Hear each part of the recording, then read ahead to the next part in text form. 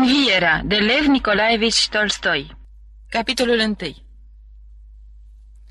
Oricât se străduiau oamenii, grămădiți câteva sute de mile la un loc, să sluțească petecul de pământ pe care se înghesuiau, acoperindu-l cu piatră de nu mai putea rodi nimic pe el, smulgând orice firicel de iarbă ce răsărea, îmbăxind văzduhul cu fum de cărbune și de petrol, ciopărțind copaci și alungând animalele și păsările, primăvara era tot primăvară, chiar și la oraș.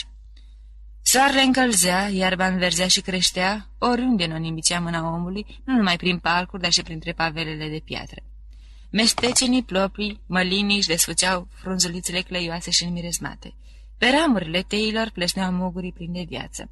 Stâncuțele, vrăbile, porumbei, simțind primăvara, își clădeau voios cu iuburile, iar muștele înviate de soare văziau pe lângă ziduri. Plantele, păsările, gâzele, copiii, toți erau veseli, numai oamenii cei vârstnici maturi nu încetau de a se însâla și de a se chinui unii pe alții și pe ei însiși. Pentru ei această dimineață de primăvară, această frumusețe a lumii dăruită de Dumnezeu spre fericirea tuturor vietăților, nu era un lucru sfânt și însemnat, ci sfânt și însemnat era ceea ce născociseră ei înșiși pentru a ajunge cât mai sus, ridicându-se unii peste alții. Așa de pildă în cancelarea închisorii guberniale era socotit sfânt și însemnat nu bucuria și înduioșarea pe care primăvara le dăruiește tuturor animalelor și oamenilor, ci faptul că în ajun se primise o hârtie cu număr antet și parafă, prin care se ordona că astăzi, 28 aprilie, la ceasurile 9 dimineața să fie aduși la tribunal trei arestați, un bărbat și două femei deținuți în prevenție. Una dintre aceste femei, socotită drept cea mai primejdioasă criminală, trebuia să fie adusă singură. Deci, conformându-se acestui ordin, la 28 aprilie, la ceasurile 8 dimineața, gardianul șef al închisorii intră în coridorul întunecos și urât mirositor al secției de femei. Normal lui venea pe același coridor o femeie cu părul cărunt și cârlionțat, cu o față obosită îmbrăcată într-o bluză cu galoane la mâneci și strânsă cu o cingătoare cu șiret albastru pe margine. Era supraveghetoarea șefă. Pentru Maslov ai venit?" Întrebă ea, apropiindu-se odată cu gardianul de serviciu de una dintre ușile camerelor ce dădeau pe coridor. Gardianul, zornăindu-și cheile, descuie lacătul, deschise ușa camerei, din care răbufni un miros și mai greu decât cel de pe coridor și strigă. Maslova la tribunal!" Apoi închise iar ușa și rămase locului așteptând. Până și în curtea închisorii se simțea era înviorătoarea câmpiilor adusă de vânt în oraș. Pe coridor însă te apăsa un aer greu și fetit îmbăxit de miros de excremente, catran și muțigai, care trezea numai decât în sufletul oricărui nou venit un sentiment de tristețe și descurajare. Simția aceasta până și supraveghetoarea, deși era deprinsă cu aerul stricat, căci intrând pe coridor o năpădit deodată un fel de oboseală și o dorință de somn. Din celule se auzea o forfătă de glasuri de femei și lipăi de picioare de sculțe. Hai de masluva, mișcă mai repejor, n-auzi?" strigă gardianul șef prin ușa celulei. Peste câteva clipe, o femeie tânără, nu prea înaltă și cu pieptul plin, ieși pe ușă cu pas hotărât, se întoarse repede în loc și se opri lângă gardianul șef. Purta un halat cenușu peste o fustă și o bluză albă. În picioare avea cerap de ață și ghete grosolane de pușcăriașă, iar la cap era legată cu un tulpan alb de sub care se zăreau câțiva zulufi negri scoși pe semne din adins. Fața femeii era palidă și albă, de o albeață caracteristică oamenilor care stau multă vreme închiși între ziduri și care amintește albul mugurilor de cartofi ce încolțesc în veci. La fel de albe erau și mâinile ei mici și late și gâtul plin și din gulerul larg al halatului. În această față de o paloare mată te impresiona ochii negri strălucitori, cu ploapele puțin umflate, dintre care unul privea nețărșașiu. Femeia se ținea foarte dreaptă, cu pieptul plin scos în afară. Ajuns în coridor, își dădu ușor capul pe spate, se uită drept în ochii gardianului șef și rămase nemișcată, gata să îndeplinească orice poruncă. Gardianul șef n-apucă să încuie camera când se-i prin căpătura ușii un cap de femei, cu părul cărun și cu fața severă, palidă și zbărcită. Bătrâna a început să-i spună ceva Maslovei, dar gardianul împinse ușa și capul se făcu nevăzut. Dinăuntru se auziră hohote de râs. Maslova zâmbi și se întoarse spre ferășturica zăbrelită a celulei. Bătrânaș își lipi capul de partea cealaltă a geamului și spuse cu glas răgușit. Vezi de nu spune nimic de prisos. Ține-o și tu una și bună. S-a sfârșit odată într-un fel. Mai rău că acum nu poate să fie, spuse Maslva scuturând din cap. Sigur că o să se sfârșească într-un fel și nu în două, spuse gardianul cu superioritate de șef, convins că are mult haz. După mine, marș! Ochiul din ferăstruică dispăru, iar Maslova ieși până în mijlocul coridorului și cu pași mărunți și repezi porni în urma gardianului șef. Coborâre amândoi niște trepte de piatră, trecură pe lângă camerele bărbaților și mai gălăgioase încă și mai puturoase ca ale femeilor, urmăriți de ochi curioși, pironiți la fiecare ferestrica ușilor și intrară în cancelarie unde așteptau doi gardieni cu arma în mână. Funcționarul din cancelarie întinse uneia dintre gardieni o hârtie îmbăxită cu miros de tutun și îi spuse arătând spre pușcăriașă. Ia-o în primire. Gardianul, un mujic din Nișni Novgorod, cu fața ciupită de văstrat, puse hârtia în manșeta mantalei și, arătând cu capul spre deținută, zâmbi și făcu cu ochiul tovarășului său un ciuvaș cu pomeții obrajilor ieșiți în afară. Deținuta și cei de gardieni coborâră alte trepte îndreptându-se spre partea principală. În porțile mari se deschise o ușiță și cei de gardieni cu pușcăriașa părăsire curtea închisorii și o pornire de-a lungul străzilor pavate ale orașului. Birjarii, negustorii, bucătăresele, muncitorii, funcționarii se oprau din mers privind cu curiozitate pușcăriașa. Unii dădeau din cap gândit. Ia te uită unde ajungi, că nu ești cinstit cum suntem noi. Copiii se uitau îngroziți la răufăcătoare, liniștindu-se numai la gândul că e păzită de gardieni și nu mai poate face niciun rău. Un țăran care tocmai vânduse niște cărbuni și se cinstise cu cei la ceinărie se apropie de ea, își făcu semnul crucii și întinse un bănuț. Femeia se înroșie, își lăsă capul în piept și bălbărosi ceva. Simțind privirile ațintite asupra ei, pușcăriașa se uită cu coada ochiului, fără să întoarcă capul la cei ce o priveau. Această atenție a oamenilor pe care o strânea întreagă tot înveselea. O mai înveselea și aerul curat de primăvară, mai ales față de cel al închisorii. O dureau însă picioarele dezobișnuite să umble și încălțate cu scroambe grele de pușcăriașă, simțea fierbinte fiecare piatră pe care călca. Trecând prin fața unui depozit de făine, era cât pe ce să calce pe unul din porumbei ce se plimbau nestingeriți pe acolo. Porumbelul se ridică în zbor și bătând din aripi trecu pe lângă urechea pușcăriașei, lăsând în urma lui o ușoară adiere de vânt. Pușcăriașa zâmbi, apoi amintindu-și de starea în care se afla, ofta din adâncul sufletului. Capitolul 2 Povestea pușcăriașei Maslova era dintre cele mai obișnuite. Maslova era fica unei femei nemăritate care trăia pe lângă maică sa văcăriță în satul la două moșerițe surori, amândouă fete bătrâne. Această femeie nemăritată dădea naștere în fiecare an unui copil și, cum se întâmplă de obicei la țară, copilul era botezat și în scurtă vreme murea de foame, căci mama nu vrea să hrănească pruncul nedorit care o încurca și o împiedica să muncească. Așa i-au murit cinci copii. Toți au fost botezați, au răbdat de foame până s-au prăpădit. Al șaselea copil, făcut cu un țigan în trecere prin acele locuri, a fost o fetiță care ar fi avut aceeași soartă dacă nu se întâmpla ca una dintre domnișoarele bătrâne să intre într-o bună zi în staul ca să dojenească văcărițele, pentru că frișca mirosea a vacă. Acolo se afla și lehuza cu un prunc de toată frumusețea lângă ea. Bătrâna domnișoară dăzerni femeile și pentru frișcă și pentru faptul că a fost lăsat o femeie să nască în staul și se pregătea tocmai să plece când dădu cu ochii de copilaș. Acesta îi plăcut tare mult și ea își exprimă dorința de fi nașă. A botezat fetița, iar apoi, fiind de milă de fina sa, îi dădea lapte și bani mame și așa s-a făcut că a rămas fetița în viață. Domnișoarele bătrâne chiar îi spuneau salvata. Copila avea trei ani când mai sa s-a îmbolnăvit și a murit. Bunica, bătrâna văcăriță, își creștea cu greu nepățica și atunci bătrânele domnișoare o luară la ele. Fetița cu ochii negri se făcuse un copil tare viei și frumușel și bătrânelor domnișoarele era drag de ea. Cea mai tânără și mai bună dintre bătrânele domnișoare se numea Sofia Ivanovna.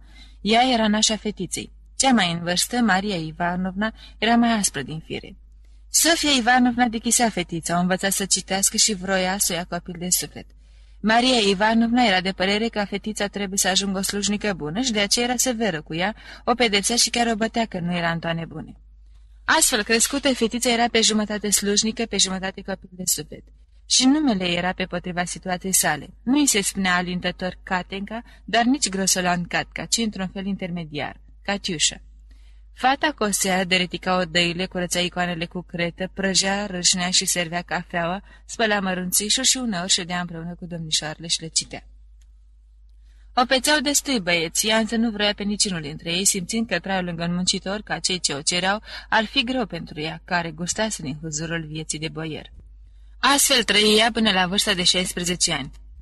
Când păși în al 17-lea an, sosi în vizită la domnișoarele ei un nepot de-al lor, student, prinț bogat, și Catiușa se îndrăgosti de el, lucru pe care nu îndrăznea să-l mărturisească nici Sieș, nici lui. Peste doi ani, același nepot, în drum spre front, se abătu iar pe la mătușile lui, zăbovi la ele patru zile și în ajunul plecării sale o se duse pe Catiușa. A doua zi strecură în palmă hârtie de 100 de ruble și văzut de drum. După cinci luni de la plecarea lui, fata se încredință că era însărcinată. Din clipa aceea se scârbi de toți de toate și nu se mai gândea decât la un singur lucru, cum să scape de rușine ce amenința. Început să servească în sire pe domnișoare, ba chiar într-o bună zi nici ea nu știe cum s-a întâmplat și și din fire. Dezvârli domnișoarelor în obraz o seamă de grăsălănii, lucru de care se căi pe urmă și le ceru să-i dea drumul să plece. Domnișoarele, foarte nemulțumite de ea, au lăsat-o să plece. Ieșind de la ele, se tocmi slujnică la un comisar, unde nu se însă decât trei luni, pentru că comisarul, un bătrân de 50 de ani, început să-i dea tărcoare și într-o bună zi, când omul se arătă mai îndrăzneț, ea se înfurie, el făcut în și diavol bătrân și îl îmbrânci cu atâta violență în piept încât îl trânti pe jos. Fu dată afară pentru mojicie. Nu mai avea rost să-și caute alt loc, își se apropia data nașterii și ea se aciu în sat la o văduvă care era moașă și făcea și negoți de vin. Nașterea fu ușoară, dar moașa care moșise în sat o femeie bolnavă o moripsit de febră puerperală. Iar pruncul, un băiețel, a fost trimis la un leagăn de copii, unde, după spusele bătrânii care l-a dus, s-a prăpătit chiar în prima zi. Toată averea Catiușei când s-a mutat la moașă era de 127 de ruble, 27 câștigate de ea și 100 primite de la seducătorul ei. Când pleca însă de la moașă nu mai avea decât 6 ruble. Nu știa să păstreze banii. Cheltuia pentru ea și dădea și altora, oricui ar fi cerut. Mașa cerut pentru două luni de găzduire, mâncare și cei 40 de ruble. 25 de ruble cheltuise cu trimisul copilului. 40 de ruble mai ceruse mașa împrumut și să-și cumpere o vacă, vreo 20 de ruble se duseră așa pe dulce, pe nimicuri, așa că odată sănătoasă, Catușa nu mai avea bani și trebuia să-și caute un loc. Îl găsi la șeful ocolului Silvic. Acesta era un om însurat, dar ca și comisarul, din prima zi început să-i dea târcoale Catiușei. Era silă de el și căuta să-l ocolească. El însă era mai viclean decât Catușa și mai cu experiență și fiindcă era stăpânul, putea să o trimită unde vroia. Și prinzând o clipă prielnică, își bătu joc de ea. Nevastă se află și într-o bună zi, prinzându-și bărbatul în odaia Catiușei, se repezi să o bată. Aceasta nu se lăsă și se încinse o bătaie în urma căreia fata fu izgonită din casă, fără să îi se plătească un ban. Atunci Catiușa plecă la oraș unde trase la o mătușa ei. Bărbatul mătuș era legător de căr și cândva o dusese bine. Acum însă își pierduse toți clienții, căzuse la patima beției și dădea ultimul ban pe băutură. Mătușa ținea o mică spălătorie din al cărei venite și hrănea copiii și pe bețivul de bărbatul său. Ea îi propuse Maslăvei să intre la ea ca spălătoreasă. Văzând însă viața grea ce o duceau femeile care lucrau la mătușa sa, Maslova se codea căutându-și între timp pe la birourile de plasare un loc de servitoare. Până la urmă se tocmi la o cucoană care avea doi băieți, elevi de liceu. După o săptămână de lucru, băiatul cel mare, un tânăr cu mustați, elev în clasa 6 de liceu, lăsându-și baltă învățătura, a început să se lege de Maslova. Mama m-a învinovățit de toate acestea pe Maslova și făcut socoteala. În căutarea fără succes a unui alt loc, se întâmplă într-o bună zi să întâlnească la biroul de plasare o cucoană cu brațe și degete dolofane încărcate de brățări și elene. Această cucoană, aflând că Maslova e în căutarea unui loc, îi dădu adresa ei, rugându-o să treacă pe la ea. Maslova se duse. Cucoana o primi călduros, o sfătă cu plăcinte și cu o băutură dulce, apoi își trimise servitoarea undeva cu un bilețel. Spre seară veni un domn înalt cu părul lung și sur și cu o barbă căruntă. Bătrânul acesta se așeză îndată lângă Maslova și, zâmbind și privind-o cu ochii aprinși, început să o cerceteze și să glumească cu ea. Stăpâna acasă îl chemă într-o altă odaie și Maslova o zi spunându-i, e prospețică, e de la țară. Apoi stăpâna o chemă pe Maslova și spuse că domnul este scriitor, care are bani foarte mulți și că nu o să precupețească nimic dacă ea va ști să fie pe placul lui. Ea îi plăcu și scriitorul îi dădu 25 de ruble spunându-i că o să vină deseori să o vadă. Banii se topiră foarte repede, o parte la plata găzduirii ei la mătușa și restul pe o roche nouă, pălărioară și panglici. Peste câteva zile, scriitorul trimise pentru a doua oară după Maslova. Maslova se duse. El îi dădu iarăși 25 de ruble și propuse să se mute într-o locuință separată. Locuind în casa închiriată de scriitor, Maslova se îndrăgosti de un băiat de prăvălie, un foarte vesel, care locuia în aceeași curte cu ea. Tânărul însă, care îi făgăduise să ia în căsătorie, plecă într-o bună zi la Nișni, fără să-i spună nimic părăsindu și Maslova rămasă singură. Ea vrut să-și păstreze mai departe locuința, însă nu îi se dădu voie. Inspectorul de poliție a declarat că nu mai poate trăi așa mai departe, decât dacă își face condicuță și se prezinte periodic la controlul medical. Atunci Maslova se întoarse iarăși la mătușă sa. Aceasta, văzând că poartă rochie nouă, cu pelerine și pălărie, o primi cu respect și nu mai îndrăzni să-i ofere un loc de spălătoreasă la ea, socotind că nepoată să s-a ridicat pe o treaptă socială mai înaltă. Pentru Maslova, de fapt, nici nu se mai punea problema dacă să fie sau nu spălătoreasă. Ea se uita acum cu milă la viața de muncă silnică pe care o duceau la mătușă sa spălătoresele palide cu brațele albe, dintre care unele se oftigiseră, toate spălând și călcând de neabă și căldură de 30 de grade, cu ferestrele deschise vara și iarnă și se îngrozea la gândul că ar fi putut să intre și ea în asemenea ocnă. Tocmai în această perioadă grea pentru Maslova, că nu izbădea să-și găsească niciun protector, se întâlni cu o proxenetă care căuta fete pentru casele de toleranță. Cu fumatul Maslova se desprinsese de mult, iar în ultimul timp al legăturii sale cu beatul de prăvălie și după ce acesta o părăsise, ea se obișnuise să și bea.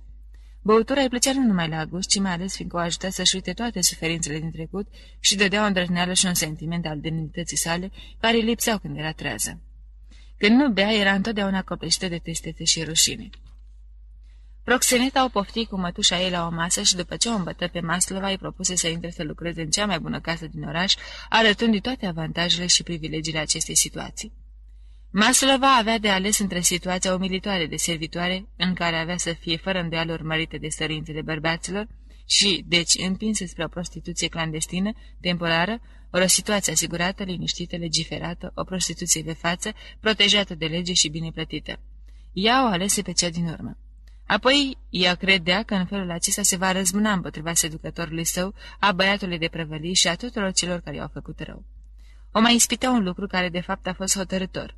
Proxeneta îi spusese că va putea să-și comande orice roche va dori, de catifea, de fai, de mătase, rochi de bal, decoltate, cu umeri și brațele goale. Și când se văzu în închipuire îmbrăcată cu o roche galbenă de mătase, garnesită cu catifea neagră la decoltău, Maslova nu mai putea rezista și își dădu actul de identitate proxenetei.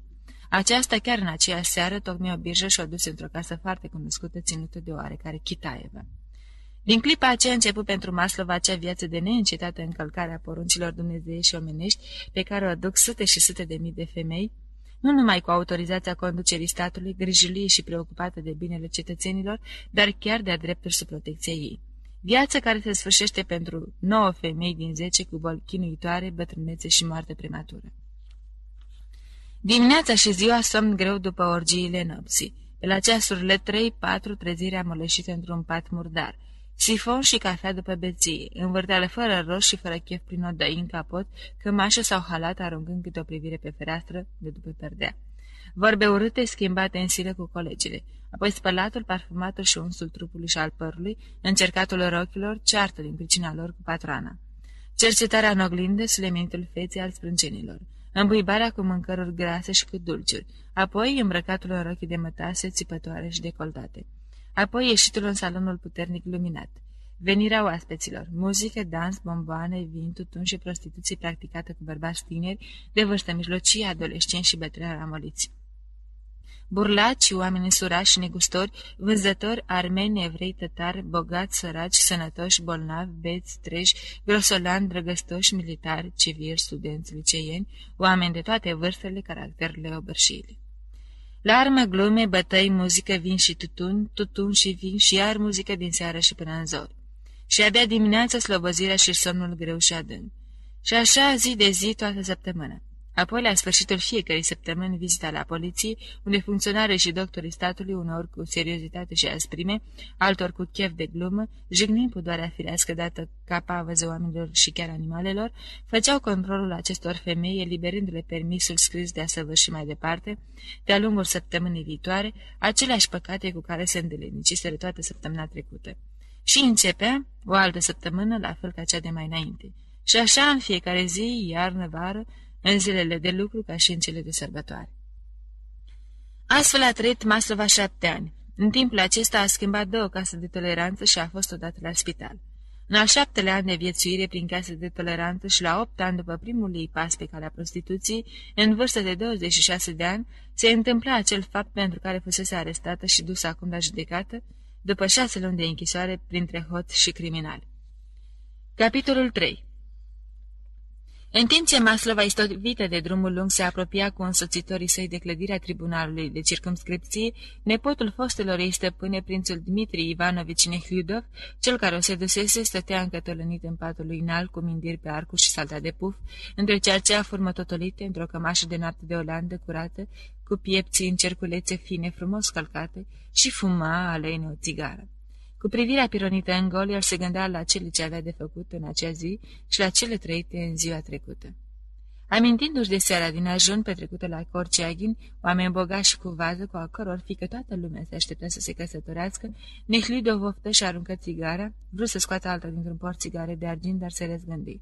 Își coboră din pat picioarele albe și îngrijite, Dibui papucii, își aruncă pe umeri halatul de mătase și cu pași grăi de aiuriuți se îndreptă spre odaia de toaletă alăturată, pătrunsă de miroși de apă, de colonii, parfum, creme și pomezi. Acolo își spălă dinții, mulți dintre ei plombați, îi perie cu un praf de dinți anumit, îi clăti cu o apă de gură parfumată, apoi începu să se spele și să se frece cu felurite prosoape. Se spălă pe mâini cu săpun parfumat, își curăță cu periuța unghiile lungi, își pără la un lavoar mare de marmură față și gâtul plin și trecu într-o altă odaie vecină unde l-aștepta dușul. După ce își răcori cu apă rece trupul alb, mușchiulos și cam îngreuiat de grăsime, se șterse cu un cerceaf mare plușat, se îmbrăcă în rofăria albă imaculată și frumos netezită cu fierul, se încălță cu ghetele perfect lustruite și se așeză în fața oglinzii, unde început să-și perie cu două periodate, bărbuța neagră cârlionțată și părul inelat, ușor rărit pe frunte. Toate lucrurile de care se folosea, Rufăria, hainele, galțămintea, cravatele, acele, butonii, erau de cea mai bună calitate, fine, simple, trainice și scumpe. Nehlidov luă din vreo dozină de cravate și tot atâtea ace pe cele din tâi care picară sub mână, Cândva această operație fusese plăcută și nouă, acum însă nu mai avea niciun interes pentru el, se îmbrăcă cu hainele periate pregătite pe un scaun și se îndreptă, dacă nu destul de înviorat, cel puțin curat și parfumat, spre sufrageria mare, al cărei parchet fusese lustrit în ajun de către trei mujici. Se găsea acolo un bufet enorm de stejar și o masă mare, tot de stejar, cu picioare masive, scoptate în formă de labe de leu, care îi dădeau un aspect impunător. De această masă acoperită cu o față de masă subțire, scrobită cu monogram brodat, îl aștepta o cană de argint cu cafea parfumată, de harnița de argint, un borcan cu caimac și un coșuleț cu peinițe calde, plăcințele și pesmeceli. Lângă tacâm erau puse scrisorile abia primite, ziarele și ultimul număr din revue de Deux Monde. Tocmai când se pregătea Nehlidov să-și deschidă corespondența, se arătă în ușă o femeie în vârstă cam grasă în doliu, cu o eșarfă de dantele pe cap ce acoperea cărarea, în jurul căreia părul se rărise. Era Agrafena Petrovna, camerista răposată mama lui Nehlidov, moartă nu de mult, chiar în acea casă și care rămăsese acum pe lângă fiu în calitate de menajer. Agrafena Petrovna petrecuse în răstimpuri cu mama lui Nehlidov vreo 10 ani în străinătate și avea ținuta și purtările unui cucoane. Ea trăia în casa Nehlidovilor din copilărie și îl știa pe Dmitri Ivanovici încă de pe vremea când îi se spunea numai Mitinca. Bună dimineața, Dmitri Ivanovici! Bună ziua, Grafena Petrovna! Ce noutăți ai?" întrebă Nehlidov în glumă.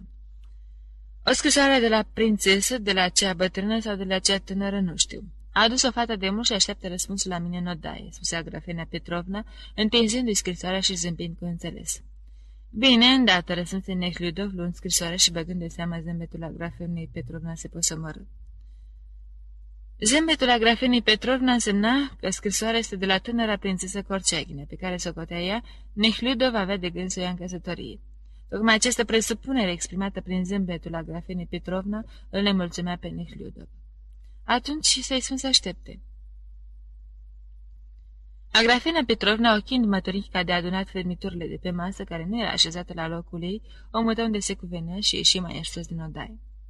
Nehludov deschise o scrisoare parfumată și început să o citească. Ținând seama de obligația pe care mi-am luat de a fi memoria dumitale, era scris pe o foaie grasă de hârtie cenușie dințată pe margini cu un scris ascuțit, dar energic, îți amintesc că astăzi, 28 aprilie, trebuie să fii la curtea cu jurii și deci nu ne vei putea însoți împreună cu Colosovei la galeria de tablouri, după cum cu ușurătatea dumitale obișnuită ne-ai promis ieri. Dacă cumva nu ai de gând să plătești curții cu jurii, amenda de 300 de ruble, bani pe care nu te îndur să-i dai pentru cumpărarea calului, pentru faptul de a nu te fi prezentat la vreme. Ți-am adus aminte de aceasta ieri, îndată ce ai plecat. Așadar, ține minte, prințesa M. Corceaghină. Pe partea cealaltă era adăugat, mama îți transmite că tacâmul dumitale te va aștepta până seara târziu. Să vii neapărat la orice oră scapi. Nehludo se încruntă. Biletul era urmarea acelei tactici iscusite duse de două luni de către prințesa Corceaghină, cu scopul de a-l învălui tot mai strâns într-o rețea de nevăzute legături. Iar Nehludov, pe lângă acea nehotărâre în fața căsătoriei, obișnuită oamenilor nu prea tine și nici prea îndrăgostiți, mai avea un motiv puternic care îl împiedica să facă acum o cerere în căsătorie, chiar dacă s-ar fi hotărât la aceasta. Motivul nu era faptul de a fi sedus-o pe Catiușa acum 10 ani și de a fi părăsit-o, lucrul acesta era cu totul uitat și nu putea constitui pentru el o piedică la căsătoria lui. Motivul era legătura sentimentală pe care o avea cu o femeie măritată, cu care rupsese de fapt, deși dânsa socotea că nu s-a sfârșit totul între ei. Nihludov era foarte timid cu femeile și tocmai timiditatea lui trezise în această femeie măritată dorința de a-l cuceri. Această doamnă era soția mareșalului nobilimi din ținutul unde lua și Nihludov parte la alegeri. Ea l trăsese într-o aventură sentimentală care pe zi ce trecea era pentru Nehludov mai pasionată și în același timp mai respingătoare. La început Nehludov nu putuse rezista ispitei, iar apoi simțindu-se vinovat față de ea, nu putuse rupe legătura fără încuvințarea ei. Acesta era motivul care îl făcea pe Nehludov să nu se simte liber de a cere mâna tinerei prințese Corceaghină, chiar dacă ar fi dorit-o. Pe masă în fața lui tocmai se găsea o scrisoare de la soțul acestei femei. Nehludov se înroși și simți în aceeași clipă acea înviorare pe care o simțea ori de câte ori îl pândea vreo primejdie. Tulburarea lui era însă neîntemeiată. Soțul, mareșalul nobilimii din ținutul în care Nehludov și avea cele mai mari proprietăți, îl înștiința că la sfârșitul lunii mai va avea loc o adunare extraordinară a Zemstvei și îl ruga să vină neapărat să-i dea o mână de ajutor la această adunare unde aveau să fie puse probleme importante în chestiunea școlilor și a drumurilor vicinale, la ridicarea cărora se pregătea o serioasă opoziție a reacțiunii. Mareșalul era un liberal și împreună cu alți câțiva nobili care îi împărtășeau ideile, lupta împotriva reacțiunii care se întărise în timpul lui Alexandru al III-lea și fiind absorbit cu totul de această luptă, nu știa nimic despre nenorocirile sale casnice. Nehliudov își aminti de toate clipele chinuitoare pe care le trăise în legătură cu acest om. Își aminti cum își închipuise odată că soțul a aflat totul și cum se pregătise să se bată în duel cu el, deși era foarte hotărât să tragă în aer. Apoi de o scenă înfiorătoare cu ea, care într-un acces de disperare alergase să se nece în iazul din grădină, iar el după ea să o caute. Nu pot să mă duc nicăieri, nici să fac nimic până ce noi avea răspunsul ei, gândi Nehliudov. Cu o săptămână în urmă, el îi scrisese o scrisoare categorică în care își recunoștea vina și se arăta gata să-i spășească în orice echip ar voi ea, totuși, spre binele ei chiar, socotea legătura lor ruptă pentru totdeauna. La această scrisoare tot aștepta răspuns. Faptul că acest răspuns întârzie era într-un fel un semn bun. Dacă n-ar fi primit să rupă legătura, ar fi răspuns de sigur de mult sau ar fi venit personal, cum mai făcuse de atâtea ori. Nici Ludov auzise că se afla acum la un oarecare ofițer care îi făcea curte, ceea ce pe de o parte îl făcea să sufere de gelozie, iar pe de altă parte îl bucura dând speranța că se va putea elibera de această minciună care l-a păsat. A doua scrisoare era de la administratorul șef al moșilor sale. Acesta îi scria că este nevoie să vină personal ca să ia în primire moștenirea și, afară de aceasta, să hotărească cum să se administreze averea mai departe, ca și pe timpul răposate prințesii sau așa, după cum propusese el pe vremuri prințesei însăși și acum prințului. De a se mări inventarul și de a se lucra tot pământul care se dădea până acum în dijmă țăranilor. Administratorul scria că acest fel de exploatare ar fi mult mai rentabil. Totodată el își cerea scuze pentru mica întârziere a expedierii celor 3.000 de ruble, pe care se cuvenea să le trimite la fiecare întâi ale lunii. Acești bani aveau să vină cu poșta următoare. Întârzierea se datora țăranilor răuplatnici, care în lăsarea lor au ajuns până într-acolo, încât s-a văzut stilit să apeleze la autorități. Această scrisoare îi făcea plăcere și îl supăra totodată. Îi făcea plăcere să se simte proprietarul unei averi considerabile, dar și îl supăra, fiindcă în prima sa tinerețe fusese un entuziast adept al lui Herbert Spencer și tocmai pentru motivul că el însuși era un mare proprietar de pământ, fusese adânc impresionat de ideile acestea din Social Statics, care afirmau că dreptatea nu admite proprietate individuală asupra pământului.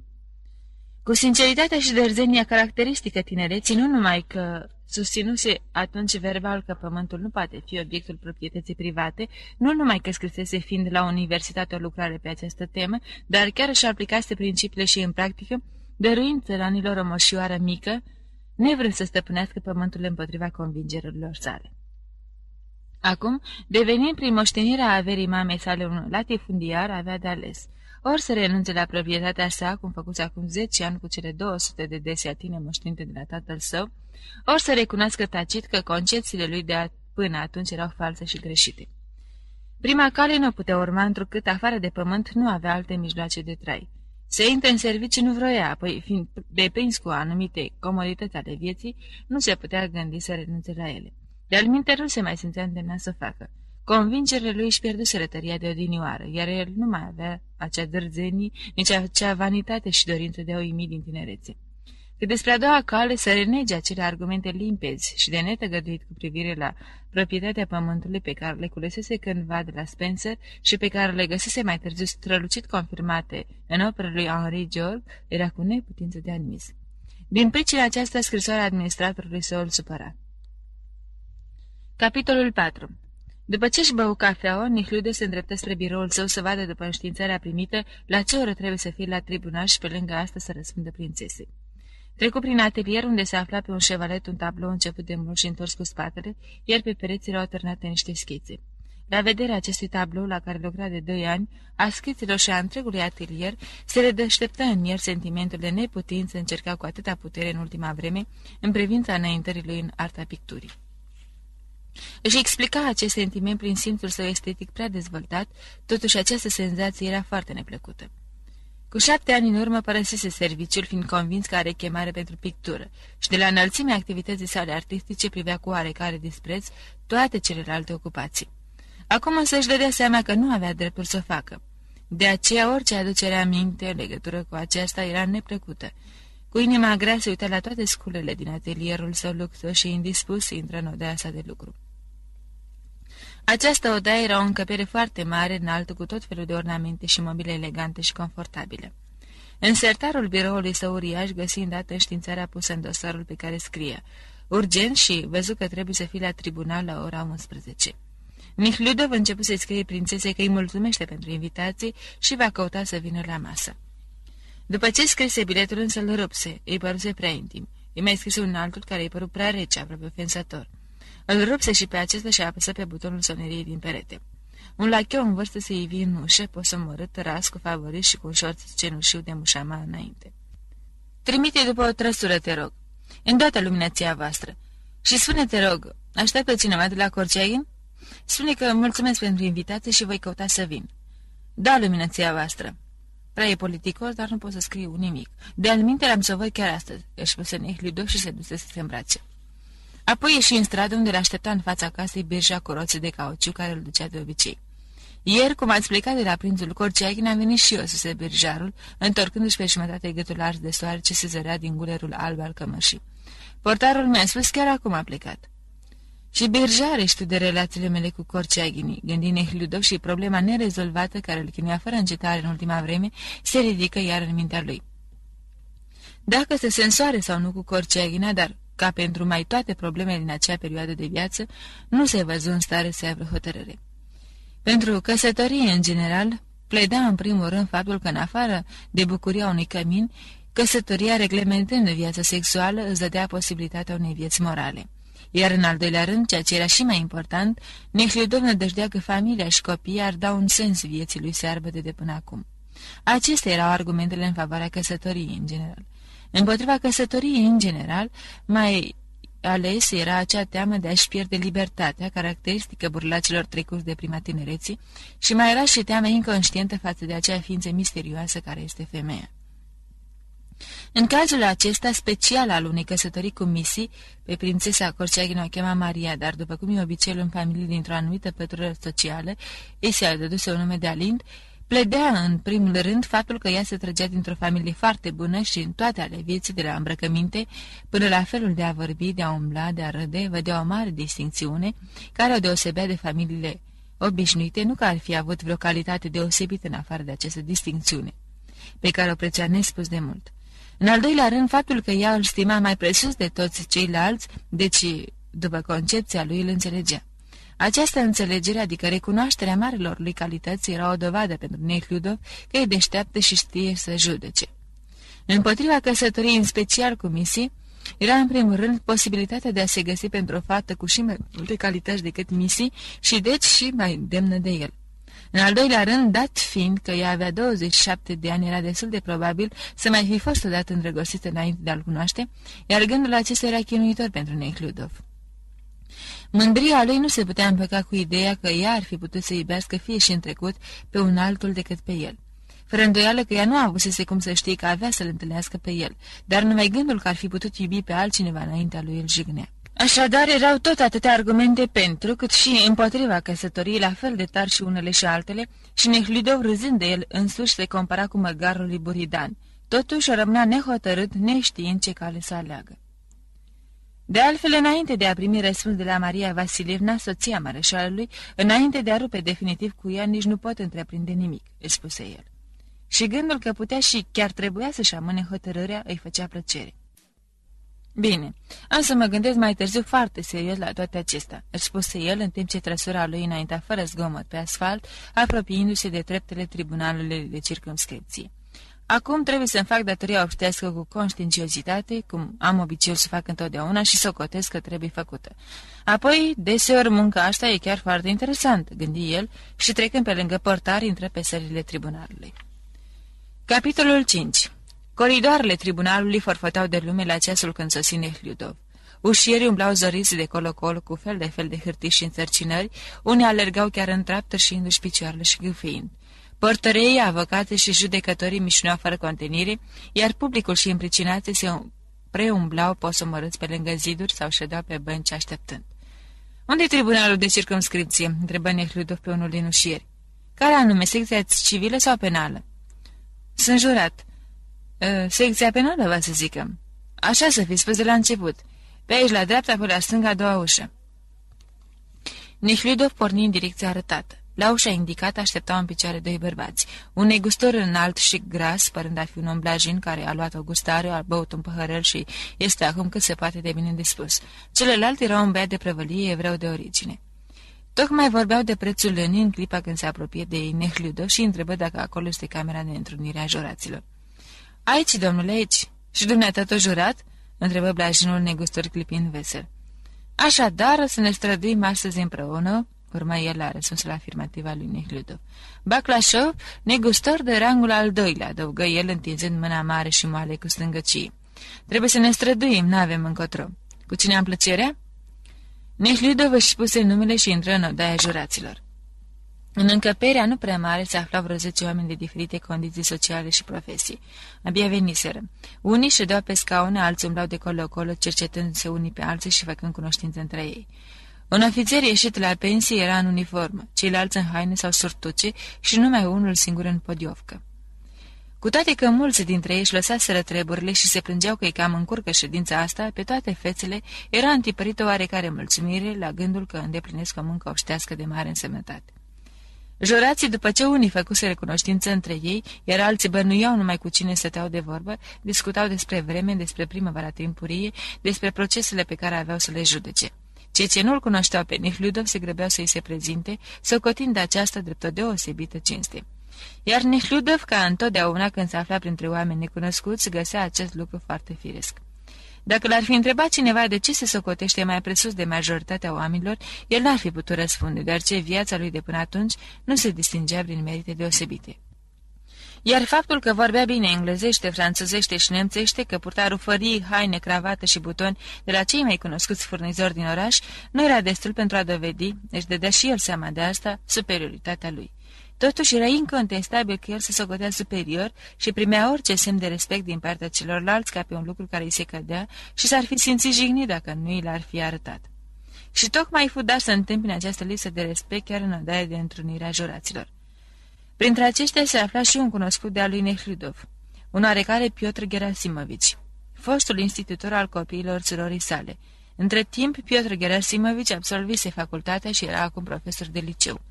Nehludov nu putuse niciodată suferi din pricina familiarității lui, a râsului plin de mulțumire de sine și mai ales din pricina vulgarității lui, cum spunea sora lui Nehludov.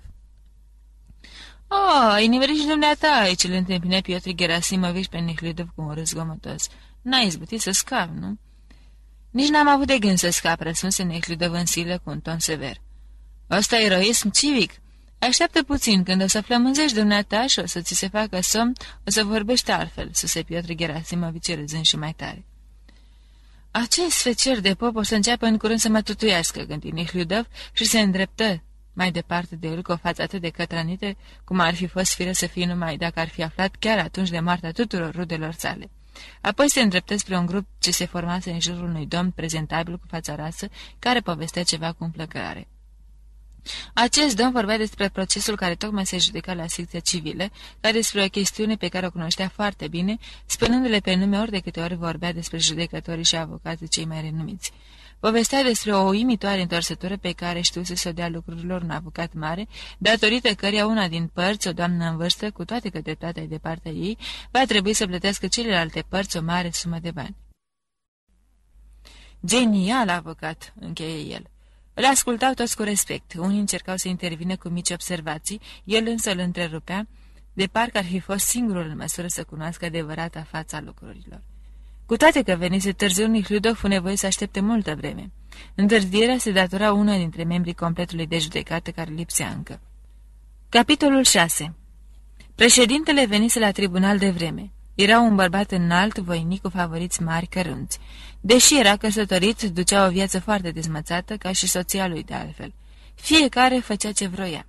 În dimineața aceea primise un bilet de la o guverdantă care fusese în timpul verii la ei în casă și acum, întorcându-se dintr-o călătorie de pe undeva din sud de la Petersburg, era în trecere prin oraș. Ea îl înștiința că îl așteaptă între ceasurile 3 și 6 la Hotel Italia. De aceea el dorea să înceapă și să-i sprăvească procesul cât mai devreme, ca să mai apuce până la 6 să meargă să vadă pe Roșcovana Clara Vasilievna, cu care avusese în vara trecută la țară o aventură. De cum intra în birou, trase javorul ușii, scoase din dulapul cu hârtii două haltere, greutăți de făcut exerciții fizice, execută 20 de mișcări de sus înainte, într-o parte și în jos, apoi se lăsă de trei ori pe călcâie, ținând greutățile deasupra capului. Nimic nu te înviorează ca aparece și ca gimnastica, gândi el, pipăind cu mâna stângă pe al cărei inelar strălucea un inel masiv de aur, bicepsul încordat al brațului drept.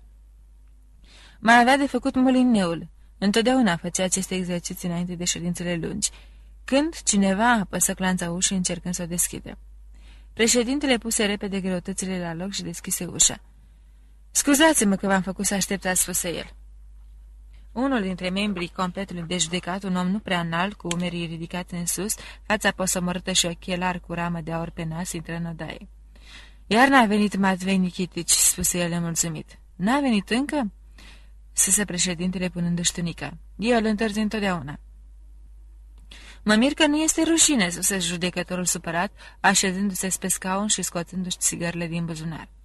Acest judecător foarte punctual din fire avusese dimineața o scenă foarte neplăcută cu soția sa, fiindcă aceasta cheltuise înainte de vreme banii dați de el pentru o lună întreagă. El a rugat să-i dea un avans pe luna viitoare, el însă n-a vrut să cedeze și s-a iscat o ceartă între ei. Soția a declarat că dacă așa stau lucrurile, nu va avea masă la prânz și nici să se gândească să mănânce acasă. El plecase după acesta și se temea ca soția sa să va ține de vorbă, întrucât de la ea te putea aștepta la orice. Poftim, asta înseamnă să duce o viață corectă și morală, gândi el uitându-se la președintele voios, sănătos, vesel și totdeauna mulțumit, care, cu coatele date în lături, își potrivea cu mâinile sale frumoase și albe, favoriții lungi și cărunți, care se răsfirau deasupra gulerului cusut cu fir al tunicii. El e totdeauna liniștit și vesel pe când eu mă chinui. Intră grefierul și aduse un dosar cu hârtii. Foarte mulțumesc, suse președintele și și-a prins o țigară cu care proces începem.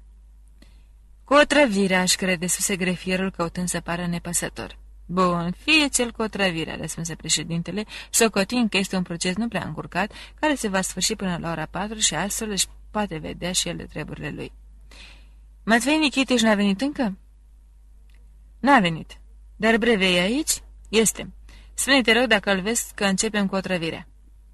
Breve era substitutul de procuror care susținea acuzarea în acest proces. Ieșind pe coridor, grefierul îl întâlni pe Breve. Mergea repede cu merii ridicați, sunica deschiată, o servietă sub braț, aproape alerga, tropăind cu tocurile ghetelor și mișcându-și în ritm brațul liber așa de tare că palma era perpendiculară pe direcția mersului său. Mihai Petrovici m-a rugat să vă întreb dacă sunteți gata, îl opri grefierul. Bineînțeles că da, eu sunt gata oricând, răspunse substitutul de procuror. Care e primul proces? Otrăvirea.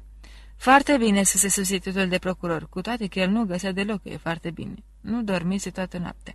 Fusese poftit de un prieten la o masă de rămas bun, unde s-a băut mult, s-au jucat cărți până la două noaptea, apoi s-au dus cu toți la femei, tocmai în casa în care cu șase luni în urmă se afla și Maslova, așa că n-a apucat să citească dosarul procesului cu otrăvirea și vroia să-l răsfoiască acum. Grefierul, știind aceasta, din adin să sfătuise pe președinte să înceapă cu procesul cu otrăvirea. Grefierul era de concepții liberale, ba chiar radicale. Breve, din potrivă, era conservator și ca toți funcționarii nemți din Rusia, ortodox în focaș, de aceea grefierul nu îl înghițea și îi jinduia locul. Ei, dar cu scapeții cum rămân?" întrebă grefierul. Am mai spus că nu pot face nimic din pricina lipsei de martori. Am să declar în ședință. Păi ce le face?" Nu pot, repetă substitutul de procuror și se îndreptă în fugă spre biroul său, mișcându-și ca și înainte brațul. Amâna mereu procesul cu scapeții nu din pricina lipsei unui martor cu totul neînsemnat în proces, ci pentru că jurații din această instanță erau intelectuali și s-ar fi putut să se termine cu o achitare. În înțelegere cu președintele, aștepta ca acest proces să fie trimis spre judecare la o sesiune județeană a judecătorilor de pace, unde jurul era alcătuit mai ales din țăran și erau mai multe probabilități de condamnare. Forfata de pe coridor creștea din ce în ce. Lumea se îmbulzea mai cu seamă în fața selii secției civile, unde se dezbătea procesul despre care povestise juratul cel prezentabil, așa de la curent cu procesele mari. În pauză ieși din sala respectivă pe coridor acea bătrânică pe care genialul avocat izbutise să o despaie de avere în folosul unui om de afaceri care nu avea niciun drept la ea. Aceasta o știau prea bine și judecătorii, dar mai ales impricinatul și avocatul său. Aceștia însă Așa întorseseră lucrurile, cât era cu neputință să nu treacă averea bătrânei în mâinile omului de afaceri. Bătrânica era o femeie cam grasă, îmbrăcată într-o roche elegantă și cu o pălărie cu flori mari. Ieșind din sală, se opri pe coridor și, ridicându-și în lături brațele scurte și grase, repeta într-un avocatului său. Dar ce e asta? Vă rog, ce e asta?" Avocatul preia florile de pe pălăria ei, urmărindu-și un gând al său fără să asculte.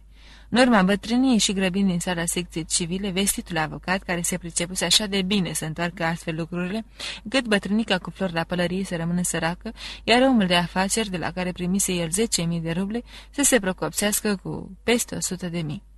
Privirile tuturor se îndreptau spre avocat care mergea cu haina deschiată, lăsând să se vadă plastronul lucios al cămășii sale scrobite. Avocatul simțea privirile îndreptate asupra lui și toată înfățișarea lui părea spune nu-i nevoie de nicio manifestare de admirație. Și trecu repede printre oameni.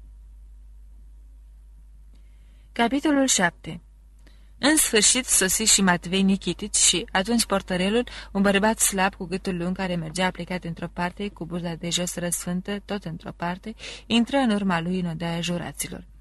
Portărelul era un om cum se cade cu studii universitare, dar nu stătea nicio slujbă prea mult, din pricina beției.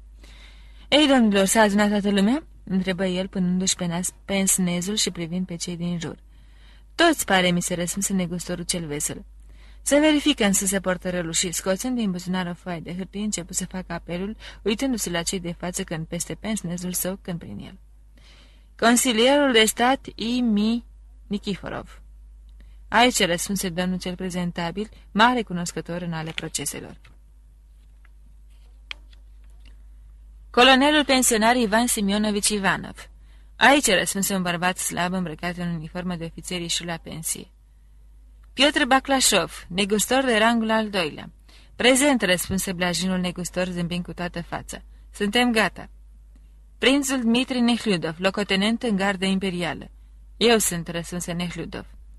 Portărelul cu o deosebită curtenie și înclină capul privindu-l peste ochelari, vrând parcă să-l diferențieze de ceilalți capitanul Iuri Dimitrievici Dancenco, negustorul Grigore Fimovici Kureșov, etc.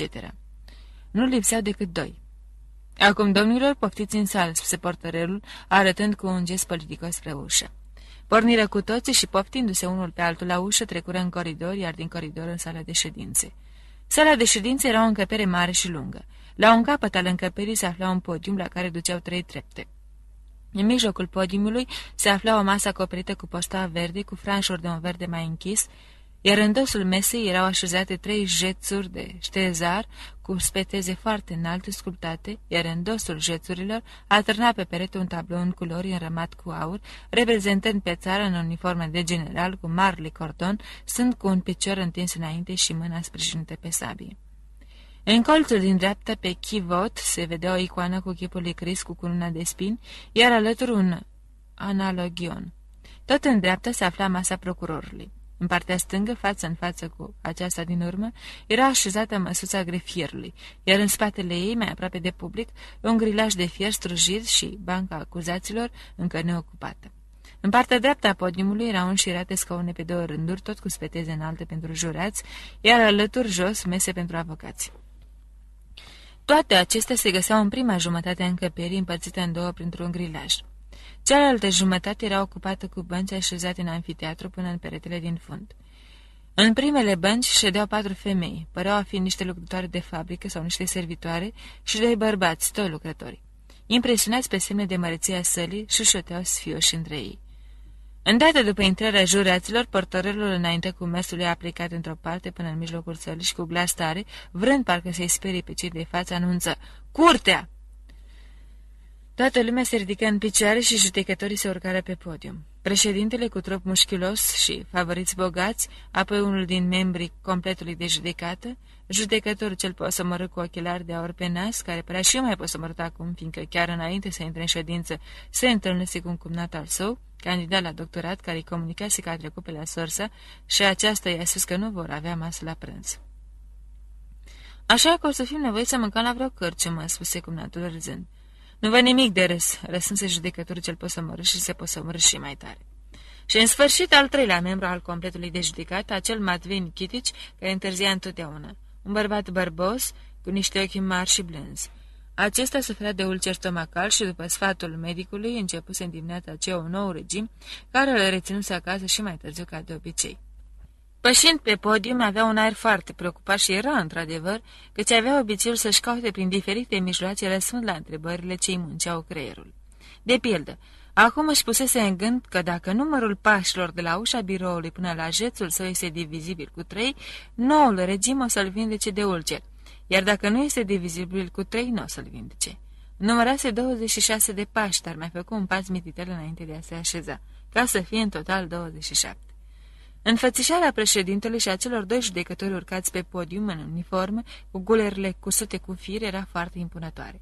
Simțeau și ei acest lucru și aproape intimidați de propria lor măreție, toți trei își lăsară cu modestie ochii în jos și se grăbiră să se așeze în jețurile lor sculptate la masa acoperită cu postav, pe care se aflau un instrument triunghiular cu un vultur în vârf, un vas de sticle dintre acelea în care se pun bomboanele la bufete, o călimară, condei, hârtie albă imaculată de cea mai bună calitate și o mulțime de creioane bine ascuțite.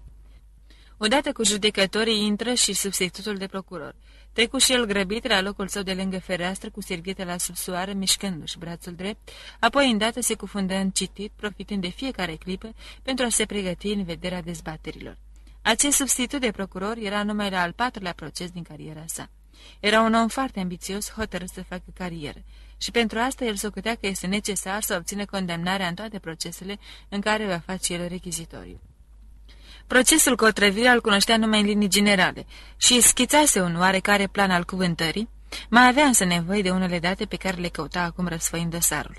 Grefierul se afla la capătul celălalt al podiumului și, fiindcă își pregătise toate hârtile trebuitoare la proces, parcurgea acum cu ochi un articol interzis pe care îl primise și îl citise în ajun. Dorea să de vorbă despre acest articol cu judecător cel bărbos care îi împărtășea vederile și, înainte de discuție, vrea să știe bine ce scria în el. Capitolul 8 Președintele, după ce cercetă hârtiile, puse câteva întrebări portorărului și grefierului și, primind răspunsuri afirmative, ceru introducerea în sala acuzaților. Ușa din dosul grijlajului se deschise numai decât și se arătară în prag doi jandarmi cu șepți în cap și cu săbi în mână care intrară urmați de un bărbat roșcovan și pistruiat și de două femei. Bărbatul era îmbrăcat într-un halat de pușcăriaș prea lung și prea larg pentru el. Își ținea brațele lipite de trup cu degetele desfăcute ca să nu-i atârne peste mâini mânecile prea lungi. Fără să se uite la judecător și la public, își pironise ochii la banca pe care trebuia să o ocolească. După ce o înconjură, se așeză cu grijă la capătul băncii, făcând loc și celorlalți și, ațintindu-și privirea asupra președintelui, începu să-și miște mușchii obrazului de parcă ar fi șoptit ceva. În urma lui venea o femeie mai în vârstă, îmbrăcată și într-un halat de pușcăriașă.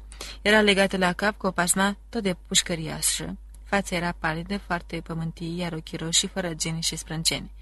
Această femeie părea a fi foarte liniștită. Trecând spre locul ei, se agăță halatul de ceva. Ea îl trase înceși cu băgare de seamă și se așeză pe bancă. A treia acuzată era Maslova. De cum intră, ochii tuturor bărbaților din sală se îndreptară spre ea și multă vreme rămaseră ațintiți asupra feței albi cu ochii negri strălucitori și asupra pieptului ei plin. Chiar și jandarmul pe lângă care trecu nu-și lua ochii de la ea până ce nu se așeză pe bancă, iar după ce o văzu așezată, simțindu-se parcă vinovată și întoarse grabnic capul și rămase cu privirea pironită la fereastră din fața sa.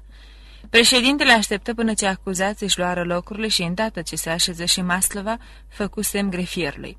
Începu procedura obișnuită, apelul juraților, comentarii în privința celor ce nu s-au prezentat, amendarea lor, cercetarea cererilor de învăire celor care lipseau și înlocuirea prin alții.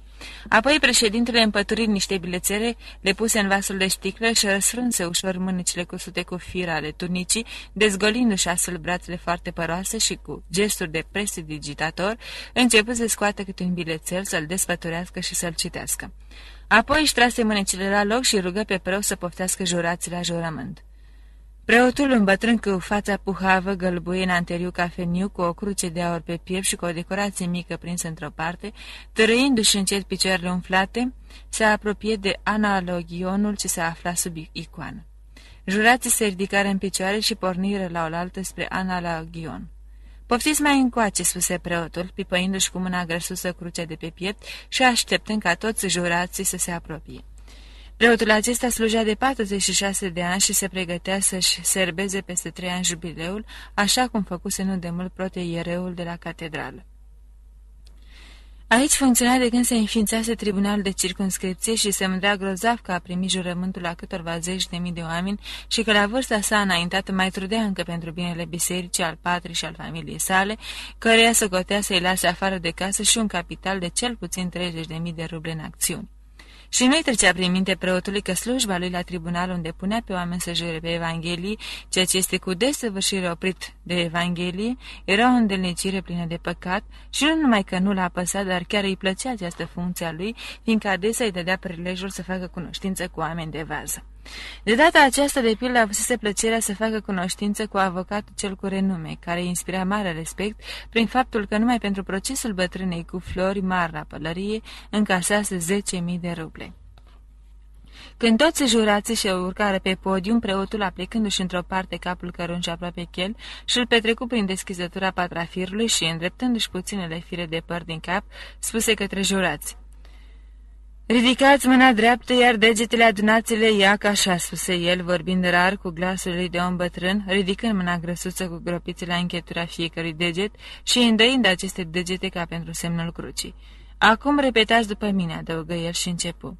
Mă leg și jur pe Domnul cel atotputernic, pe Sfânta Evanghelie și pe Sfânta Cruce, cea dătătoare de viață, că la judecata care, spunea el, oprindu-se între cuvinte, nu coborâți brațul, țineți mâna sus, spuse el către un tânăr care își lăsase mâna în jos, că la judecata la care... Domnul cel prezentabil cu favoriți, colonelul, negustorii și alții țineau cu deosebită plăcere parcă mâinile cu degetele îndoite, ridicând bine și cu convingere brațul așa cum învățase preotul. Alții, din potrivă, o făceau ca în sile și fără convingere. Unii repetau cuvintele prea tare, cu un ton sfidător, parcă și cu un aer care prea să spună. Totuși am să vorbesc, am să vorbesc. Alții însă abia șopteau, rămâneau în urmă, apoi speriindu-se, se strădeau să-l ajungă pe preot. Unii își țineau degetele strânse tare, ca și cum le-ar fi fost teamă să nu scape ceva din mână, alții le tot desfăceau și le strângeau la loc. Toți se simțeau oarecum stânjeniți, numai bătrânul preot era pe deplin încredințat că face un lucru foarte folositor și însemnat. După jurământ, președintele curții ceru juraților să-și aleagă un președinte. Jurații se ridicară și trecură în camera de deliberare, unde mai toți își aprinseră numai decât câte o țigară. Cineva îl propuse ca președinte pe domnul cel prezentabil. Ceilalți acceptară îndată, își lepădară țigările și se înapoiară în sala de ședințe. Președintele juraților se prezentă președintelui curții și anunță că a fost ales. Apoi toți jurații, călcând unul peste picioarele celuilalt, se așezară pe scaunele cu spetează înaltă, înșirate pe două rânduri. Totul se petrecea ordonat, repede și cu oarecare solemnitate. Și această ordine, disciplină și solemnitate era vădit că făcea plăcere celor care luau parte la acestea, întărindu-le părerea că îndeplinesc o datorie obștească, serioasă și însemnată. Acest sentiment îl încerca și Nehliudov. După ce se așezară jurații, președintele le spuse câteva cuvinte despre drepturile, îndatoririle și răspunderile lor. Vorbind, președintele își schimba mereu poziția. Ba se sprijinea pe cotul stâng, ba pe cel drept, ba se lăsa pe sfeteaza jețului său, ba pe brațele lui, ba îndrepta colțurile hârtiei de pe masă, ba mângâia cuțitul de tăiat hârtia, ba creionul. Drepturile juraților, după spusele lui, erau cam acestea.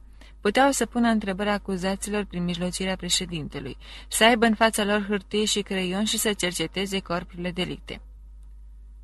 Îndatorirea lor era să judece drept și nu strâmb, iar răspunderea consana a respecta secretul deliberării și în caz că ar comunica cu oamenii străini de judecată, ar suferi pedeapsa cuvenită. Toți ascultau cu luarea minte și respect.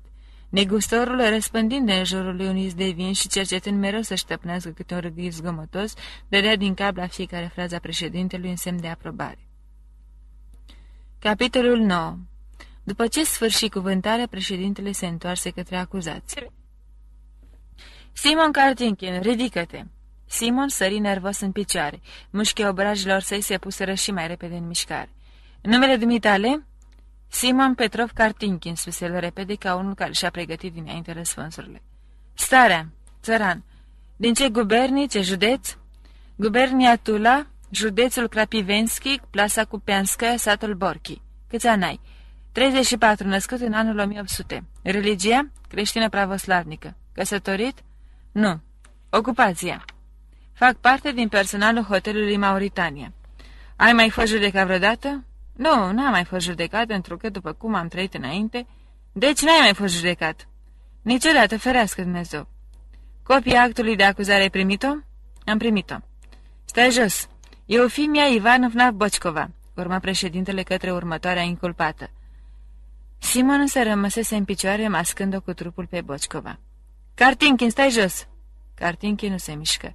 Cartinkin, stai jos! Cartinchen rămase mai departe în picioare și nu se așeză decât atunci când portărelul se apropie și cu capul aplicat într-o parte și holbându-se la el, își șoptie răgușit și tragic. Jos, jos!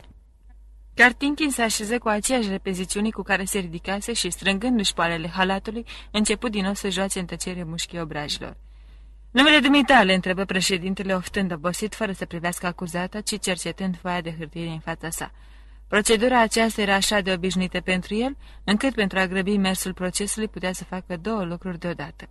Bocicova avea 42 de ani, era târgoveată din Colomna, lucrase ca femeie de serviciu la același hotel Mauritania. N-a mai fost judecată. Copia actului de acuzare o primise. Bocicova răspundea la întrebări cu multă îndrăzneală și cu niște intonații engleze de parcă ar fi vrut să adauge. Da, eu, fima Bocicova, a primit copia și e mândră de aceasta și nu o să dea voie nimănui să jude de ea. De cum îi sprăvi cu răspunsurile, Boscova se așeză fără a mai aștepta să fie poftită. Numele dumitale, întrebă președintele, mare amator de femei cu o deosebită amabilitate pe cea de a treia acuzată. Trebuie să te ridici în picioare, adăugă el cu un ton blând și cal, văzând că Maslova rămăsese așezată. Maslova se ridică cu o mișcare iute și scoțându-și pieptul înainte, rămase tăcută cu înfățișarea unui om pregătit pentru orice, privindu-l pe președinte drept în față, cu ochii ei negru zâmbitori și care se uitau puțin șașiu. Numele dumitale? Liubov, răspunse ea repezit. Nihliudov, în vremea aceasta, pânându-și pe snesul, se uita pe rând la fiecare acuzat interogat. Nu se poate gândi el, fără să-și ia ochii de la acuzată. Dar cum te o cheamă Liubov? Își puse el auzind răspunsul. Președintele vroia să treacă la întrebarea următoare, dar judecătorul cel cu ochilare l-a oprit șoptind ceva supărat. Președintele dădu din cap aprobator și se adresă iarăși acuzatei. Cum așa, Liubov? Ești trecut aici cu altă lume?" Acuzata tăcu. Te întreb care e adevăratul dumitale nume." Cum ai fost botezată?" adăugă judecătorul cel rău dispus. Înainte mă numeam Caterina. Nu se poate," spuse iarăși Nehludov, cu toate că era sigur că femeia aceasta era ea, acea pupilă și slujnică de care fusese cândva îndrăgostit, acesta era cuvântul îndrăgostit, și într-o clipă de nebunie o sedusese, apoi o părăsise, iar de atunci nici nu-și mai adusese niciodată aminte de ea, pentru că era o aducere aminte prea chinuitoare, care îi arăta prea limpede că el atât de mândru de corectitudinea sa, nu numai că nu se purtase corect cu această femeie, ci fusese chiar un adevărat ticălos față de ea. Da, era ea. Recunoștea acum limpede între săturile ei acea tainică particularitate care dă fiecărui chip un caracter deosebit numai al său și care îl diferențiază de toate celelalte, îl face unic de neasemuit. Cu toată paloarea excesivă și grăsimea obrazului, el regăsea acea particularitate dragă, unică, întipărită pe chipul femeii, în buzele, în ochii ei puțin sași și mai ales în privirea ei naivă, zâmbitoare și în expresia vioaie de bunăvoință pe care o avea întreaga ei făptură. Așa trebuia să spui, vorbi președintele cu același ton deosebit de blând. Numele patrimonic? Sunt copil nelegitim, răspunse Maslova. Dar după nași, să zicem, cum te-a chemat? Mihailova. Dar ce rău a putut să facă, gândea mai departe Nehludov tulburat. Numele de familie, urmă președintele? După mama Maslova. Starea? Târgoveață. De religie ortodoxă? Ortodoxă. Ocupația dumitale, repetă președintele. Am fost într-o casă, spuse ea. Ce fel de casă?" întreba aspru judecătorul cel cu ochelari. Știi dumneata ce fel?" răspunse Mașlova și zâmbi. Apoi se uită repede în jos și-și aținti iarăși privirea pe fața președintelui. Era ceva atât de neobișnuit în expresia ochilor ei și ceva atât de grozav și de jalnic totodată în cuvintele spuse de ea, în zâmbetul și în privirea scurtă aruncată celor din jur, încât președintele își lăsă ochii în jos și o clipă se făcu o tăcere adâncă în sală. Tăcerea a fost întreruptă de râsul cuiva. Altcineva făcut st celui care râsese. Președintele ridică iar capul și urmă cu întrebările. Ai mai fost la judecată?" Nu," răspunse Maslova în ce șoftă. Ai primit copia actului de acuzare?" Am primit-o." Stai jos," încheie președintele. Acuzata își ridică fusta la spate cu acel gest cu care femeile elegante își ridică trena și se așeză vărându-și mâinile mici și albe în mâinile halatului, fără să-și ia ochii de la președinte. Început strigarea martorilor, îndepărtarea lor din sala de ședințe, apoi se citi decizia referitoare la medicul expert, care fu poftit în sala de ședințe. În sfârșit, grefierul se ridică în picioare și dădu citirea actului de acuzare. Citea limpede și tare, dar atât de repede încât glasul lui, mai cu seamă că nu pronunța prea bine literele L și R, răsuna ca un voit neîntrerupt adormitor. Judecătorii se sprijinau când pe un braț al jețului, când pe celălalt, când pe masă, când se lăsau pe spate, când închideau ochii, apoi iar îi deschideau și șoteau între ei. Unul dintre jandarmi și năbuși de câteva ori un căscat. Printre acuzați, Cartinchi nu înceta să joace mușchii obrajilor. Boccova ședea dreaptă, liniștită și din când în când se scărpina în cap pe sub azma. Mastrova ba stătea nemișcată cu ochii pironiți asupra grefierului, ascultând ce citește batrăsărea, vrând parcă să spună ceva, și înroșea, ufta din greu, schimba poziția mâinilor, se uita în jur, apoi iarăși își întorcea privirea la el. Nihliudov ședea în rândul din față pe scaunul său înalt, al doilea de la margine și se uita la Maslova, iar în sufletul său se petrecea un proces chinuitor și complicat. Capitolul 10 Actul de acuzare sună așa. La 17 ianuarie 1880, la hotelul Mauritania, a murit subit Ferapont Emilianovici Smelkov, negustor de rangul al doilea din Kurgan. Medicul circumscripției a patra de poliție a certificat că moartea s-ar fi datorat unui atac de cord pricinuit de alcoolism. Cadavrul lui Smelkov a fost înhumat. După câteva zile, negustorul Timohin, constătean și prieten cu Smelkov, întorcându-se la Petersburg și aflând de moartea lui Smelkov și de împrejurările în care s-a întâmplat, și-a arătat bănuiala că acesta ar fi otrăvit cu scopul de a fi jefuit de banii pe care avea asupra ei. Această bănuială a fost confirmată printr-o anchetă care a stabilit următoarele. 1. Smelkov, cu puțin înainte de moartea sa, a primit de la bancă suma de 3800 ruble în argint, iar când s-a făcut inventariul, și s-a sigilat în scop de securitate valorile pe care le avea cu el, nu s-au găsit decât 312 ruble și 16 copeici. 2. Toată ziua și toată noaptea din ajunul morții sale, Smelkov le-a petrecut cu prostituatea Liubka, Ecaterina Maslova, la Casa de Toleranță și la hotelul Mauritania, unde trimise de Smelkov și în lipsa lui, Ecaterina Maslova a venit de la Casa de Toleranță după bani pe care i-a luat din geamantanul lui Smelkov, descuindu-l în prezența femeii de serviciu a hotelului Mauritania, Eufimia Băcicova și a lui Simon Kartinkin, cu cheia pe care i-o dăduse chiar Smelkov. În geamantanul lui Smelkov, pe care l-a descuiat Maslova față de Boccova și Kartinkin, aceștia au văzut câteva pachete cu bilete de bancă de câte 100 de ruble.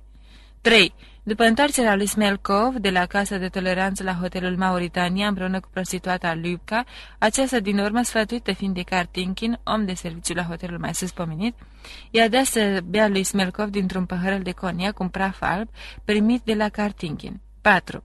A doua zi dimineața, prostituata Liubka, Ecaterina Maslova, i-a vândut stăpânei sale, martora Chitaeva, patrona casei de toleranță, un inel cu briliant al lui Smelkov, pe care, după spusele ei, l-a fi primit în dar de la Smelkov.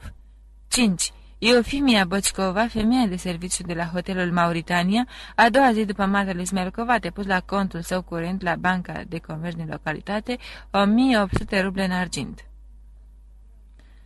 După cercetările medico-legale, autopsie și analiza chimică a viscerelor lui Smelkov s-au descoperit urme incontestabile de o travă în corpul defunctului, ceea ce a dus la concluzia că moartea s-a produs prin otrăvire. Mașlova, Bocicova și Kartinkin, trași la răspundere în calitate de acuzați, nu și-au recunoscut vina. Maslova a declarat că a fost într-adevăr trimisă de către Smelkov de la Casa de Toleranță unde lucrează, după expresia ei, la hotelul Mauritania să-i aducă acestuia bani. Ca a descuiat geamantanul negustorului cu cheia pe care i-a dat-o el, a luat de acolo 40 ruble de argint, așa cum i-a spus el, și niciun ban mai mult, ceea ce pot confirma Bocicova și Cartinchin, în prezența cărora descuia și-a încărt la loc geamantanul.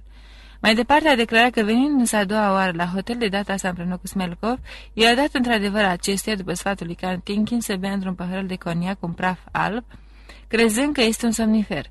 A făcut-o cu gândul că el va adormi și ea va putea să plece mai curând, iar inelul l-a dăruit însăși Melcov după ce a bătut-o și ea a plâns și a vrut să plece de la el.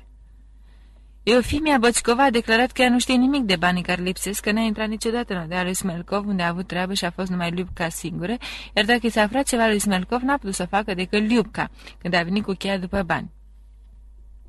La citirea acestor rânduri, Maslova va tresări și se uită cu gura căscată la Bocicova.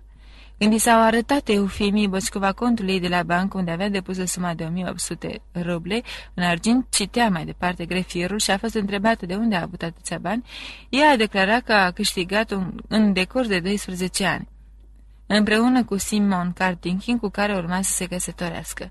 Simon Kartinkin, în prima sa declarație, a mărturisit că împreună cu Bocicova, îndemnați fiind de Maslova, care vin de la Casa de Toleranță cu cheia de la Gemandan, a luat banii pe care i-a împărțit cu Bocicova și cu Maslova.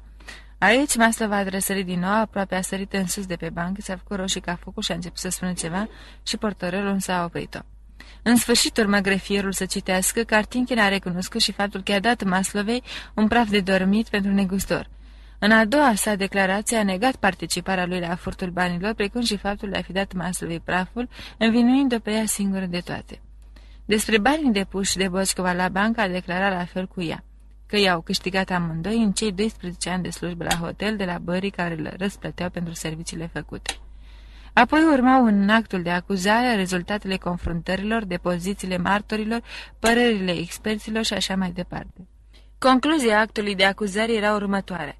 Pe baza celor expuse mai sus, săranul Simon Petrov Kartinkin, originar din satul Borchi, în vârstă de 33 de ani, Târgoveața Eufimia Ivanovna Bocicova, în vârstă de 43 de ani, și târgoveața Ecaterina Mihailovna Maslova, în vârstă de 27 de ani, sunt acuzați de faptul că la 17 ianuarie 1880, înțelegându-se între ei, au furat bani, 2500 ruble în argint și un inel de la negustorul Smelkov și, cu intenția de a-l omorâ pe Smelkov, i-au dat să bea o travă care i-a pricinuit moartea. Această crimă se încadrează în paragrafele 4 și 5, articolul 1453 din Codul Penal.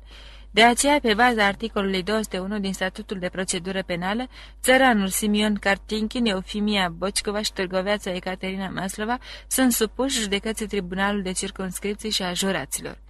Încheind astfel cititul lungului act de acuzare, grefierul își adună hârtiile, apoi se așeză la locul său și își netezi cu amândouă mâinile pletele lungi.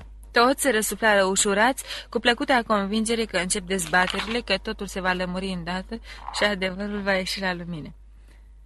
Numai Nehlidov nu împărtășea acest sentiment general. Îl copleșea groaza gândindu-se la ceea ce a fost în stare să facă Maslova, acea fetiță nevinovată și încântătoare de acum 10 ani. Capitolul 11 când se isprăvi cu citirea actului de acuzare, președintele, după ce se sfătui cu cei de judecători, se întoarse către Cartinchin cu o expresie care prea să spună că acum totul se va limpezi și lămuri până în cele mai mici amănunte. Țăranul Simon Cartinchin începu era plecându-se spre stânga. Simon Cartinchin se ridică în picioare în poziție de drept, cu capul aplicat înainte, mișcându-și necontenind mușchii obrajilor. Ești acuzat că la 17 ianuarie 1880, împreună cu Eufimia Bocicova și Ecaterina Maslova, ai sustras din geamantanul negustorului Smelkov bani, apoi ai adus soricioică și ai convins-o pe Ecaterina Maslova să-i dea negustorului Smelkov într-un pahar de vin, lucru care a provocat moartea acestuia. Îți recunoști vina? Adăugă el și se aplică spre dreapta. Deci de cum, întrucât treaba noastră este să servim clienții. Mai târziu ai să spui ce ai de spus. Îți recunoști vina? În niciun caz, vă rog. Eu nu mai... Ai să spui mai târziu. Îți recunoști vina?" Repetă președintele liniștit, dar răspicat. Nu pot să fac una acasă pentru că... Iar se repezi portărelul spre Simon Cartinghi și l opri cu o șoaptă tragică. Președintele, cu o mimică ce arătă că a isprăvit cu primul acuzat, își mătă cotul în care se sprijinea și se întoarse către Eufimia Bocicova.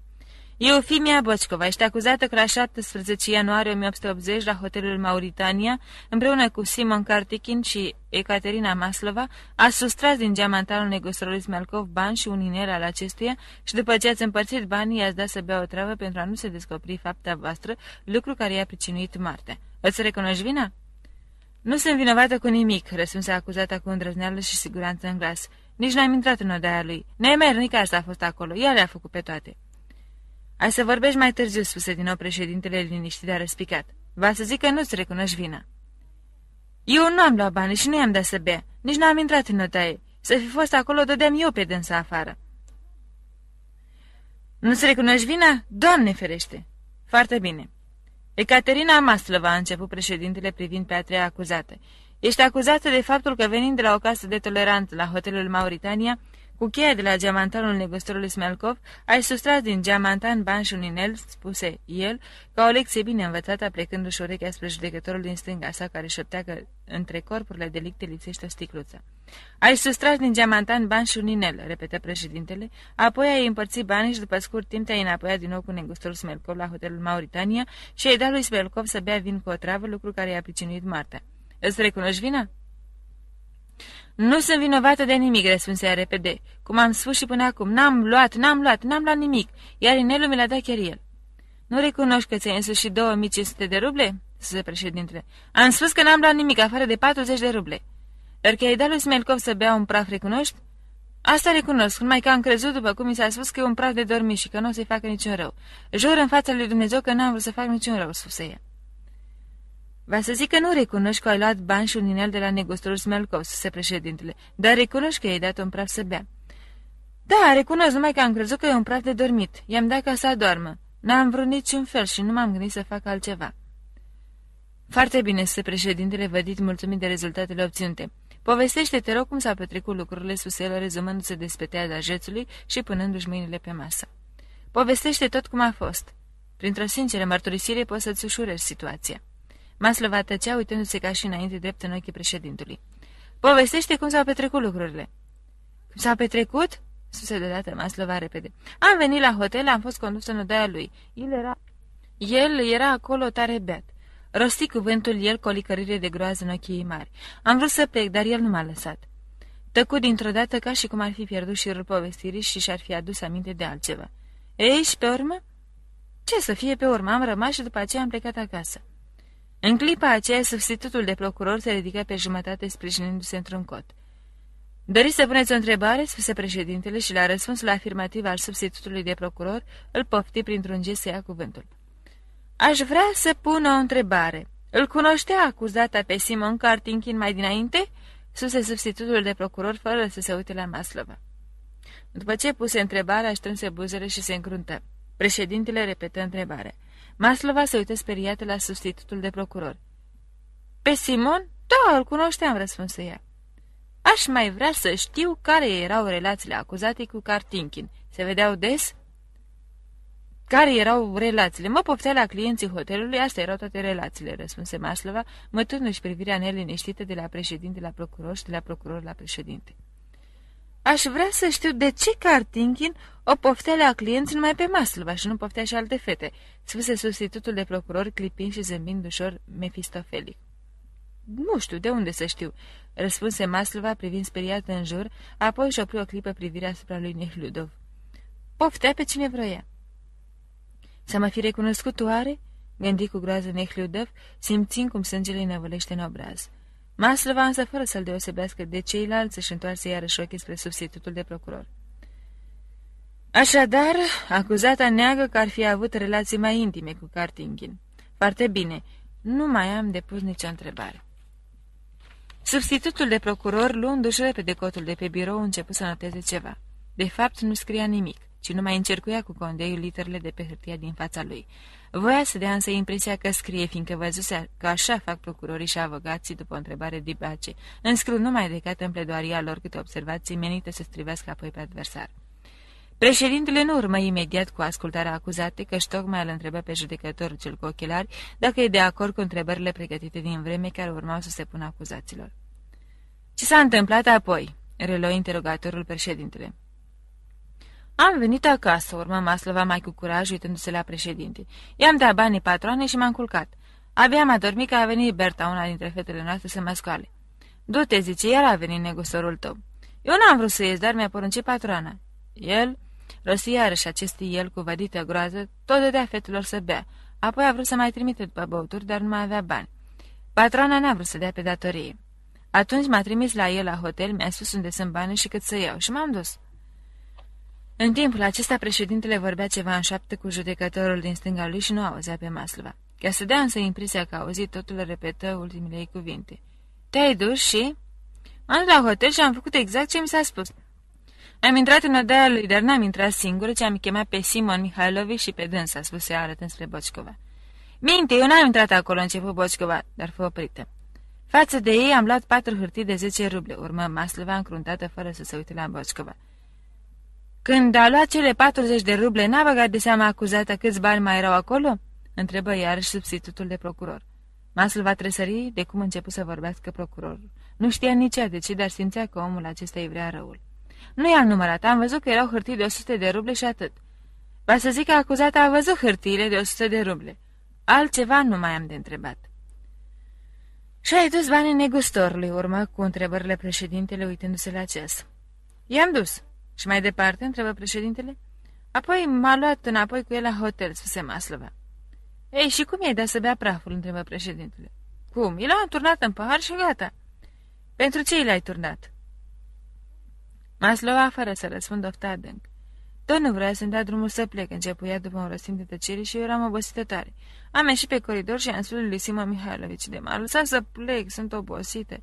Iar Simon Mihailovici mi-a spus, și noi ne-am săturat de el, am vrea să-i dăm un praf de dormit, o să adormă și ai să pleci. I-am spus, bine, am crezut că nu-i face niciun rău. Mi l-a dat apoi într-un pliculeț. Când am intrat în adai, el stătea culcat după paravan și mi-a cer de îndată să-i dau coniac. Am luat de pe masă sticla cu șampanie, am umplut două pahare mie și lui, iar în paharul lui am turnat praful și l-am dat. Să fi știu ce era, l-aș fi dat eu. Dar cum de ai avut inelul lui la dumneata, întrebă președintele. Inelul mi l-a dăruit el însuși. Când ți l-a dăruit? Când am venit cu el la hotel, am vrut să plec, iar el m-a lovit în cap și mi-a rupt pieptenele. M-am supărat și am vrut să plec. Atunci a scos inelul de pe dege și mi l-a dat ca să rămân cu el, spuse în clipa aceea, substitutul de procuror se ridică iarăși pe jumătate și cu același aer de prefăcută naivitate, ceru voie să mai pună câteva întrebări. Primind dreptul la cuvânt, și aplică capul peste gulerul cusut cu fir al tunicii și întrebă. Aș vrea să știu câta timp a întârziat acuzata în odaia negustorului Smelkov. Pe Maslova o cuprinse iarăși teamă. Plimbându-și neliniștită privirea de la substitutul de procuror la președinte, spuse repede. Nu țin minte cât timp. Dar nu ține cumva minte acuzata dacă ieșind de la negustorul Smelkov a mai intrat undeva înainte de a părăsi hotelul? Maslova se gândi. Am intrat în odaia de alături, care era liberă, spuse ea. Și pentru ce ai intrat acolo?" întrebă substitutul de procuror cu patima, adresându-se de dreptul acuzatei, ceea ce nu era îngăduit. Am intrat să mă aranjez puțin și să aștept până ce mi se aduce o buirșă. Cartinchin a intrat și el acolo cu acuzata sau nu? Da, a intrat și el. Pentru ce a intrat și el? Mai rămăsese șampanie de la negustor și am băut-o împreună. Așa, ați băut-o împreună? Foarte bine. Dar a stat de vorba acuzata cu Simon? Și despre ce a vorbit?" Maslova se încruntă deodată, se făcu roșii ca focul și spuse iute. Ce am vorbit? N-am vorbit nimic. Am spus tot ce s-a întâmplat, altceva nu știu nimic. Faceți cu mine ce vreți, n-am nicio vină și gata." Nu mai am depus nicio întrebare," spuse substitutul de procuror președintelui și, ridicându-și într-un chip nefiresc cu Mary, început să noteze în conspectul cuvântării sale mărturisirea acuzatei că a intrat cu Simon într-o odaie liberă a hotelului. Se făcu tăcere. Nu mai ai nimic de spus?" Am spus tot," spuse ea, oftă și se așeze pe banc. Președintele notă ceva pe hârtie, apoi după ce l-ascultă pe judecătorul din stânga sa, care șoptea ceva la oreche, anunță o pauză de 10 minute, se ridică în picioare și părăsi sală. Judecătorul din stânga președintelui era acel magistrat înalt, bărbos, cu ochii mari și blânzi. El îi comunicase președintelui că îl cam supără stomacul și ar vrea să-și facă un masaj și să ia niște picături. Din această pricină se suspendase ședința. După judecător se ridicară și jurații, avocații, martorii și cu plăcuta convingere că au și îndeplinit în mare parte o operă de dreptate însemnată, au început să se plimbe de colo-colo. Nihludov se duse în odaia juraților și se așeză la fereastră. Capitolul 12 Da, aceasta era Catiușa. Relațiile dintre Nihludov și Catiușa au fost următoarele. Nihludov a văzut-o pe Catiușa pentru întâia oară când era student în anul al treilea și a petrecut o vară la mătușile lui la țară ca să-și prepare teza despre proprietatea privată asupra pământului. De obicei, el se ducea vara cu mama și cu sora sa la moșia mamei lui din apropierea Moscovei. În anul acela, însă, sora sa se căsătorise, iar maică sa plecase pentru o cură de ape minerale în străinătate. Nihludov trebuie să-și scrie lucrarea, hotărâ să-și petreacă vara la mătușile sale. La moșoara lor retrasă era liniște și nu erau distracții, iar mătușile își iubeau cu dioșie nepotul și moștenitorul. Și el îi iubea și plăcea viața lor simplă și de modă veche. În acea vară petrecută la mătuș, Nihludov se găsea în acea binecuvântată stare de exaltare, prin care trece un tânăr când își dă întâia oară seama prin el însuși, nu din spusele altora de frumusețea și valoarea vieții, de toată însemnătatea operei care o are de înfăptuit omul de posibilitatea unei neîncetate desăvârșiri a sa și a întregii lumi și se dărește acestui lucru nu numai cu nădejdea, ci și cu credința de plină că va atinge acea desăvârșire visată de el. În același an, fiind încă la universitate, citise statica socială lui Spencer și concepția lui Spencer despre proprietatea privată a pământului, făcuse asupra lui o puternică impresie, mai ales din pricină că el însuși era fiul unei mari latifundiare. Tatălui nu fusese un om bogat, Mama sa însă primise ca zestre aproape 10.000 de setine de pământ.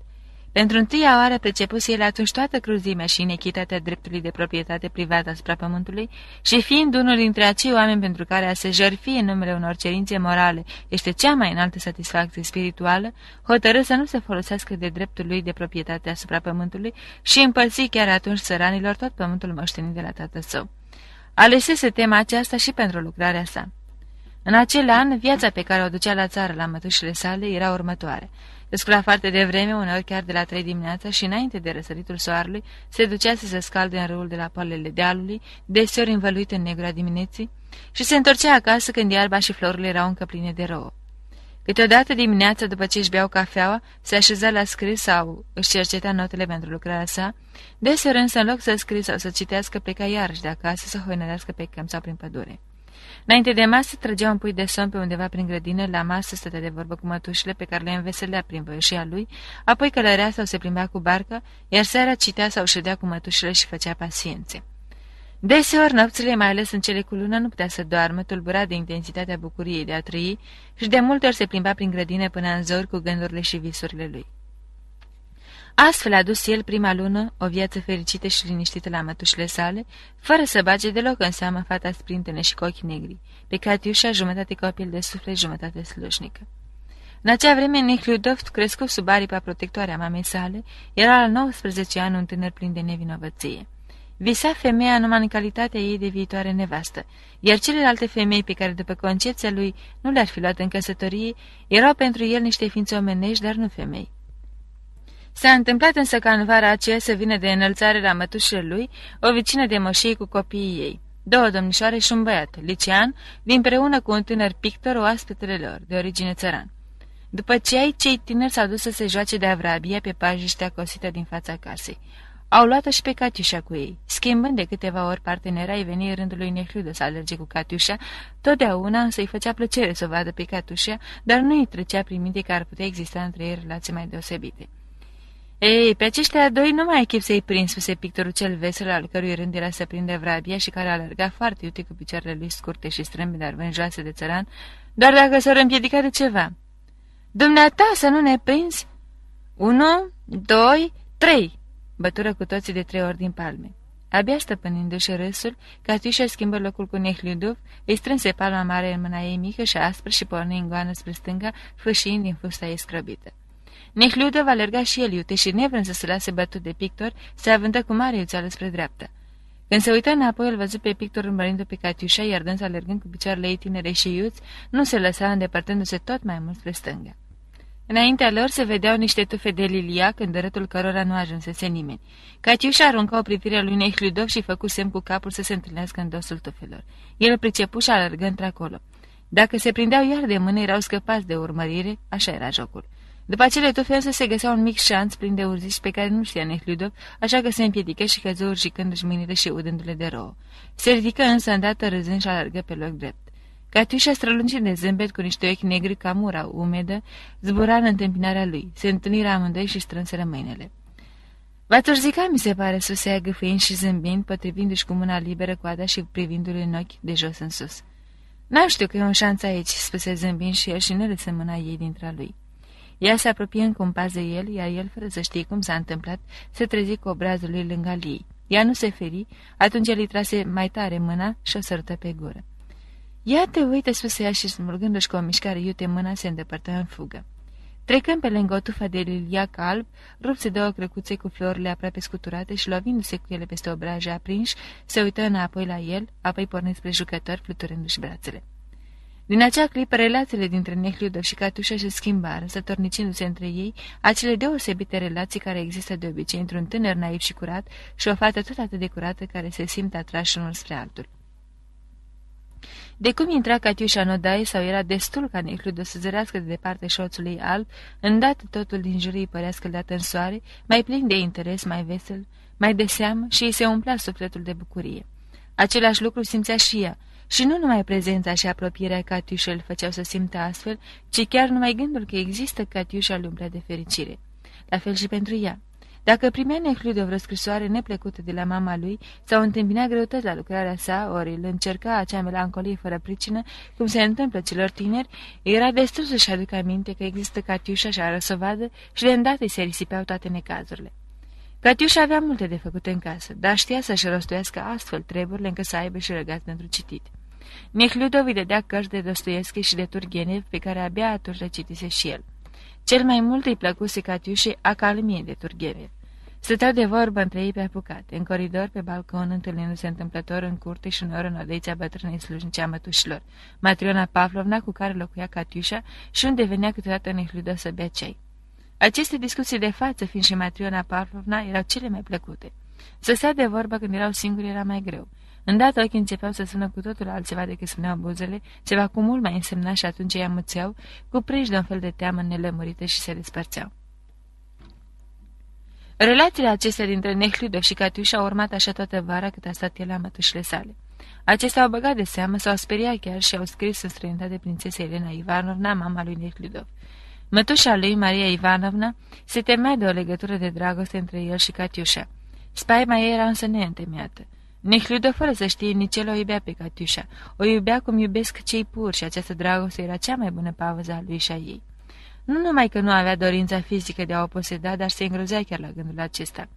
Temerile romantice Sofia Ivanovna ca Dmitri cu firea lui integră și hotărâtă iubind fata să nu vrea cumva să se căsătorească cu ea, neținând seama de origine și situația ei, erau mult mai îndreptățite. Căci dacă Nehludă și-ar fi dat limpede seama atunci de iubirea lui pentru Catiușa, și mai ales dacă ar fi încercat cineva atunci să-l convingă că el nu trebuie să-și unească soarta cu asemenea fată, s-ar fi putut foarte bine întâmpla ca el, cu fiera lui hotărâtă și leală, să-și fi spus că nimic nu-l poate împiedica de a se căsători cu o fată pe care o iubește oricine ar fi ea. Mătușile însă nu au vorbit niciodată despre temerile lor și el a plecat fără să-și dea bine seama de iubirea lui pentru Catiușa. Era încredințat că sentimentul pe care îl avea pentru ea era una din manifestările bucuriei de a trăi, care îi covârșea ființa și pe care o împărtășea și această fată plăcută și veselă. În clipa plecării sale, când Catiușa stătea pe treptele casei împreună cu mătușile și îl petrecea cu ochii negri plini de lacrimi, care priveau nițăr sașiu, simți totuși că lăsa în urma lui ceva minunat și drag, pe care nu-l va mai regăsi niciodată. Și o tristețe adâncă îi năpădi sufletul. Rămâi cu bine, Catiușa!" Îți mulțumesc pentru toate, sus el peste boneta Sofiei Ivanovna, șezându-se în trăsură. Duceți-vă cu bine, Dmitri Ivanovici, răspunția cu vocea ei plăcută, mângâietoare, stăpânindu-și lacrimile ce îi umpleau ochii, și fugi în coridor unde putea să plângă în voi. Capitolul 13 Trecură trei ani fără să mai vadă Nehludov pe Catiușa. Când o întâlni din nou, tocmai ieșise proaspăt ofițer și în drum spre regiment s-a bătut pe la mătușile sale. Acum însă nu mai semăna deloc cu tânărul care își petrecuse cu trei ani în urmă o vară la mășia lor. Pe atunci fusese un tânăr cinstit, plin de abnegații, gata să se jertfească din tot sufletul pentru o cauză dreaptă. Acum era un egoist, un stricat rafinat care nu se gândea decât la plăcerile lui. Pe atunci lumea din jur îi părea o mare taină pe care se strădea cu bucurie și încântare să pătrunde. Acum totul în viață îi părea simplu și limpede, atârnând de condițiile în care trăia. Pe atunci simțea cât de însemnată și necesară este pentru el legătura cu natura și cu oamenii care au trăit, au gândit și au simțit înaintea lui, filozofii, poeții. Acum însemnate și necesare îi păreau instituțiile omenești legăturile cu camarazii. Pe atunci femeia îi părea o ființă misterioasă și fermecătoare, al cărei farmic se năștea tocmai din misterul ce o învăluia. Acum femeia, toate femeile, afară de cele din familia lui, sau de soțiile prietenilor săi, avea o noimă perfect determinată pentru el. Femeia era cea mai desăvârșită unaltă a unor desfătări gustate de el. Pe atunci nu-i trebuiau bani, s-ar fi putut mulțumi cu mai puțin de o treime din cei de mama lui. Fusese în stare să renunțe la mășia pe care o lăsase tatăl său și să o împartă țăranilor. Acum nu-i mai ajungeau cele 1500 de ruble pe care le primea lunare la maică sa și avusese chiar de câteva ori un schimb de vorbe neplăcute cu dânsa din pricina asta. Pe atunci credea că ființa lui spirituală este eul lui adevărat. Acum socotea că animalul sănătos și puternic din el este adevărata lui ființă. Și toată această îngrozitoare schimbare s-a petrecut în el numai din pricine că a încetat de a mai crede în el însuși și a început să creadă în ceilalți. Încetase de a crede în el însuși și început să a crede în ceilalți pentru că a trăi crezând în tine însuți îi părea mult prea greu. Ar fi trebuit să rezolve fiecare problemă nu după cerința eului său animalic, veșnic în goană după plăceri ușoare, ci aproape totdeauna împotriva lui. Iar din potrivă, crezând în ceilalți, nu avea nimic de hotărât, fiindcă totul era mai dinainte soluționat, totdeauna împotriva eului său spiritual și în folosul celui animalic. Și nu numai atât. Crezând în el însuși era mereu dezaprobat de oamenii de rând, încrezându-se în ceilalți, avea și încuvințarea celor din jur. Așa de pildă, pe vreme când Nehludov gândea, citea, vorbea despre Dumnezeu, despre dreptate, bogăție și sărăcie, toți cei din preajma lui găseau că n-are niciun rost și că este cam ridicol, iar mama cu mătușa lui spunea cu binevoitoare ironie. Notre cher filosof, pe câtă vreme, când citea romane, povestea anecdote pipărate, se ducea la teatrul francez să vadă vodeviluri caragioase, despre care povestea apoi cu mult haz, toată lumea lăuda și l-aproba. Pe vremea când socotea că trebuie să fie cumpătat și purta o manta mai veche și nu bea vin, cei din jur luau asta de tot ciudățenii de-a lui sau credeau că o va face din vanitate vrând să pară original și din potrivă, când cheltuia o avere pentru vânătoare sau pentru mobilarea unui birou luxos și extravagant, toți le dau gustul și dăruiau lucruri de mare preț.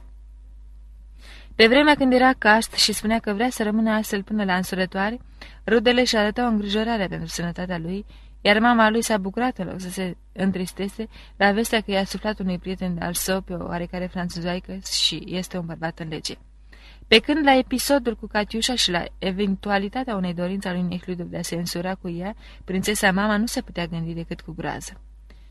Tot așa se întâmplase și atunci când Nehliudov, devenit major, dăruise țăranilor moșoara moștenită de la tatăl său, fiindcă socotea proprietatea privată asupra pământului în nedreptate. Fapta aceasta care o luise pe mama lui și pe rudele sale mai apropiate și fu obiectul dojenilor și al veșnicilor glume din partea tuturor celorlalte rubedenii. Îi se spunea într-una că țăranii cărora le dăduse el pământ, nu numai că nu se îmbogățiseră, ci din potriva ajunseseră și mai săraci, pentru că deschiseseră trei cârcimi și nu-și mai vedeau deloc de treabă. În schimb, când Nehliudov a intrat în regimentul de gardă și a cheltuit în petreceri și la cărți împreună cu aristocraticii lui prieteni atâția bani încât Elena Ivanovna a fost nevoită să scoată o parte din capital, ea aproape nici nu s-a necăjit pentru că socotea că e fire și chiar bine să treacă prin aceste nebunii de tinerețe, să se vaccineze împotriva lor de tânăr și într-o societate aleasă.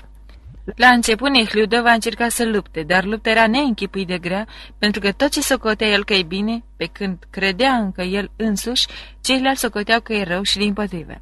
Tot ce socotea el că e rău, cei din jurul lui socoteau că e bine. Până la urmă, Nehliudov s-a dat bătut, a încetat de a mai crede în el însuși și a început să creadă în ceilalți. La început, această renunțare îi dăduse un sentiment neplăcut, dar această stare sufletească n-a ținut prea mult. Foarte curând, Nehliudov, care tot pe atunci începuse să fumeze și să bea, încetă de a mai simți vreo neplăcere, bea chiar din potrivă încercă o mare ușurare. Și Nehludo cu firea lui pătimaș și se dădu cu totul acestei vieți noi, care avea aprobarea tuturor celor din jur și înăbuși în el acel glas untric care cerea altceva. Toate acestea au început după mutarea lui la Petersburg, culminând la intrarea lui în armată. În general, slujba în armată îi strică pe oameni, punându-i în condițiunile unui huzur desăvârșit, adică o lipsă totală de muncă rațională și folositoare, eliberându-i în același timp de sarcinile comune tuturor oamenilor, în schimbul cărora le pune în față numai onoarea convențională a regimentului, a uniformei, a drapelului și, de altă parte, le dă o putere nelimitată asupra altor oameni, iar pe de altă parte le cer o supunere de robi față de superior. Dar când la această pervertire a omului de către serviciul militar cu onoarea uniformei și a drapelului, cu îngăduirea siluirii și a uciderii pe care le aduce cu sine, se mai adaugă și pervertirea prin bogăție și prin înrudire cu familia imperială, așa cum se întâmplă în mediul regimentelor de gardă, ai căror ofițeri sunt recrutați numai din familii bogate și vestite, atunci oamenii cad sub influența ei și ajung într-o stare de egoism vecin cu nebunia. Într-o astfel de stare se găsea și Nihliudov de când intrase în serviciul militar și început să se ducă viața camarazilor lui. Altă treabă n-avea decât să iasă într-o uniformă frumoasă, bine periată, nu de el, ci de alții, cu o cască și cu arme lustruite și înmânate de asemenea de alții. Să pornească pe un armăsar splendid, crescut, dresat și îngrijit tot de alții, la instrucții sau la paradă la oaltă cu camarazi într totul asemenea lui, să galopeze învârtind sabia în aer, să tragă focuri de pușcă și să învețe pe alții să facă același lucru. Altă treabă nu aveau și oamenii cei mai sus spuși, tineri sau bătrâni, însuși împăratul cu toți cei din preajma lui, nu numai că încuvințau această meserie, dar chiar o lăudau și le mulțumeau celor care se îndeleniceau cu ea. Pe lângă aceasta, ofițerii socoteau că e bine și chiar important să se adune în cluburi ofițerești sau la restaurantele cele mai de lux ca să mănânce și mai ales să bea împreună, risipind cu nemiluita banii care le veneau de-a gata ca din cer. Apoi urmau teatrele, balurile, femeile, apoi iar călăritul, învârtitul săbilor, galopurilor și iar aruncatul banilor, vinul, cărțile, femeile. Felul acesta de viață îi strică în chip deosebit pe militari, căci dacă un civil duce un asemenea trai, nu se poate în fundul sufletului său să nu se rușineze de ceea ce face. Pe când militarii socotesc că e firesc să se poarte astfel, ba chiar se laudă și se mândresc cu felul lor de viață, mai cu seamă pe timp de război, ceea ce s-a întâmplat și cu Nihliudov, care a intrat în armată după declarația de război a Rusiei împotriva Turciei. Suntem gata să ne jertfim viața la război și, prin urmare, Traiul vesel și lipsit de griji pe care îl ducem, nu numai că ni se poate ierta, dar care este neapărat necesar pentru noi. De aceea trăim astfel. Asemenea, gânduri nedeslușite erau în mintea lui Necludov în această perioadă a vieții sale. Era bucuros că se eliberase de toate constrângerile morale cu care se îngrădise până atunci și trăia într-o stare de egoism cronic vecin cu nebunia. În starea aceasta se găsea când se întoarse după trei ani să-și revadă mătușile. Capitolul 14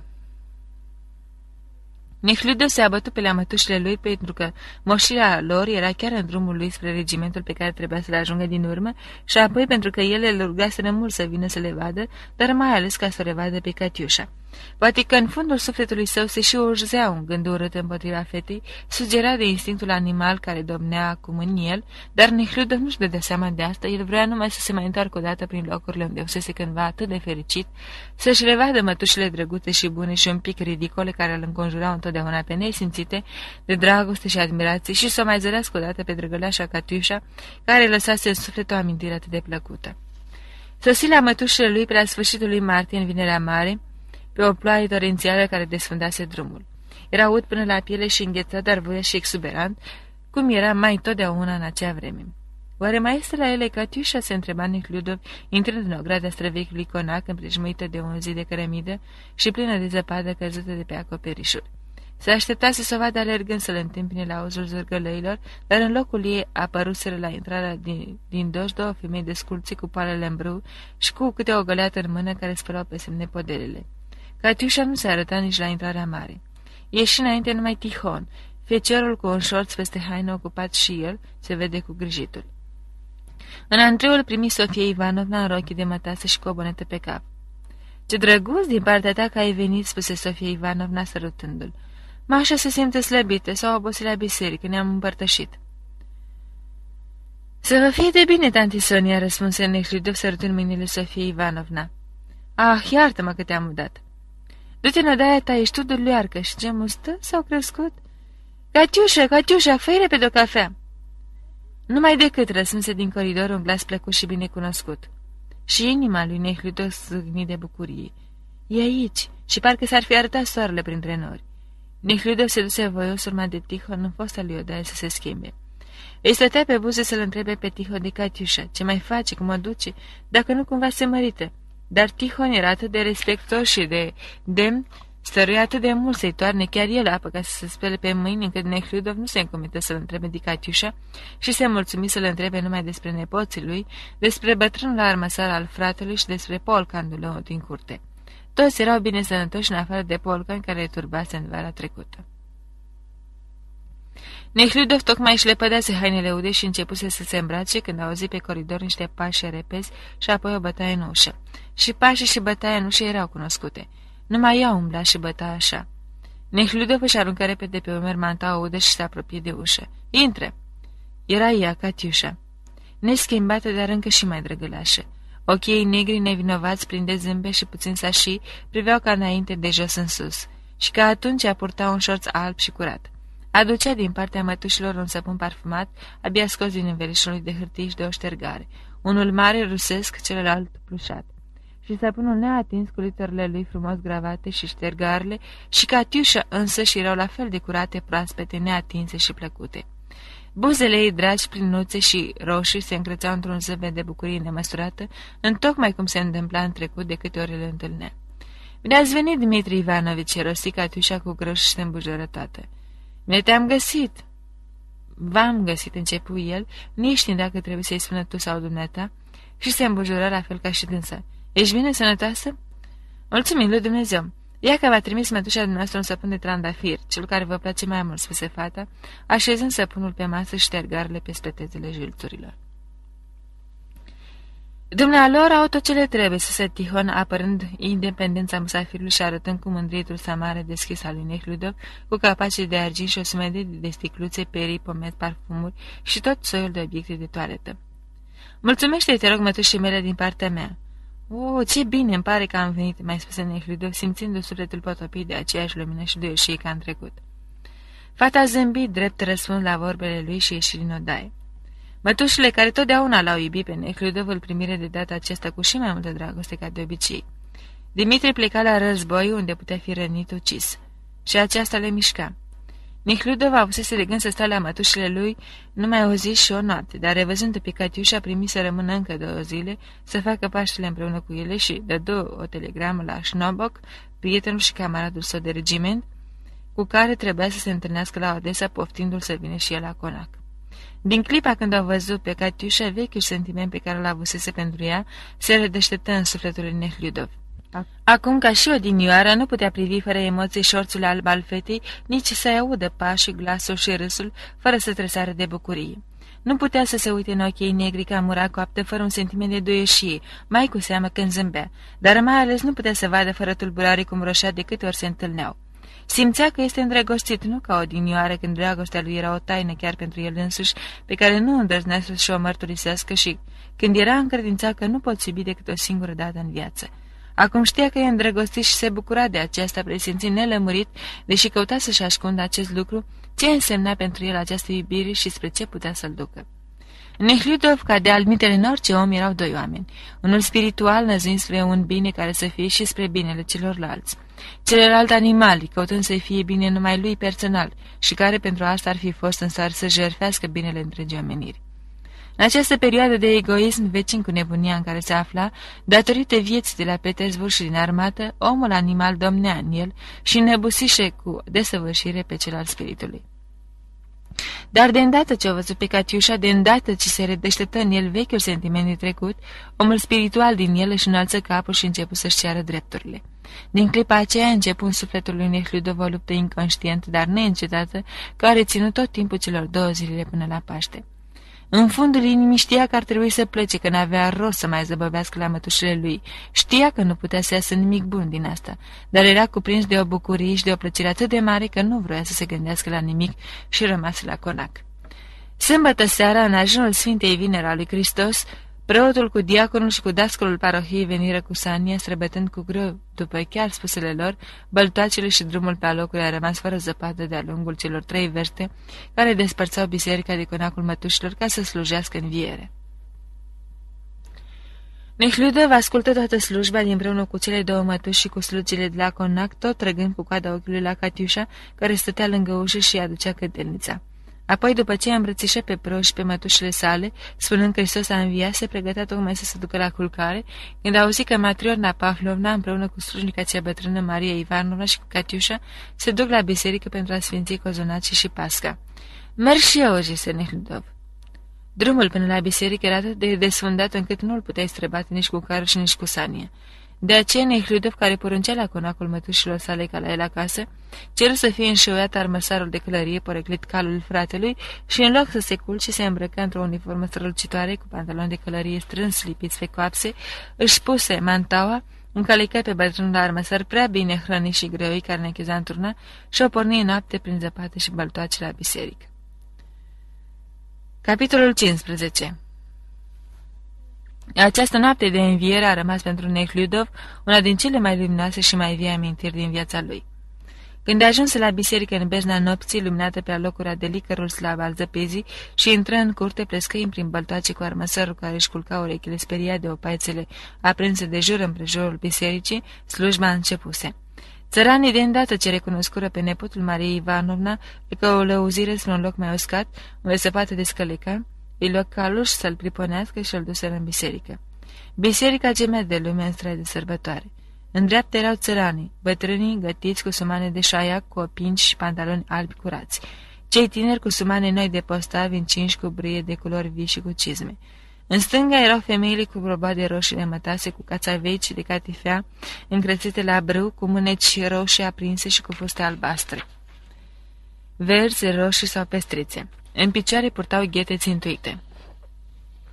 La spatele lor stăteau băbuțele modest îmbrăcate cu de albe și sumane sure, cu fote străvechi și cu ghete sau cu opinci noi. Între cele tinere și cele bătrâne erau rânduiți copii frumos gătiți cu părul dat cu ulei. Bărbații își făceau cruci și se închinau aruncându-și părul cu o mișcare a capului. Femeile, mai cu seamă cele bătrâne cu ochilor spălăciși de ani, pironiți pe câte o icoană înconjurată de lumânări, își apăsau tare degetele strânse pentru închinăciune de basmaua de pe frunte, de burtă și de ume și șoptind vorbe neauzite, se plecau tare din mijloc sau cădeau în genunchi. Luând pildă de la cei în vârstă, copiii se închinau și ei de zor, mai ales când se simțeau priviți. Catapeteasma aurită strălucea de lumina lumânărilor ce împrejmeau bogat sleșnicile cu lumânări mari. Candelabrul era și el plin de lumânări, iar din strană se auzeau cântările pline de veselie ale corului cântăriților de bunăvoie, cu răcnetele asurzitoare ale bașilor și glășcioarele subțirele ale băieților. Nihliudov își făcut drum până în față. Acolo, la mijloc, stătea protipendada. Moșierul cu nevasta și cu feciorașul îmbrăcat în costum de marinar, polițaiul, telegrafistul, negustorul cu cizme cu carâmbul lung, primarul cu medalia în piept și la dreapta amvonului, în spatele moșieresei Matrona Pavlovna, într-o roche lilia cheie cu ape învelită într-un șal alb cu tif colorat și Catiușa într-o roche albă cu cute pe piept, încinsă cu o cingătoare albastră și cu o fundă mică roșie în părul ei negru. Toate aveau o înfățișare de sărbătoare, de măreție, erau pline de bucurie și de încântare. Preoții nădejde strălucitoare de argint cu cruș de aur, diacon și dascălul cu stihare brodate cu argint și aur, cântăreții găti și cu părul uns, cântările voioase și cadențate, nenumăratele binecuvântări pe care le dădeau preoții norodului, cu cele trei lumânări înmănunchiate și împodobite cu flori, însoțite de Hristos a înviat, Hristos a înviat.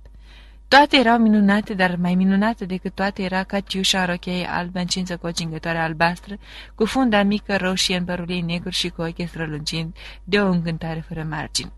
Nihliudov simțea că fata îl vede fără să miște capul. Apoi văzu că așa este în clipa când trecu foarte aproape de ea, înainte spre altar. N-avea nimic să-i spună, dar trecând pe lângă dânsa născoci ceva. Mătușa mi-a zis că o să mănânce pască după a doua liturghie. Sângele tânăr al fetei năvălin obrajii drăgălași, cum se întâmpla de câte ori îl vedea, iar ochii negri sclipind de râs și bucurie îl privire cu nevinovății de jos în sus și rămaseră ațintiți asupra lui Nihludov. Știam, răspunse Catiușa zâmbind. În clipa aceea, dascul care își făcea drum prin mulțime cu un vaș de aram în mână, trecu pe lângă fată și fără să o privească o atinse cu poala stiharului. O atinsese pe semne numai din stimă pentru Nehludov pe care îi căuta să se loculească. Dar lui Nehludov îi părut ciudat că dascălul nu înțelege că tot ce există acolo și pretutindem pe pământ există numai pentru Catiușa și că poți trece nepăsător pe lângă oricine, numai pe lângă Iano, pentru că ea este miezul tuturor lucrurilor. Pentru ea strălucea aurul ca tapetesmei, pentru ea ardeau lumânările din policandru și din sfeșnice, pentru ea răsuna cântarea cea plină de bucurie. Paștele Domnului, veseliți-vă oameni! Și tot ce era bun pe lumea asta era pentru ea. Îi părea că și fata înțelege că toate astea sunt pentru ea. Așa îi părea de câte ori privea pe furiș trupul ei mlădiu în rochea albă cu cute, obrazul ei plin de încântare și reculegere, pe care îi citea limpede că tot ce cânta în sufletul lui cânta și în sufletul ei. În intervalul dintre prima și a doua liturghie, Nehliudov ieși din biserică. Oamenii făceau loc și îl saltau cu plecăciune. Unii îl cunoșteau, alții se întrebau, cine este? Se opri în pridvorul bisericii, îl înconjurară numai decât cerșetorii. El le împărțit tot mărunțișul din punga, apoi coborâ treptele în curte. Se lumina de ziua, dar soarele nu răsărise încă. Oamenii se așezau pe lângă mormintele din jurul bisericii. Catiușa mai rămăsese în biserică și Nehlido se opri în așteptarea ei. Oamenii ieșeau în valuri din biserică, bocănind cu țintele cizmelor pe treptele de piatră și se răspândeau prin ograda bisericii și prin cimitir. Un moș încărcat de ani, cofetarul Mariei Ivanovna, căruia îi tremura capul de bătrânețe, l-a oprit pe Nehliudov și le îmbrățișă spunându-i, Hristos a înviat! Iar femeia lui, o băbuță cu gâtul zbărcit ce se zărea prin broboada de mătase, scoase dintr-o basma un ou galben ca șofranul și îl întinse lui Nehliudov. Tot atunci se apropie de dânsul un țăran tânăr și vând jos, încins cu un brâu verde peste paltonul nou încrețit la mijloc, cu fața plină de zâmbet. Hristos a înviat, spuse el râzând numai cu ochii și dându-se mai aproape de Necliudov. Îl învălui în mirosul lui frus, dar plăcut de țăran, și gâdilându-l cu bărbuța lionțată, îl săruta apăsat pe gură cu buzele tari și proaspete. În timp ce Necliudov se săruta cu țăranul cel tânăr și primea de la dânsul nou vopsit în cafeniu, se arătă la intrare rochea Lilia Chie cu apea Matronii Pavlovna, cu căpșorul negru drăgălaș cu funda mică roșie a Catiușei. Fata zări numai decât peste capetele celor ce mergeau înainte ei și Nehlidov văzu cum îi se luminează deodată fața. Catiușa și matrona Pavlovna ieșiră în pridvor și se opriră să împartă pomeni cerșetorilor. Unul dintre ei, cu o rană roșie în locul nasului, se apropie de Catiușa. Fata scoase ceva din băsmăluță, îl dădu cerșetorului, apoi așa apropie față de dânsul și, fără să vedească cea mai mică scârbă, ci din potrivă cu aceeași strălucire în ochi, îl sărută de trei ori. În timp ce sărta pe cerșetor, ochii fetei întâlniră privirea lui Nehludov, iar lui se păru că citește în ei întrebarea. E bine ce face?" Da, da, draga mea, e bine, totul e minunat și te iubesc." Femeile cobrără din pridvor și Nehludov se apropie de Catiușa. Nu vrea să sărute, vrea numai să fie aproape de dânsa. Hristos a înviat, spuse Matriona Pavlovna, înclinând puțin capul pe o parte și zâmbind într-un fel care însemna. Astăzi suntem toți egali și după ce șterse gura cu Batista făcută gheme întinse buzele. Adevărat am înviat, îi răspunse Nihliudov și o sărută. Apoi Nihliudov se uită la Catiușa. Fata se îmbujoră și se apropie de dânsul. Hristos a înviat Dmitri Ivanovici. Adevărat a înviat, îi răspunse el. Se sărutară de două ore, apoi se opriră o clipă de parcă s-ar fi întrebat dacă trebuie să se mai sărută odată și hotărând pe semne că trebuie să sărutară și a treia oară și zâmbirea amândoi. Nu mergeți la preot?" întrebă Necliudov. Nu, Dmitri Ivanovici, o să stăm puțin aici," rosti Catiușa cu o sforțare ca după o trudă plină de bucurie, trăgând din plin aerul în piel și privindu-l adânc în ochi, cu ochii ușurel și plin de supunere, de nevinovăție și iubire. În dragostea dintre un bărbat și o femeie este întotdeauna o clipă când această dragoste ajunge la apogeul ei, când nu are încă nimic conștient, nimic cugetat și nici senzual. O asemenea clipă trăi Niclidov în acea noapte de înviere. Când încerca acum să-și o reamintească pe Catiușa în toate echipurile în care o văzuse vreodată, acea clipă le întuneca pe toate celelalte. Căpșorul negru lucios, rochea albă în cute ce cuprindea trupul mălădiu cu pieptul mic, roșiața obrajilor, duioșia ochilor negri strălucitori care priveau puțin tălțașiu din pricina nopții de veche și în toată ființa ei două trăsături de seamă. Curățenia ei și iubirea ei fecerelnică nu numai pentru el, știa el asta bine, ci pentru toți și pentru toate și nu numai pentru ce este bun și frumos pe lume, ci chiar și pentru cerșetorul pe care îl sărutase. Știa că purta în ea această iubire, fiindcă în acea noapte și în acea dimineață o simțea și în el însuși și mai simțea că în această iubire ei era una. O, dacă lucrurile s-ar fi oprit numai la acel sentiment încercat de el în acea noapte. Da, toată acea cumplită întâmplare s-a petrecut după acea noapte luminoasă de înviere, gândea Necliu de acum, stând la fereastra camerei juraților. Capitolul 16 la întoarcerea lui de la biserică, Nehlidov mâncă pască sfințită împreună cu mătușile sale și după obiceiul căpăta la armată, bău vodcă și vin, apoi se duse în odaia sa și a dormit pe loc așa îmbrăcat cum era. Îl trezi o bătaie în ușă. După felul cum ciocănea, Nehlidov înțelese că era ea și se sculă numai decât, frecându-se la ochi și îndreptându-și hainele. Tu ești Catiușa?" Intră, spuse el ridicându-se. Fata deschise ușa. Vă poftește la masă, zise ea. Purta aceeași roche albă, numai funda din păr nu mai avea. Îl privi ea în ochi cu fața luminată de zâmbet, ca și cum i-ar fi vestit o bucurie mare și neașteptată. Viu îndată, răspunse necliudă și luă pieptul să-și netezească părul. Fata mai zăbăvi o clipă. El văzu asta și, aruncând pieptănul din mână, se îndreptă spre dânsa. Dar chiar în aceeași clipă ea se întoarce în loc cu o mișcare vioaie și porni cu pașii ușor și iuți pe leicerul coridorului. Prost am fost, se dăjâni Nehlidov. De ce n-am oprit-o? Și dintr-un salt o ajunse din urmă pe coridor. Ce vrea de la dânsa nici el nu știa, dar îi părea că atunci când a intrat la el în odaie, ar fi trebuit să facă un lucru pe care îl făceau toți în asemenea împrejurare și pe care el nu l-a făcut. Așteaptă, Cătiușa, îi spuse el. Fata a întoarse capul. Ce doriți?" întrebă ea oprindu-se. Nimic, numai și cu o sforțare ca să-și învingă firea, amintindu-și ce fac îndeopși de toți ceilalți în asemenea împrejurare, o cuprinse pe Catiușa de mijloc. Ea rămasă nemișcată și îl privi în ochi. Nu trebuie, Dmitri Ivanovici, nu trebuie, spuse ea, înroșindu-se până la lacrimi și împinse cu mâna iastră și puternică brazul ce împărțura mijlocul. Nihludov îi dădu drumul și o clipă nu numai că-i fu rușine și nu se simți la îndemână, dar îi fu chiar scârbă de el însuși. Ar fi trebuit atunci să asculte glasul inimii lui, dar n-a înțeles că această rușine și această sile de el însuși izvărau din cele mai nobile sentimente ale lui. Din potrivă, îi părea că ceea ce vorbește întrânsul este numai prostia lui și că trebuia neapărat să facă și el ceea ce fac toți ceilalți. Atunci o mai ajuns odată din urmă, o cuprinse iar și o sărută pe gât și sărutarea lui nu mai semăna cu cele din tâi. Prima pe care i-a dat-o aproape fără să-și dea seama după tufa de liliac, celelalte chiar în acea dimineață la biserică. Sărutarea de acum prevestea ceva înspăimântător și fata înțelese asta. Ce ați făcut?" strigă ea, ca și cum Nehludov ar fi spart pentru totdeauna un lucru neasemănit de scump și se depărtă în fugă de el. Nihludov intră în sfragerie. Mătușile lui îmbrăcate de sărbătoare stăteau în picioare lângă masa cu gustări, împreună cu doctorul și o vecină.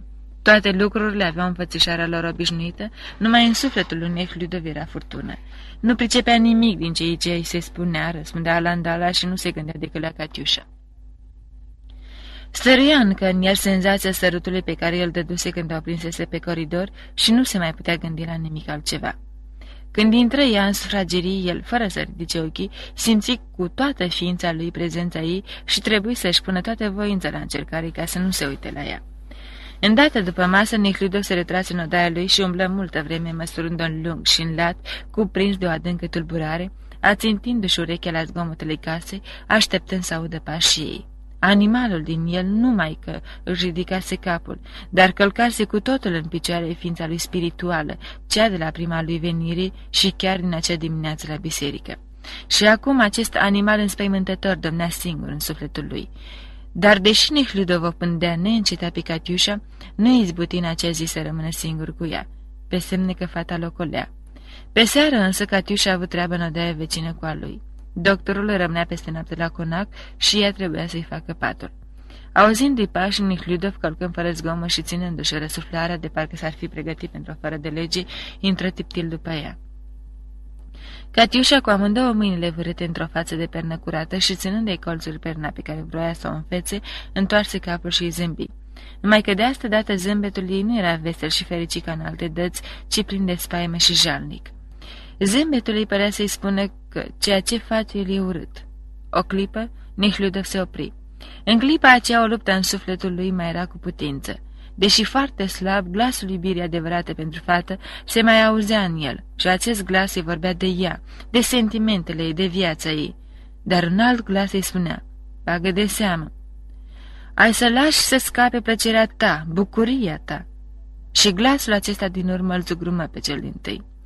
Nihludov se apropie de fată cu pași hotărâți și o patimă înspăimântătoare, nestăvlită, animalică, puse stăpânire pe densul.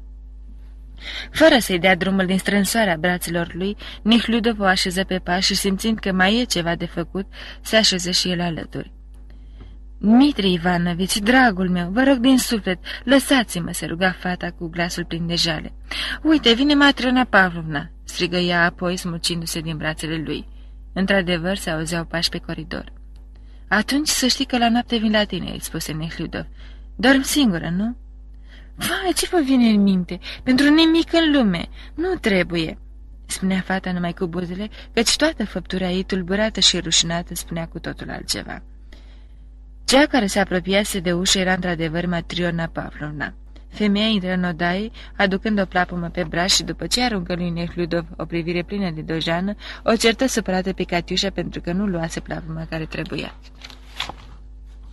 Nehludov ieși tăcut din odaie. Nici măcar nu era rușine. După felul cum îl privise Matrona Pavlovna, văzuse bine că femeia îl sândește. Știa că ceea ce face el e urât, dar patima animalică scăpată din fârul iubirii adevărate pentru fată, pusese cu totul stăpânire pe dânsul și domnea nestingerită, neținând seama de nimic. Acum știa ce trebuie să facă pentru a-și alina dorința și căuta prilejul să facă. În toată seara aceea nu-și mai găsea locul. Aici intra la mătuși, aici ieșea de la ele, se ducea în odaia lui sau pe afară, în pridvorul casei și n-avea decât un singur gând. Cum să o vadă singură? Fata însă locolea și Matriona Pavlovna nu scăpa o clipă din ochi. Capitolul 17 Astfel trecu seara și veni noaptea. Doctorul se duse să se culce și mătușile se retraseră și ele. Nehludov știa că Matriona Pavlovna era acum în odaia mătușilor și că în camera de lucru a slujnicilor Catiușa a rămas singură. Ieși iar pe terasa de intrare a casei. Afară era întuneric, umed și cald și să lăsase acea ceață lăptoasă care gonește primăvara ultimele zăpezi sau, din potrivă, ea ființe din topirea ultimilor zăpezi și care acum umplea tot văzduhul. Despre râul care curgea în vale sub coastele a vreo sută de pași de casă veneau zgomote ciudate. Se spărgea gheața. Nehludov coborâ treptele și călcând peste baltoace pe zăpada înghețată, se apropie de fereastra camerei slujnicilor. Inima îi bătea așa de tare în piept că i auzea limpede bătăile. Răsuflarea bai se tăia, bai izbunea într-un oftat adânc. În camera slujnicilor ardea o lampă mică. Catiușa sta singură lângă masă dusă pe gânduri, cu ochii ațintiți în gol.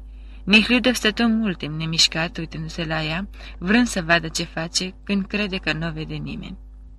Catiușa rămase vreo două minute nemișcată, apoi ridică ochii, zâmbi și clătină din cap, ca și cum s-ar fi dojenit pe ea însăși. Apoi, schimbându-și poziția, puse cu o mișcare iute amândouă mâinile pe masă și și-a țintit iarăși privirile în gol. Nehlude stătea la fereastră și se uita la Catiușa, ascultând totodată fără să vrea bătăile inimii lui și zgomotele ciudate ce veneau dinspre râu.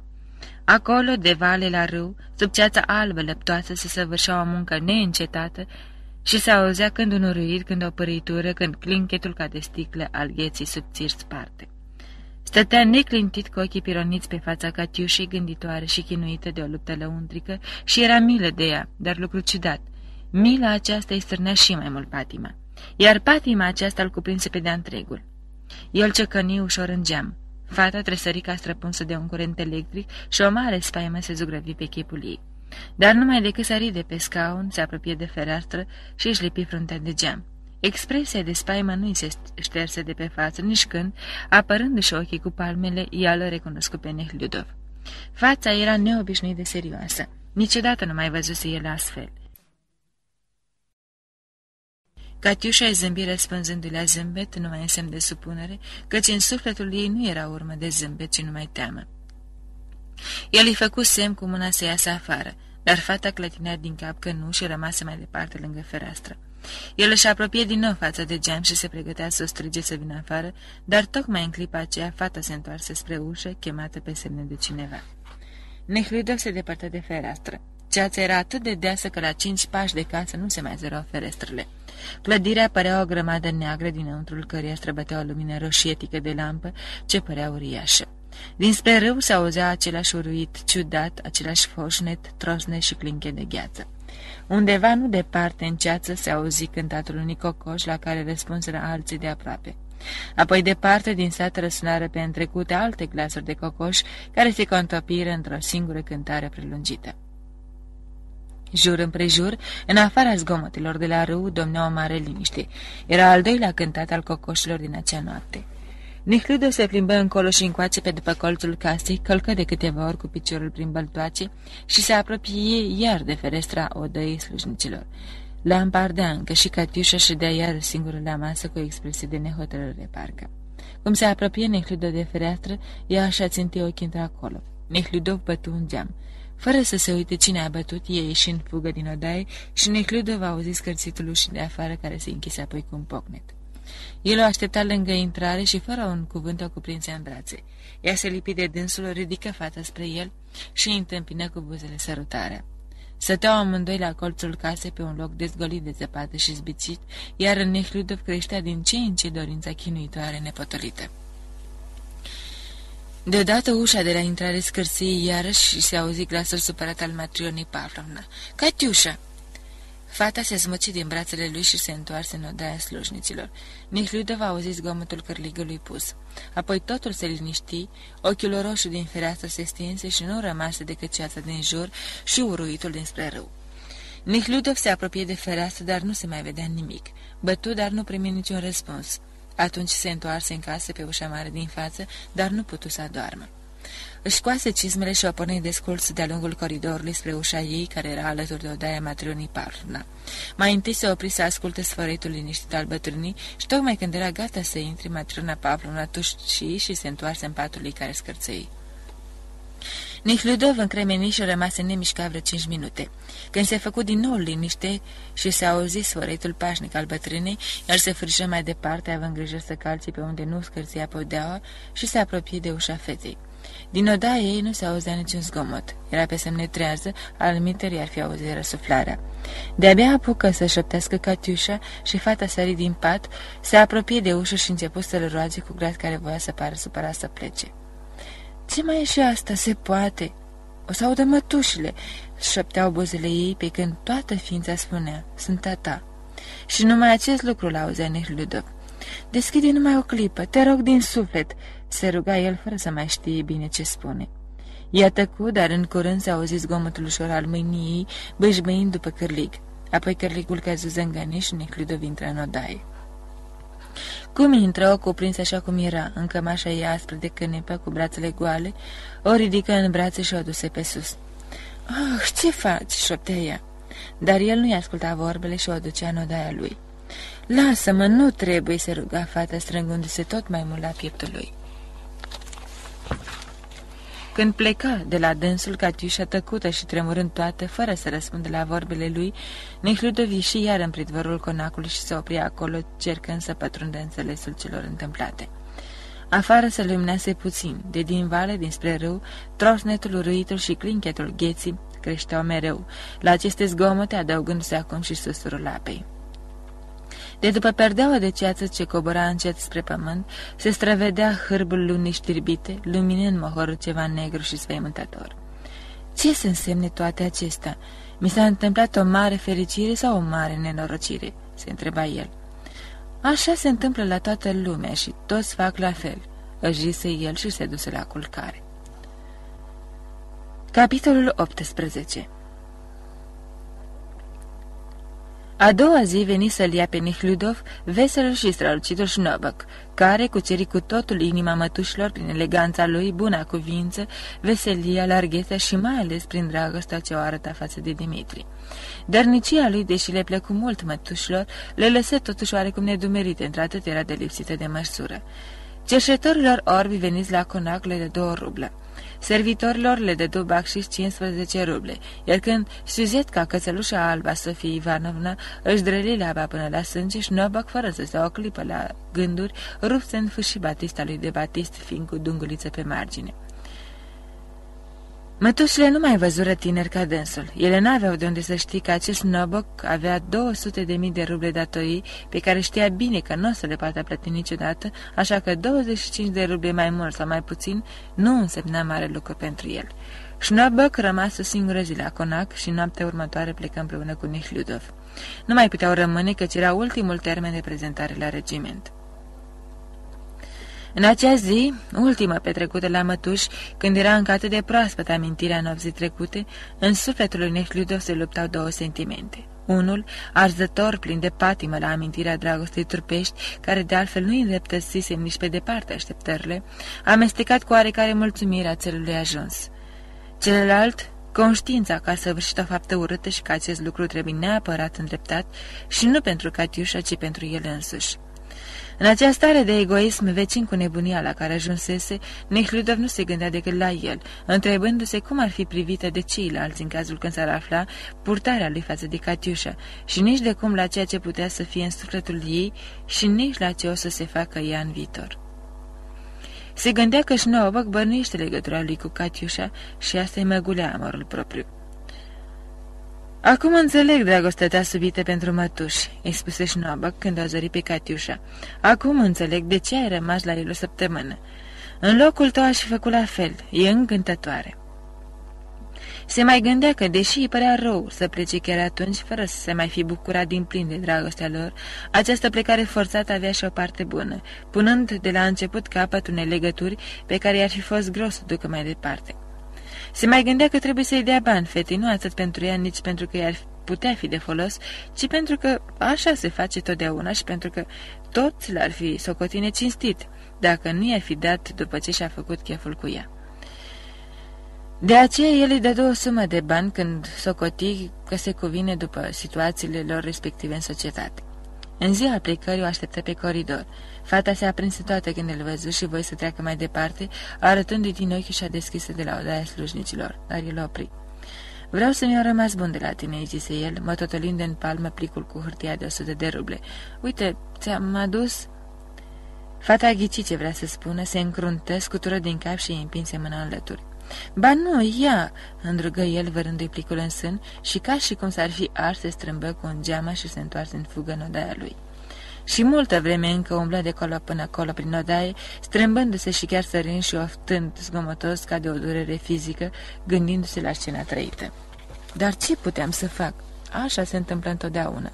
Așa a fost cu Șnobă și cu guvernanta despre care mi-a povestit. Așa a fost cu unchiul Grișa. Așa a fost și cu tatăl meu când a stat la țară și a avut o legătură cu o țărancă de la care s-a născut un fiu nelegitim, Mitinca, care trăiește și astăzi. Și dacă toți fac așa, pe semne că nu se poate altfel. Așa căuta Nehlidă să se liniștească, dar nu izbutea cu niciun chip. Amintirea celor petrecute i ardea conștiința. În fundul sufletului știa că se purtase atât de urât, atât de josnic și de crud, că, având pe fața lui o asemenea faptă, El nu numai că își pierduse dreptul de a judeca pe alții, dar chiar și dreptul de a se uita în ochii oamenilor, iar ca să mai creadă despre el că este un tânăr cu sentimente înalte, cu suflet mare și generos, cum se socotise până atunci, despre asta nu mai putea fi vorbe. Și totuși, el avea nevoie să se creadă astfel ca să poată duce mai departe viața lui veselă și fericită. Pentru asta nu era decât un singur mijloc, să nu se mai gândească la cele întâmplate. Și Nehliudov făcu un tocmai. Viața în care abia își făcea intrarea, mediul nou, prietenii, războiul, toate acestea le ajutară. Cu cât treceau ani, cu atât se gândea mai puțin și, până la sfârșit, uită cu desăvârșire.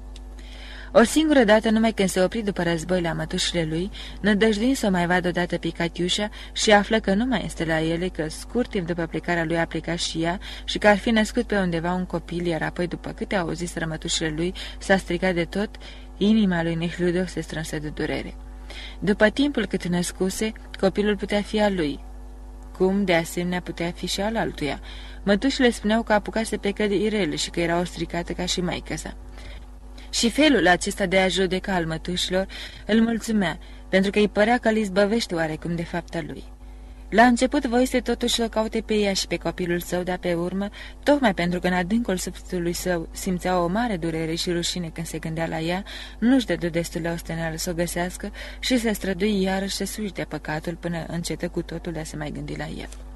Iar acum această întâmplare ciudată îi reamintea totul și îi cerea să-și recunoască lipsa de omenie, cruzimea și lașitatea care îngăduiseră să trăiască liniștit toți acești zece ani cu un asemenea păcat pe conștiință. Dar Nehludov era încă departe de a recunoaște toate acestea și se gândea numai cu frică să nu se dea totul în vileag, să nu înșire ea sau apărătorul ei toată povestea, acoperindu-l de rușine în fața tuturor. Capitolul 19 Aceasta era starea sufletească a lui Ludov când trecut din sala tribunalului în camera juraților. Acolo, așezat la fereastră, asculta tot ce se vorbea în jurul lui și fuma fără încetare. Negustorul cel vesel părea să înțeleagă din toată inima felul de viață dus de negustorul Smelkov. Ce frate strașnic mai petrecea, curat ca în Siberia și n-avea gusturi proaste. Ce fată și-a ales! Președintele juraților își spunea părerea că totul atârna de expertiza făcută. Piotr Gerasimovici glumea cu băiatul de prăvălie, evreu și râdeau în hohote amândoi. Nihludov răspundea scurt la întrebările celorlalți și n-avea decât o dorință, să fie lăsat în pace. Când portărelul care umbla a plecat într-o parte îi pofti iar pe jurați în sala de ședințe, Nihludov fu cuprins de o teamă de parcă nu el trebuia să judece, ci din potrivă trebuia să fie judecat. În fundul sufletului simțea că este un nemernic căruia trebuie să-i fie rușine să se uite în ochii oamenilor și totuși, în virtutea obișnuinței, intră cu pași hotărâți ca totdeauna, se urcă pe podium, se așeză la locul său, al doilea după președinte, și puse picior peste picior, în timp ce cu o mână își răsucea și juchea ochelarii. Acuzații fusese și ei scos din sală și acum erau aduși înapoi. În sală apăruseră figuri noi. Martorii și Nehludov băgă de seamă că Maslova parcă nu-și mai putea lua ochii de la o femeie grasă, gătită în mătăsuri și catifele bătătoare la ochi, cu o pălărie înaltă, cu fundă mare și cu o geantă foarte elegantă, spânzurată de brațul gol până la cot, care ședea în rândul întâi în fața grilajului. Femeia aceasta, după cum află mai târziu, era și ea o martură, fiind patroana casei de toleranță de care ținea Maslova. Începu interogarea martorilor, numele, religia și așa mai departe. Apoi, după ce li s-a pus părților întrebarea dacă vor să răspunde sub jurământ torba, intră iar, abia târându-și picioarele, același preot bătrân și îndreptându-și crucea pe pieptul înveșmântat în mătase, luă jurământul martorilor și al expertului cu aceeași liniște și la fel de încredința că face o treabă cât se poate de folositoare și însemnată. După depunerea jurământului, martorii fură scoși afară. În sală în sală rămase numai Chitaeva, patrona casei de toleranță. Ea fu întrebată ce știe privitor la cazul ce se judeca și Chitaeva, cu un zâmbet afectat pe buze și legănându-și la fiece frază pălăria, istorisi curgător și cu deamănuntul întâmplarea, vorbind cu un puternic accent nemțesc. Mai întâi și întâi venise la dânsa Simon, servitorul de la hotel, pe care îl cunoștea ca să-i ceară o fată pentru negustorul siberian, și ea o trimisese pe Liubașa. După o vreme, lui Bașa s-a întors înapoi împreună cu negustorul. Negustorul era cam afumat, spunea Chitaeva cu un zâmbet ușor pe buze, iar la noi a urmat înainte cu băutura și a cinstit și fetele, până ce a rămas fără bani și a trimis o nădea lui de la hotel pe această lui Bașa, de care v-am vorbit și pentru care avea o slăbiciune, adăugă ea aruncând o privire acuzatei. Lui Nihludov îi păru că o vede pe Maslova zâmbind la aceste vorbe și zâmbetul ei îl umplu de dezgust. Un simțământ ciudat de scârbă amesteca cu milă în apădos sufletul. Dar care era părerea dumneavoastră în general despre Maslova?" O întrebă pe Chitaeva roșind și făstăcindu-se apărătorul Maslovei, numit de instanță, candidat la funcția de judecător. Ah, foarte bun," răspunse femeia. O fată învățat și luxos, a crescut în familie bun și știe citit în franceză. Uneori bea peste măsură, dar niciodată pierdut capul. Foarte bun fată." Catiușa era cu ochii ațintiți la patronă, dar pe urmă și mută asupra juraților și pironii pe fața lui Niclidov și chipul ei se făcut deodată serios, chiar aspru. Unul din ochii ei mustrători se uita sașiu și, vremea îndelungată, ochii ciudați ai femeii rămaseră țintiți asupra lui Ludov, care cu toată groaza ce-l cuprinsese, nu-și putea desprinde nici el privirea de la acești ochi sașii cu albul curat și scânteitor. Își era amintit de acea noapte înspăimântătoare, cu gheața ce se rupea, ceata și mai cu seamă de hârbul de lună știrbită, cu coarnele în sus ce se străvedea prin neaua dimineții. Luminând mohorât ceva negru și înspăimântător. Acești doi ochi negri care se uitau la el îi aminteau acel ceva negru și spăimântător. M-a recunoscut, zise el și se închirci ca în așteptarea unei lovituri. Dar Maslova nu-l recunoscuse. Pieptul ei se ridică într-un oftat liniștit și și îndreptă iar ochii spre președinte. Mihludov oftă și el. Doamne, de s-ar sfârși mai repede, gândea el. Încerca acum simțământul pe care l-avea la vânătoare când trebuia să omoară o pasăre rănită, scârbă, milă și ciudă. O pasăre rănită, dar încă vie, se zbate în tolbă și atunci ți-e silă și totodată milă și vrei să o ucizi mai repede și să uiți. Același lucru îl simțea și acum Nihludov, ascultând de pozițiile martorilor. Capitolul 20 dar ca întradins, procesul se lungea. După audierea martorilor, unul câte unul, după obișnuitele întrebări de prisos, puse cu cea mai mare gravitate de substitutul de procuror și de apărător, președintele propuse juraților să cerceteze corpurile delicte. Un inel de mărime uriașă pentru degetul arătător, cu o răzetă de briliante și un filtru în care fusese analizată o travă. Obiectele erau pecetluite și etichetate. Jurații erau gata să treacă la cercetarea corpurilor delicte când substitutul se ridică din nou și ceru ca înainte de această dată să fie citit raportul asupra examenului medical al cadavrului. Președintele care grăbea procesul cât putea ca să ajungă la vreme la elvețianca lui, știa prea bine că citirea raportului nu putea avea altă urmare decât plictiseala și întârzierea la masă și că procurorul cerea acest lucru numai pentru că știa că are dreptul să o facă, cu toate astea el n-avea încotro și își dădu consimțământul. Grefierul scoase hârtia și se apucă iar de citit cu vocea lui plicticoasă, stălcind literele L și R. Examenul extern a arătat că 1. Înălțimea lui Ferapon Smelkov este de 2 arșini și 12 verșoci. Tie, un adevărat uriaș, șopti cu interes negustorul la urechea lui Nihludov. 2. Vârstaș, judecând după înfățișarea exterioară, pare a fi de circa 40 de ani. 3. Aspectul cadavrului, umflat. 4. Culoarea mucaselor pretutinde verzui împestrițată pe alocuri de pete închise. 5. Pe toată suprafața corpului, pielea prezintă bășiși de diferite mărimi, iar pe alocuri s-a jupui și atârnă sub formă de zdrențe. 6. Părul blond închis, deși la orice atingere se desprinde ușor de piele. 7. Ochii sunt ieșiți din orbite cu cornea întunecată. 8. Din cavitatea nasului a ambelor urechi și gură se scurge un lichid spumos roșietic. Gura este întredeschisă. 9. Gâtul aproape nu se vede din pricina umflăturii obrazului și a pieptului. Și așa mai departe.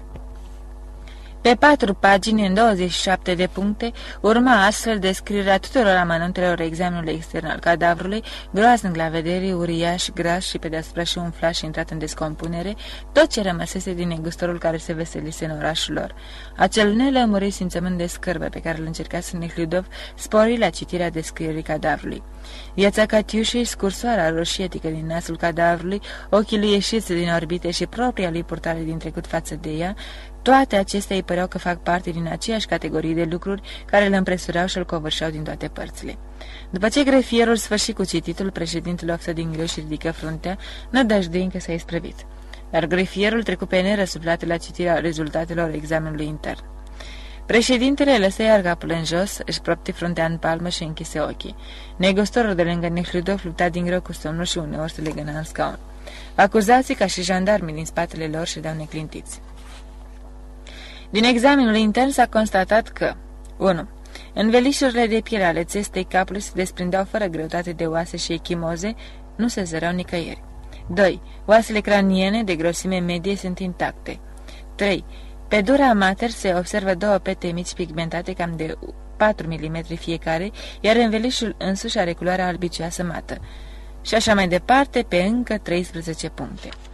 Urmau apoi numele martorilor, iscăliturile și la urmă concluzia medicului din care reșea că în urma modificărilor găsite la autopsie și trecute în proces verbal, pe care le prezenta stomacul și parțial intestinele și rinichii, se poate conchide că, după toate probabilitățile, moartea lui Smelkov a survenit în urma otrăvirii care a pătruns în stomacul lui odată cu vinul.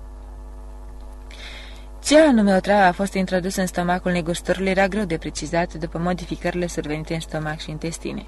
Că despre faptul că otrava a ajuns în stomac odată cu vinul, se presupune că a fost așa pentru că în stomacul lui Smelkov s-a găsit o mare cantitate de vin.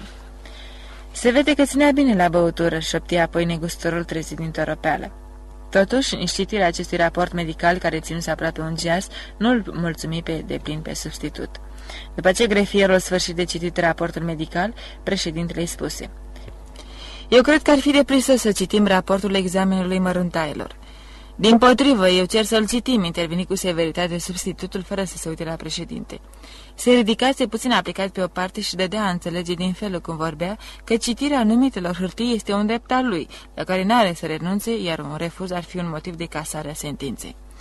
Judecătorul cel cu barbe mare și ochi blânzi cu colțurile trase în jos, care suferea de ulceri, simțindu-se foarte istovit, îi spuse președintului.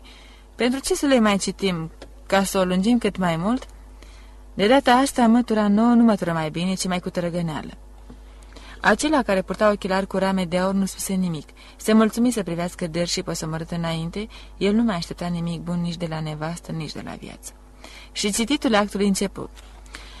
În februarie anul 1880, în ziua de 15, subsemnatul privind însărcinarea secției medicale, înregistrată cu numărul 638, citi, iar grefierul cu multă hotărâre și cu voce mai puternică, vrând parcă să risipească somnul ce copleșea pe toți din sală, am purces la examenul măruntailor de față, fiind și ajutorul inspectorului medical. Am examinat 1. Plămânul drept și inima într-un borcan de sticlă de 6 funturi. 2. Conținutul stomacului într-un borcan de sticlă de 6 funturi. Stomacul însuși într-un borcan de sticlă de 6 funturi. Ficatul, splina și rinichi într-un borcan de sticlă de 3 funturi. Intestinele într-un borcan de pământ de 6 funturi. Președintele, la începutul citirii acestui document, s-a aplicat spre unul din judecătorii și șopti ceva, pe spre altul și după ce primi cuvințarea lor, întrerupse cititul în acest punct. Instanța găsește că citirea acestui act este de prisos, zise el. Grefierul tăcu și strânse hârtiile, iar substitutul de procuror supărat însemnă ceva într-un carnet. Domnii jurați pot examina corpurile delicte, spuse președintele. Președintele juraților și câțiva jurați se ridicară de la locurile lor și neștiind să-și ține mâinile sau ce să facă cu ele, se apropiară de masă și privire pe rând inelul, sticluța și filtrul. Negustorul încercă chiar inelul pe degetul său. Știi ce deget avea?" spuse el întărcându-se pe loc. Parcă ar fi fost un castravete și încă unul zdravă, mai adăugă el foarte mulțumit pe semne de imagine pe care și-o făcuse în închipirea lui despre uriașul negustor. Capitolul 21 când se sfârșit cercetarea corpurilor delicte, președintele declara ancheta terminată și vrând să scape mai curând, dădut numai decât cuvântul acuzatorului, cu nădejdea că fiind și el om, este și el doritor ca ei toți să fumeze și să mănânce și deci va avea milă de ei. Dar substitutul de procuror nu a avut milă nici de el și nici de alții. Era foarte prost din fire, iar pe deasupra văsese nenorocirea să termine liceul cu medalia de aur. El la universitate să primească un premiu pentru teza lui asupra servituților după dreptul roman și de aceea era din calea afară de încrezut și de mulțumit de sine însuși. Faptul la care contribuia și succesul pe care îl avea la femei. Și datorită tuturor acestor lucruri era neînchipuit de prost. Când îi se dădu cuvântul, îi se ridică fără grabă, lăsând să-i se vadă talia elegant, în uniforma cu stă cu fir, își puse amândouă mâinile pe pupitru, înclină ușor capul pe umăr, își roti privirile asupra sălii, ocolindu-i numai pe acuzați, și începu să vorbească. Cazul ce vi s-a încredințat spre judecată, domnilor jurați, își începe el cuvântarea pregătită în timpul citirii rapoartelor medicale și al actului, este o crimă tipică, dacă mă pot exprima astfel. Rechizitorul unui substitut de procuror trebuia, după părerea lui, să aibă o însemnătate socială tot așa de mare ca pledoariilor celebre rostite de avocații cu mare renume. Ce drept în rândul spectatorilor erau numai trei femei, o croitoreasă, o bucătăreasă și sora lui Simon, precum și un birjar, dar asta nu însemna nimic. Avocații cu renume și-au făcut și ei începutul în aceleași condiții, iar substitutul de procuror se conducea după unele principii care cereau să fie întotdeauna la înălțimea funcției sale, adică să pătrunde până la adâncul psihologiei, crimei și să dea în vileag plegile societății. Aveți în fața dumneavoastră, domnilor jurați, o crimă tipică, dacă mă pot exprima astfel, de sfârșit de secol care poartă în ea trăsăturile specifice, să zic așa, ale tristului fenomen de descompunere morală ce atinge în epoca noastră numeroase elemente ale societății supuse acțiunii razilor puternice, ca să zic așa, ale acestui proces. Substitutul de procuror vorbi fără sfârșit, căutând pe de-o parte să-și amintească toate lucrurile deștepte pe care le născoțise dinainte, pe de altă parte mai cu seamă să nu se oprească nicio clipă și cuvântarea lui să curgă neîntrerupt numai puțin de un ceas și un sfert. O singură dată se potigni și își înghiți saliva vreme destul de îndelungată, dar în sfârșit își reluă firul și izbuti prin șuvoi de elogvență și mai înflăcărată să recâștige chiar timpul pierdut. Vorbea cânduie și mângâietor, lăsându-se de pe un picior pe celălalt cu ochii în ochii juraților, când încet și profesional, aruncând priviri în carnețelul său, când tunător și acuzator, întorcându-se către spectatori și avocați. Numai acuzaților care nu-și luau ochii de la el nu le arunca nicio privire. În cuvântarea lui mișunau ideile cele mai noi care aveau căutare în cercul lui, tot ce era socotit pe atunci și mai este și astăzi ca fiind ultimul cuvânt al înțelepciunii științifice. Era vorba despre ereditate, despre criminalitatea născut, despre lombroso și tard, despre evoluția și lupta pentru existență, hipnotism și sugestie, șarco și decandism. Negustorul Smelkov era, după aprecierea substitutului de procuror, tipul omului rus puternic și nepervertit, care, din pricina firii sale prea încrezătoare și generoase, fusese victima unor indivizi stricați până în măduva oaselor în ghearele cărora încăpuse. Simon Cartinchin era un om produs atavic al iobăgiei, un om îndobitocit, fără carte, fără principii și chiar fără religie. Eufemia era ibovnică și era o victimă eredității. Prezenta toate semnele de degenerare. Iar resortul principal al crimei era Maslova, care întrupa fenomenul decadentismului în tot ce avea el mai josnic. Această femeie, urmă substitutul fără să privească, a primit o educație. Am auzit chiar aici, la proces, de poziția patroanei sale. Știe nu numai să citească și să scrie, dar mai știe și franțuzește. Ea, o orfană, purtând în ea fără îndoială germenul crimei, a fost crescută într-o familie nobilă de intelectual și ar fi putut să trăiască dintr-o muncă cinstită.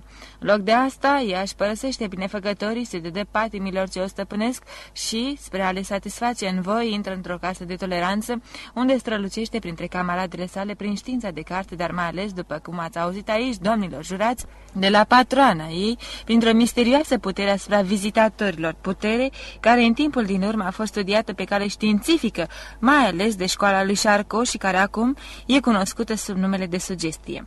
Folosindu-se de această putere, ea a pus stăpânire pe acest voinica din basme, pe încrezătorul și blândul Satco, o aspete bogată, a cărui încredere o folosește mai întâi pentru a-l jefui și la urmă pentru a-i curma fără milă viața. E, aici mi se pare că ai cam luat o rarna, să se zâmbind președintele, aplicându-se către judecătorul cel grav. Mare nerod, răspuns acesta. Domnilor jurați, urma substitutul de procuror, mlădindu-și cu grație în mijlocul subțire, aveți în mâinile dumneavoastră soarta acestor persoane, dar tot în mâinile dumneavoastră este într-o oarecare măsură și soarta societății, care va fi influențată de sentința dumneavoastră. Pătrundeți-vă bine de însemnătatea acestei crime, de primejdea pe care o reprezintă pentru societate acești indivizi, ca să zic așa, patologici, cum e Maslova, și apărați societatea de contaminare, apărați elementele sănătoase și curate ale acestei societăți de infectare și chiar de moarte. Și strivit parcă el însuși de însemnătatea hotărârii ce trebuie luată, substitutul de procuror, încântat peste măsură de cuvântarea sa, să lăsă încet pe scaun. Înțelesul care se desprindea din cuvântarea lui, lăsând la o parte floricelele retoricii, era că Maslova l-ar fi hipnotizat pe negustor, i-a câștigat încrederea și, pătrunzând în odea lui de la hotel, cu cheia pe care i-o deduse el ca să scoată niște bani, a vrut mai întâi să puie mâna pe toți banii, dar, fiind prins asupra faptului de simă și eufimie, a fost nevoită să le dea și lor o parte. Iar după asta, pentru a șterge urmele furtului, s-a întors iar la hotel împreună cu negostorul și l-a otrăvit. După rechizitorul substitutului de procuror se ridică de pe banca avocaților un om de vârstă mijlocie, în frac, cu piepții cămăși și bine scrobiți și rosti o pledoarie bine ticluită în apărarea lui Cartinkin și a Bocicovei. Era un avocat tocmit de ei cu 300 de ruble. Ca să-i scoată nevinovați pe cei doi, el dădea toată vina pe Maslova. Mai întâi respingea de poziția Maslovi care arătase că Bocicova și Cartinkin au fost împreună cu ea în clipa când a luat banii, stăruind asupra faptului că depoziția Maslovei, acuzată de otrăvire, nu putea avea niciun preț. Iar banii, cele 2500 de ruble, puteau foarte ușor, zicea avocatul, să fie agonisiți de doi oameni harnici și cinstiți, care primeau uneori câte 3 și chiar 5 ruble bacșiși pe zi de la clienți. Despre banii negustorului au fost frați mai de Maslova și dați de ea altcuiva sau chiar pierduți, pentru că femeia se afla într-o stare anormală. Iar otrăvirea era numai fapta Maslovei. De aceea, el cerea juraților să achide pe Cartinchi și pe Bocicova ca nevinovași de furtul banilor. Iar dacă îi găseau totuși vinovați de furt, să nu-i amestece în otrăvire și să țină seama că au lucrat fără premeditare.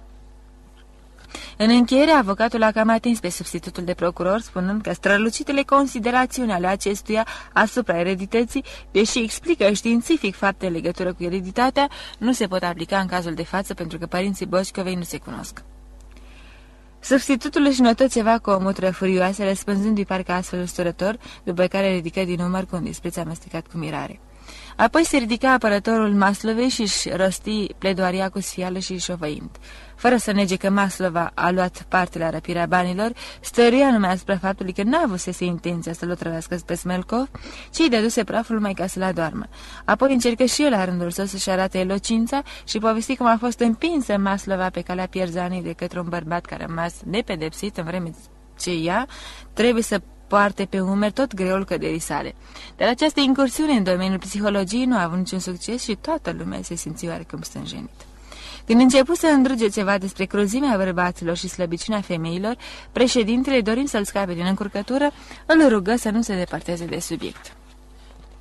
După ce îi sprevie, apărătorul Maslovi se ridică din nou, substitutul de procuror, și își apără teoria despre ereditatea atacată de primul avocat, spunând că, chiar dacă Bocicova este fică de părinți necunoscuți, adevărul teoriei despre ereditate nu este deloc invalidat prin aceasta, deoarece legea eredității este într-atât stabilită de știință, încât suntem în măsură să deducem nu numai crima din ereditate, dar și ereditatea din crimă că despre ipoteza propusă de apărătorul Maslovei, cum că aceasta ar fi fost împinsă pe calea pierzanei de un seducător închipuit, toate datele dovedesc mai curând că ea însă și-a fost ademinitoarea multor, multor victime care au trecut prin mâinile ei.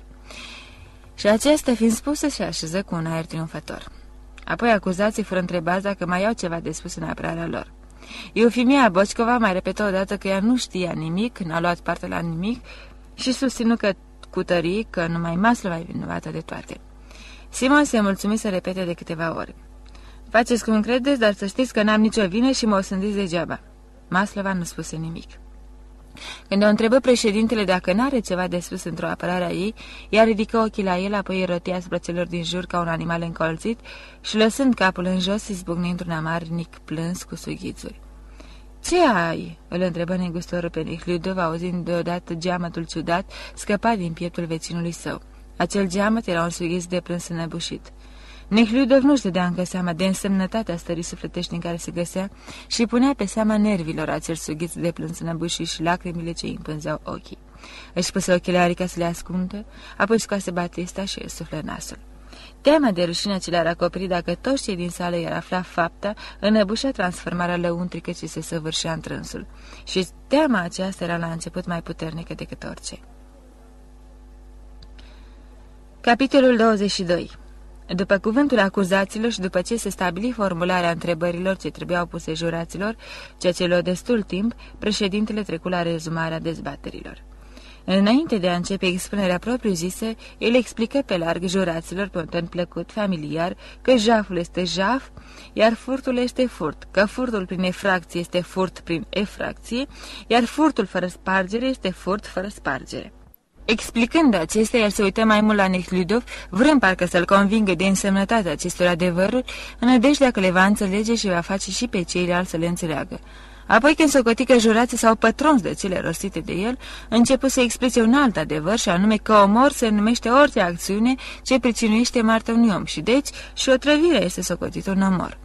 Când îi păru că jurații și-au însușit și acest adevăr, el se puse să le explice că, atunci când omorul și furtul sunt săvârșite împreună, crima e numită furt cu omor.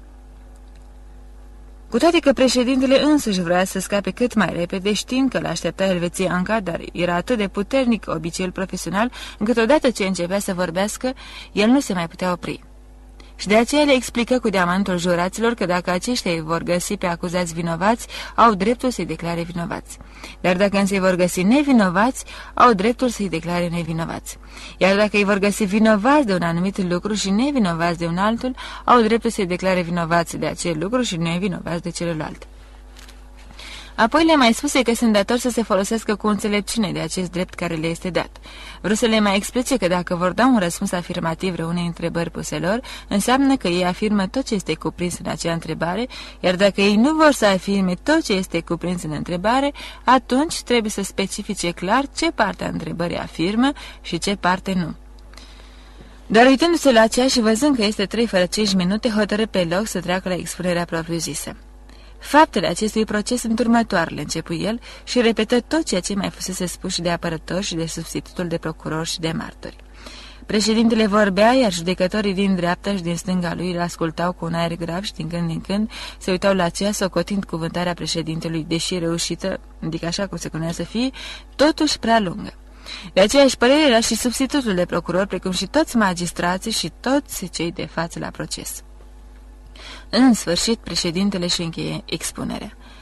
Părea că totul a fost spus. Președintele însă nu se îndura să renunțe la dreptul său de a vorbi atât de plăcute.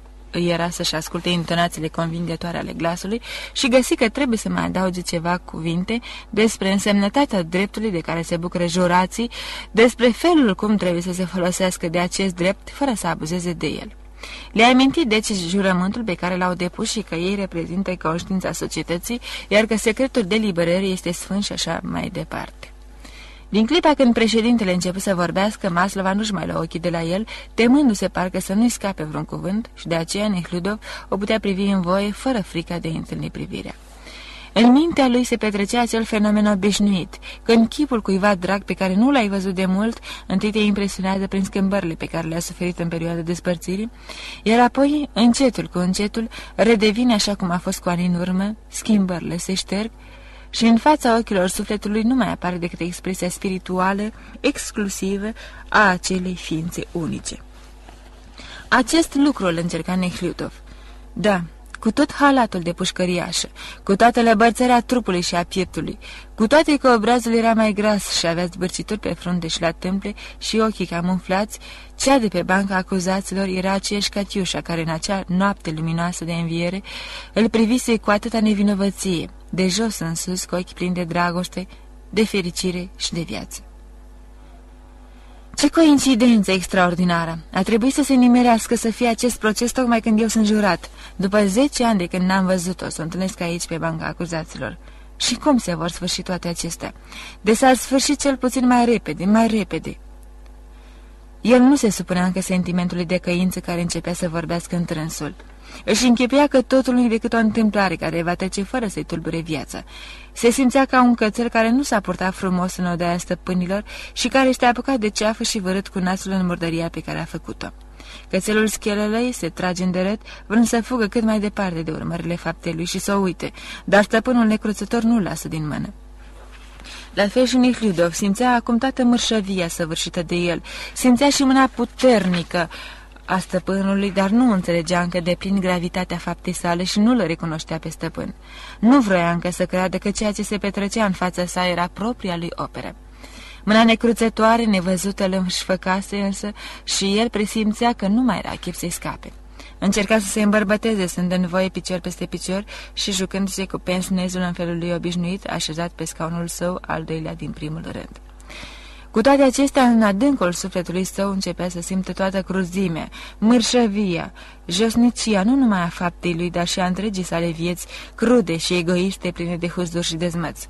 Și acea perdea grozavă, care timp de 12 ani îi ascunsese ca prin minune acest păcat al său și întreaga lui viață de atunci și până acum începea să se miște, lăsându-l uneori să arunce câte o privire dincolo de ea. Capitolul 23 în sfârșit, președintele isprăvit de vorbit și, ridicând cu o mișcare grațioasă foaia cu întrebările, o întinse președintelui juraților care tocmai se apropiase de el. Jurații se ridicară în picioare, bucuroși că pot pleca și neștiind ce să facă cu mâinile și parcă rușinându-se de ceva, porniră unul după altul spre camera de deliberare. Cum se închise ușa în urma lor, un jandarm se apropie și, scoțând sabie din teacă, se puse planton în fața ei. Judecătorii ieșiră la rândul lor și acuzații fură scoși din sală.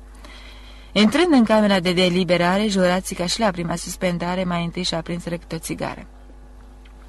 Impresia de nefiresc și de falsitatea situațiilor, pe care într-o măsură mai mare sau mai mică o aveau toți în sală, când ședeau neclintiți în jețurile lor, se șterse de cum intrară în camera de deliberare și și-a prins țigările. Se așezară în voie pe scaune cu un sentiment de ușurare și începură să discute cu însuflețire. Fata nu-i vinovată, s-a potignit în viață și asta e tot, se negustură cel blajin. Trebuie să fim îngăduitori cu ea. Tocmai asta trebuie să examinăm noi aici, spuse președintele juraților. Nu trebuie să ne lăsăm furați de impresiile noastre. Frumos să rezumat a făcut președintele, își spuse părerea colonelul. Ei, frumos, era cât pe ce să ador. Vorba este că servitorii n-ar fi avut de unde să știe de bani dacă Maslova n-ar fi fost înțeleasă cu ei, spuse băiatul de bărălie evreu. Și atunci, după părerea dumitale, a furat? întrebă unul dintre jurați. Nu pot să cred una că asta, strigă negustorul cel beajin. Ticăloasa aceea cu ochii roșii a pus totul la cale. Toți trei sunt pave bume, spune colonelul. Dar femeia a spus că nici nu a intrat în odaie. Și dumneata o crezi. Eu n-aș crede o babă din tot ce spuneți gripțuraica asta. Dacă crezi dumneata sau nu, asta nu dovedește nimic, spuse băiatul de prăvălie. Ce a avut-o ea? E, și ce dacă a avut-o ea? Nu se lăsă negustorul. Dar inelul? Păi n-a spus fata, se înflăcără din nou negustorul, că negustorul acela era iute din fireș cu chef pe deasupra și s-a repezit să o bată? Pe, pe urmă i s-a făcut milă de ea. Na, poftim, nu mai plânge. Era cu o geamite omul. Se spune că avea 12 verșoci înălțime și 8 puduri greutate. Nu-i vorba de asta, îl întrerupse Piotr Gerasimovici. Întrebarea este dacă ea a pus totul la cale sau servitorii. Nu puteau să facă servitorii fără de ea. Cheia era la ea. Discuția urma așa o bucată de vreme fără mulșiri. Dați-mi voie, domnilor, spuse președintele, să ne așezăm mai bine la masă și să analizăm lucrurile cum trebuie. Poftiți, adăugă el așezându-se pe scaunul prezidențial. Marti căloase sunt fetele astea, spuse băiatul de prăvălie, și ca să întărească părerea sa că principala vinovată este Maslova, povesti cum o fată din astea, într-un parc, a furat ceasul unui prieten de-al lui. Colonelul, bucuros de prilej, poveste o întâmplare și mai năstrușnică cu furtul unui samovar de argint. Domnilor, vă rog să respectăm ordinea întrebărilor, spuse președintele, bătând cu creionul în masă. Se făcu liniște. Întrebările erau formulate în felul următor. 1. Este vinovat țăranul Simon Petrov Kartinkin, de 33 de ani, din satul Borchi, județul Krapivenski, de faptul că în ziua de 17 ianuarie anul 1880, în orașul X, ar fi turnat o travă în coniacul negustorului Smelkov cu intenția de a-i curma viața pentru a-l jefui, în înțelegere cu alte persoane și ar fi furat de la acesta circa 2500 de ruble și un inel cu briliant? 2. Este vinovată de cele arătate la prima întrebare târgoveața Eufimia Ivanovna Boccova de 43 de ani? 3. Este vinovată de cele arătate la prima întrebare târgoveața Ecaterina Mihailova Maslova de 27 de ani? 4. Dacă acuzată Eufimia Bocicova nu este vinovată de cele arătate la prima întrebare, atunci este ea vinovată de faptul că în ziua de 17 ianuarie anul 1880 în orașul X, fiind în serviciu la hotelul Mauritania, ar fi sustras în taină 2500 de ruble din diamantanul încuiat al negustorului Smelkov, care trăgea de obicei la acel hotel, în care scop a descuiat diamantanul care se afla în odaia lui cu o cheie adusă și potrivită de ea. Președintele citi prima întrebare. Ei, domnilor? La această întrebare se răspunse foarte repede. Erau cu toții de aceeași părere și răspunseră. Da, este vinovat, recunoscându-l pe Cartinkin complice și la furt și la otrăvire. Numai un comisionar bătrân care la toate întrebările era pentru achitare nu fu de părerea lor. Președintele, crezând că omul n-a înțeles, explică cum stau lucrurile și că Boșcova și Cartinkin sunt fără îndoială vinovați. Comisionarul însă îi răspunse că el a înțeles, dar că totuși ar fi bine să aibă milă de ei. Nici noi nu suntem uși de biserică, adăugă el și rămas la părerea lui. La a doua întrebare privitoare la Boșcova, după multe discuții și schimburi de părere, răspunseră. Nu este vinovat, pentru că nu existau probe vădite că ar fi luat parte la otrăvire, lucru asupra căruia stăruise și avocatul ei. Negustorul, vrând să scoată nevinovată pe Maslova, susținea că Bocicova a fost autorul principal al celor petrecute.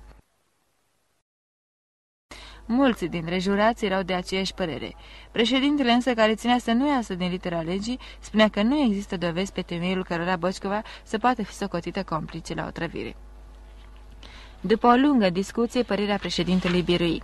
La a patra întrebare privitoare la Bocicova răspunsere.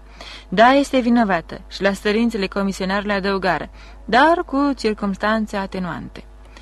Întrebarea a treia însă cu privire la Maslova provocă dezbateri furtunoase. Președintele susținea că e vinovată și de otrăvire și de furt. Negustorul era împotriva acestei părări și avea de partea lui pe colonel, pe băiatul de prăvălii și pe comisionar. Ceilalți șovăiau și părerea președintelui începea să se impună, mai ales pentru că jurații obosiseră și erau bucuros să adere la acea părere, care ar fi împăcat pe toți și deci eliberat mai repede. După răspunsurile date la anchetă și după cât o cunoștea pe Maslova, Nihliudov era convins că nu e vinovată nici de furt, nici de crimă și la început credea că asta este și părerea celorlalți. Când văzu însă că în urma apărării nepricepute a negustorului, ceea ce stârnea împotrivirea președintelui și mai ales din pricina oboselii tuturor, hotărârea juraților începea să încline spre învinuire. Nihludov vrut să ia cuvântul. La apucă însă frica la gândul că dacă ia apărarea Maslovei, toată lumea răsăghicească relațiile pe care le-a avut cu ea. Pe de altă parte, simțea că nu poate lăsa lucrurile așa și că trebuie să se opună. Se făcea când roșu, când palid și tocmai era gata să înceapă a vorbi când Piotr Gerasimovici, enervat pe semne de tonul prea autoritar al președintelui, interveni în dezbateri spunând exact ce ar fi vrut să spună Nihliudov. Dați-mi voie, spus el. Dumneata susții că ea a furat pentru că a avut cheia. Dar nu puteau cei doi servitori tot atât de bine după plecarea ei să umble la geamantan cu o cheie potrivită? Sigur că da, sigur că da, sări și negustorul. Ea nu putea să ia bani pentru că în situația ei nu ar fi avut ce să facă cu ei. Cred și eu, întări negustorul. După părerea mea, venirea ei la hotel a trezit în mintea celor doi servitori gândul rău. Ei au profitat de prilej și apoi au dat toată vina pe ea. Piotr Gerasimovici vorbea enervat. Enervarea lui se transmisese și președintelui, care susținea acum părerea cu întârzire. Piotr Gerasimovici vorbea însă cu atâta convingere că majoritatea era de partea lui, recunoscând că Maslova n-a luat parte la furtul banilor și că inelul i-a fost dăruit. Când veni vorba însă de participarea ei la o trăvire, negustorul, înflăcăratul ei apărător spuse că ea trebuie socotită nevinovată, pentru că ea nu avea niciun motiv să-l otrăvească. Președintele însă susținu că ea nu poate fi socotită nevinovată, întrucât ea singura a recunoscut că i-a dat să bea un praf negustorului. Ea da, dar a crezut că este opiu, spuse negustorul. Păi și cu opiu putea să luăm mare, interveni colonelul, căruia îi plăceau digresiunile și bucuros de prilej început să povestească cum soția, cum natului său, s-au trăvit cu opii și ar fi murit dacă nu s-ar fi găsit un doctor în apropiere și nu s-ar fi luat măsuri la timp. Colonelul povestea cu atâta convingere, siguranță și demnitate, încât nimeni nu a avut curajul să-l întrerupă. Numai băiatul de prăvălie, molipsit de exemplul colonelului, se încumetă să ia vorba din gură ca să povestească și el o întâmplare. Sunt unii atât de prinși cu opiu, începu el, încât a ajuns să ia până la 40 de picături. Am eu o rudă.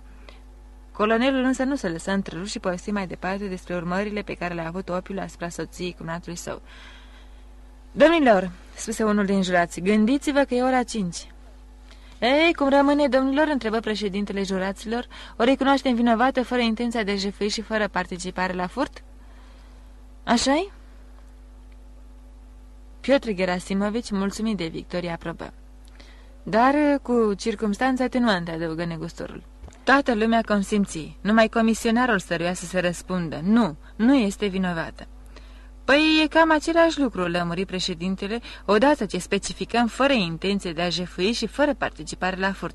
Înseamnă că nu e vinovată. Scrie așa, domnule, și adăugăm. Cu circumstanțe atenuante, ceea ce șterge vina cei mai rămâne, spuse bucuros negustorul. Erau cu toții atât de obosiți și de sătui de discuții, încât nu mai dădu niciunea prin cap să adauge la răspuns. Da, fără intenția de a omorâ. Mihludov era atât de tulburat că nu băgă nici el de seama acest lucru, așa că răspunsurile fură scrise sub această formă și duse în sală. Rable scrie că un jurist l-a judecat după ce enumeră o mulțime de articole și de legi, după ce citi în limba latină vreo 20 de pagini de text juridic lipsit de înțeles, propuse judecătorilor să arunce jarurile. Dacă este un număr cu soț, atunci câștigă părătorul. Dacă este fără soț, câștigă părâtul. Așa s-a întâmplat și de data aceasta. S-a luat o hotărâre și nu alta, nu pentru că toată lumea a fost de aceeași părere, ci în primul rând pentru că președintele, citindu-și concluziile nesfârșit de lungi, a omis să mai pună ceea ce se spune întotdeauna, și anume că răspunzând la întrebare, jurații pot specifica. Da, este vinovată fără intenția de a omorâ. În al doilea rând, pentru că colonelul a povestit prea pe larg și plicticos întâmplarea soției cumnatului său. În al treilea rând, pentru că Nihludov era atât de tulburat încă n-a băgat de seamă că s-a comis precizarea privitoare la intenția de a omorâ, crezând că precizarea, fără intenția de jăfui, este suficientă pentru recunoașterea nevinovăției acuzatei. În al patrulea rând, pentru că Piotr Gerasimovici a lipsit din odaie, ieșise tocmai atunci când președintele a recitit întrebările și răspunsurile. Și mai ales pentru că jurații, fiind obosiți și vrând să scape cât mai repede, erau gata să aprobe orice hotărâre care ar încheia cât mai degrabă ședința. Jurații sunară. Ostașul care stătea în fața ușii cu sabia la umăr vârâ sabia în teacă și se dădu deoparte. Judecătorii se așezară la locurile lor și jurații intrară în sală unul câte unul. Președintele juraților ținea în mână cu un aer solemn foaia cu răspunsurile. Se apropie de președintele completului de judecată și o întinse. Președintele citi răspunsurile și vădit mirată și desfăcu brațele și se aplică să se sfătuiască cu, cu ceilalți doi judecători. Era mirat de faptul că jurații menționând fără intenția de a jefui, nu menționaseră fără intenția de a omorâ. Reieșea din hotărârea juraților că Maslova n-a furat, n-a jefuit și totuși fără niciun scop a omorât un om. Priviți ce prostie au scris aici, spuse ierși judecătorul din stânga sa. Asta însemnează ocnă și femeia e nevinovată. Cum așa nevinovată, spuse judecătorul cel aspru. E fără îndoială nevinovată. După părerea mea, ar fi cazul să aplicăm articolul 818. Articolul 818 spunea că dacă instanța va găsi hotărârea juraților nedreaptă, are dreptul să o revoce. Ce părere ai?" întrebă președintele pe judecătorul cel blajin. Acesta nu-i răspunse numai decât. El se uita la numărul de înregistrare al unei hârtii din fața lui și aduna cifrele. Numărul rezultat nu era divizibil cu 3. Își pusese în gând că dacă numărul este divizibil cu 3, el va sprijini părerea președintelui. Totuși, cu toate că numărul nu era divizibil cu 3, bunătatea lui îl făcu să spună. Și eu cred că ar trebui. Dar dumneata ce crezi?" făcu președintele către judecătorul cel aspru. În niciun caz, răspunse acesta cu hotărâre. Și așa spun ziarele că jurații achită pe criminal. Ce o să spună dacă începe și instanța să facă același lucru? Eu mă opun categoric. Președintele se uită la ceas. Păcat, dar ce să-i face, zise el și întinse foaia cu întrebările președintelui juraților pentru ca acesta să-i dea citire. Se ridicară cu toți în picioare și președintele juraților, mutându-și greutatea trupului de pe un picior pe altul, își drăse glasul și începu să citească. Toți cei de față, grefierul, avocații, chiar și procurorul, se arătară foarte mirați. Acuzații ședeau nemișcați, neînțelegând pe semne ce însemnau răspunsurile. Se așezară din nou cu toții și președintele le întrebă pe substitutul de procuror ce pedepse este de părere să se aplice acuzaților.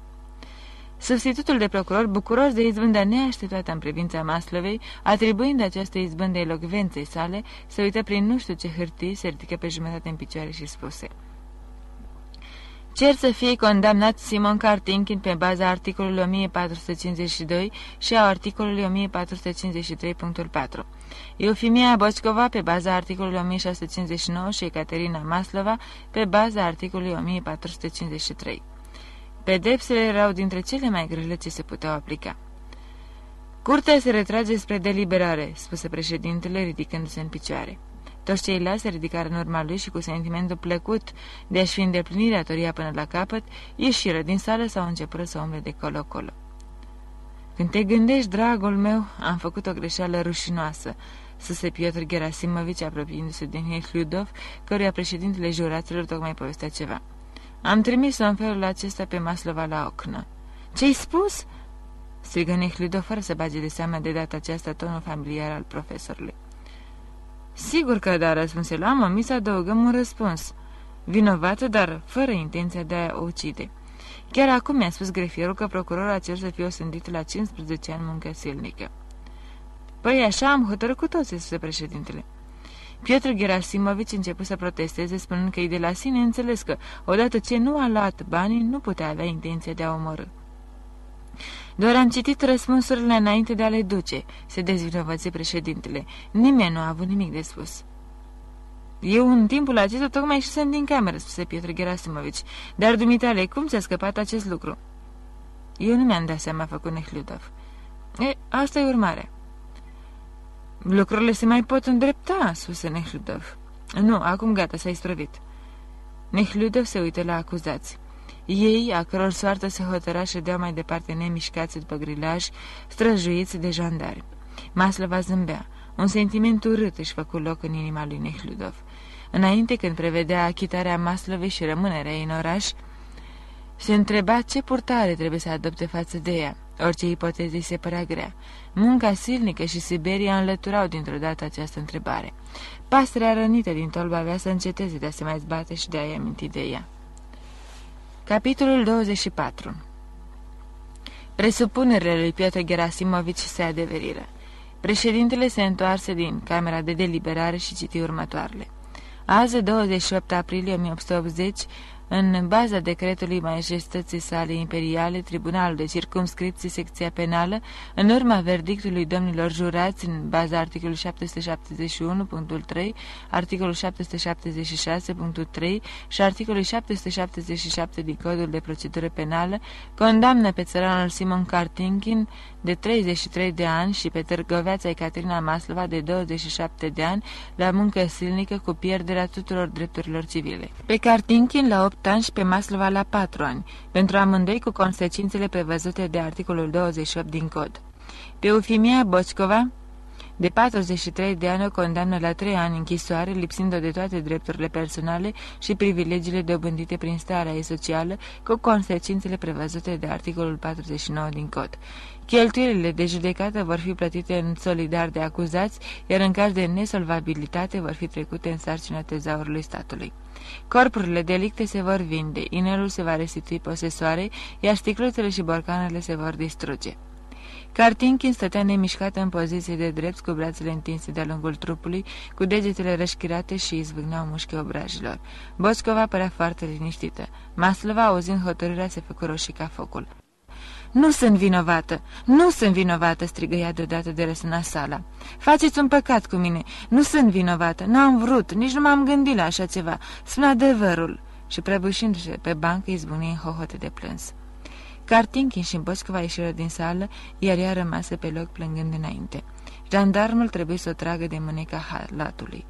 Nu, nu se pot lăsa lucrurile așa se Nehludov, uitând cu totul sentimentul acela urât care îi se strecurase în suflet și fără să mai stea la gânduri, se repezi după ea pe coridor, dorind fără să știe de ce să se mai uite odată la ea. În ușă se înghesuiau jurații și avocații, mulțumiți că și-au isprăvit misiunea, așa că Nehludov mai întârzie puțin. Când și pe coridor, Maslova se îndepărtase de mult. Mergând cu pași repeze după ea, fără să-i pese că trezește atenția celor din jur, o ajunse din urmă, o întrecut și apoi s-o opri. Ea nu mai plângea, ci nu mai sughița tare în răstimpuri și ștergea cu capătul basmale fața plină de pete roșii. Trecu pe lângă el fără să-l vadă. Nihludov o lăsă să treacă și se întoarse grăbit înapoi, cu gândul de a-l întâlni pe președinte. Acesta însă plecase între timp. Nihludov îl ajunse abia la vestiar. Domnule președinte, spuse Nehludov apropiindu-se de el în timp ce acesta își punea paltonul de culoare deschisă și lua apoi din mâna portarului bastonul său cu măciulii de argint. Aș vrea să vă vorbesc câteva clipe în legătură cu procesul de adineauri. Sunt jurat. Cum să nu? Prințul Nehludov, nu așa? Îmi pare bine. De altfel ne-am mai întâlnit, spuse președintele, strângându-i mâna și amintindu-și cu plăcere de seara când l-a cunoscut pe Nehludov și când a petrecut de minune, dansând mai mult și mai bine decât toți tinerii. Cu ce vă pot fi de folos?" S-a strecurat o confuzie în răspunsul nostru cu privire la Maslova. Ea nu e vinovată de otrăvire și totuși a fost condamnată la muncă silnică, se Nehludov mohorât și frământat. Curtea a dat sentința pe temeiul răspunsurilor prezentate de jurați, spuse președintele, îndreptându-se spre ușa de ieșire, cu toate că răspunsurile au apărut și curții a nu fi tocmai corespunzătoare. El își aduse aminte că vroi să se le explice juraților că răspunsul da e vinovată, fără rezerva, fără intenția de a ucide, însemna confirmarea unei omucideri cu premeditare, dar grăbindu-se nu le mai vorbise despre aceasta.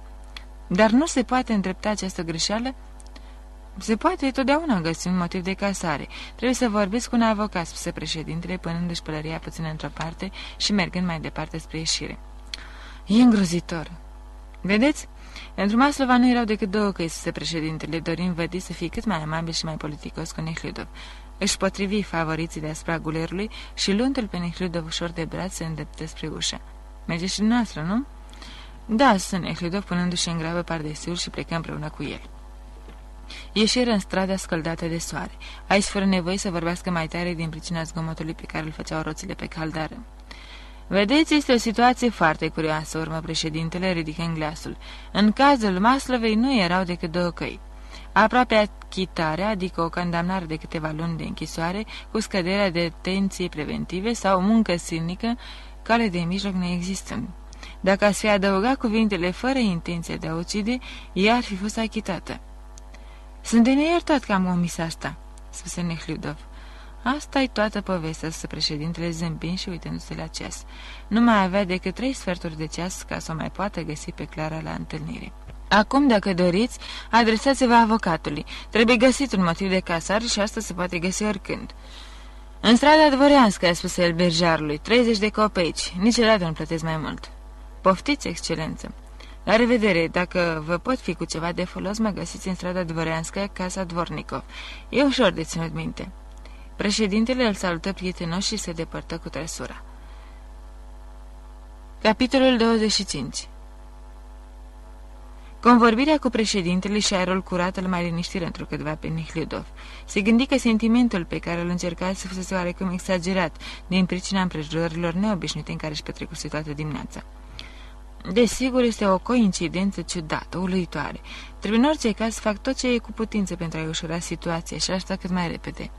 Chiar acum, da, trebuie să aflu aici la tribunal adresa lui Fanarin sau lui Mikishin. Își aduse aminte de doi avocați cu renume. Nihludo se întoarce la tribunal, își scoase paltonul și urcă scările. Chiar în primul coridor de de Fanarin. Îl opri spunându-i care treabă cu el. Fanarin îl știa și din vedere și după nume și răspunse că e foarte bucuros să-l servească. Cu toate că sunt cam obosit, dar dacă nu e prea lung, spuneți-mi chiar acum despre ce e vorba. Vreți să trecem aici?" Și Fanarin îl duse pe Nehludov într-o daie, biroul vreunui judecător probabil unde se așezară la o masă. Vă ascult." Mai întâi de toate trebuie să vă spun început Nehludov că doresc să nu afle nimeni că mă ocup de chestiunea despre care am să vă vorbesc. Asta este de la sine înțeles, deci?" Am luat astăzi parte ca jurat la un proces la care am condamnat la ochnă o femeie nevinovată. Lucrul acesta mă apasă. Nihludov spre propria lui mirare roșiși și se tulbură. Fanarine i aruncă o privire iute, apoi își lăsă ochii în jos și le ascultă mai departe. Și?" făcu el. Am condamnat o femeie nevinovată și aș dori să fie casat procesul și transferat la o instanță superioară." La senat," îl corectă Fanarin. Am venit să vă rog pe dumneavoastră să vă ocupați de acest proces." Nihliudov, vrând să treacă cât mai repede peste partea mai grea, adăugă. Onorarul și celelalte cheltuieli, la oricât s-ar ridica, le iau toate spre mea, spuse rășin. A, ne înțelegem noi, spuse avocatul și zâmbi îngăduitor, văzând lipsa lui de experiență. Spuneți-mi despre ce e vorba. Nihliudov îi relată toată povestea. Bun, Mâine cer dosarul și le examinez, iar poi mâine sau nu, joi, veniți la mine la ora 6 și vă dau răspunsul. Rămâne stabilit? Și acum să mergem, eu mai am unele chestiuni de cercetat aici. Nihliudov își lua rămas bun și ieși. Convorbirea cu avocatul și faptul că a și luat unele măsuri ca să o apere pe Maslova a liniștire și mai mult. Coborâ în stradă. Era o vreme minunată și Nihliudov respiră cu bucurie aerul de primăvară. Birjare își șoferau pe întrecute șervițile. Nihliudov însă merse pe jos. Un roi de gânduri și de amintiri legate de Catiușa și de purtarea lui față de ea îi năvăleau în minte, făcându-l să se întristeze și să vadă lucrurile negru. Nu, la toate astea o să mă gândesc mai târziu, își spuse el, iar acum ar fi bine să mă ocup de altceva ca să uit toate aceste impresii neplăcute. Își aduse aminte de invitația corceaghinilor și se uită la ceas. Nu era încă prea târziu, avea timp să ajungă la ei la masă. Un tramvai cu cai trecu pe lângă dânsul. El ajunse din urmă și din fugă se usui în el. În piață coborâ, luă o trăsură și peste 10 minute trăgea în fața casei mari a familiei Corceaghin. Capitolul 26 Poftiți, vă rog, excelență, sunteți așteptat!" suse politicos portarul cel gras al familiei Corceaghin, deschizând ușa mare de stejar de la intrare care luneca fără zgomot, prinsă în balamale englezești. S-au așezat la masă și mi-a poruncit să vă rog să poftiți. Portarul se apropie de scară și trase de clopoțel. Mai e cineva străin?" întrebă Nehludov scoțându-și paltonul. Domnul Kolasov și Mihail Sergeevici. Altcineva nimeni," răspunse portarul. Sus pe scară se arătă un fecer și în frac și cu mănuși albe. Poftiți, excelență," zise el, sunteți rugați să poftiți în sufragerie." Nihludov urcă scara, trecu prin salonul mare și impunător pe care îl cunoștea atât de bine și intră în sufragerie. Toată familia era așezată în jurul mesei, afară de Sofia Vasilievna, prințesa mamă, care nu ieșea niciodată din odaia ei. În capul mesei ședea bătrânul Corceaghin, în stânga lui doctorul, iar de partea cealaltă Ivan Ivanovici Kalasov, fost mareșal al nobilimii din gubernie, acum membru în Consiliul de Administrație al unei bănci, om cu vederi liberale, prieten cu Corceaghin. Mai departe, la stânga, Miss Rader, guvernanta surorii celei mici ale misii și apoi chiar fetița în vârstă de patru ani. La dreapta, în fața ei, fratele Nimisi Petia, singurul fiu al lui Corceaghin, elev în clasa a șase de liceu, din pricina căruia toată familia rămăsese în oraș, așteptând să-și treacă examenul. Și studentul care îl medita pe Petia. În partea stângă urma Caterina Alexievna, o fată bătrână de 40 de ani slavofilă. Vis-a-vis -vis de ea, Mihai Sergeevici sau Misha Tilegin, vărul Misi. Și, în sfârșit, la capătul celălalt al mesei, însăși Misi. Lângă ea se mai afla un tacâm neatins. Ai venit, foarte bine, ia loc. Suntem abia la pește, suse bătrânul Corceaghin, mestecând greu și cu băgare de seamă cu dinții falși și ridicând spre Nehludov ochii injectați fără ploaie pe parcă. Stepan, spuse el cu gura plină către un fecior turpe și maestos, arătând din ochi talcămul gol. Cu toate că Nihludov îl cunoștea bine pe bătrânul Corceaghen și îl văzuse de nenumărate ori la masă, de data aceasta îl impresionă deosebit de neplăcut fața lui roșii, gura cu buzele senzuale mestecând lacom, deasupra șervetului cu colțul vărât în vestă, ceafa lui grasă și tot trupul lui de general giftuit. Nihludov își aminti fără să vrea de tot ce auzise despre curzimea acestui om, care Dumnezeu știe pentru ce căci era bogaș de neam mare și nu avusese nevoie să facă exces de zel, pe vremea când fusese guvernator, pusese să fie bătuți cu vergile o seamă de oameni, iar alții chiar să fie spânzurați. Îndată, excelență," spuse Stepan, scoțând un polonic mare din bufetul tixit cu vase de argint și făcându-i semn cu ochii feciorului celui chipeș cu favoriți. Acesta o rândui numai decât acâmul neatins de lângă misii cu șervetul scrobit cu blazon brodat, așezat cu maestrie în sus. Nihlidă făcu un conjurul mesei și strânse mâna fiecăruia. Toți afară de bătrânul Corceaghin și de doamne se ridicau pe rând în picioare să-l salute. Și acest înconjur al mesei și strângerea mâinilor celor de față, cu cei mai mulți dintre ei nu schimbați niciodată vreo vorbă, îi se părură de data aceasta deosebit de neplăcute și de caragioase. Se scuze că a întârziat și tocmai se pregătea să se așeze pe scaunul gol dintre Mise și Caterina Elixievna, când bătrânul Corceaghin îl rugă dacă nu vrea să bea vodcă, cel puțin să ia o gustare la masa pe care se aflau homari, icre, brânzeturi, scrumpii. Nihludov nu-și dăduse seama cât era de flămân, gustând însă din brânzeturi, început să mănânce cu poftă.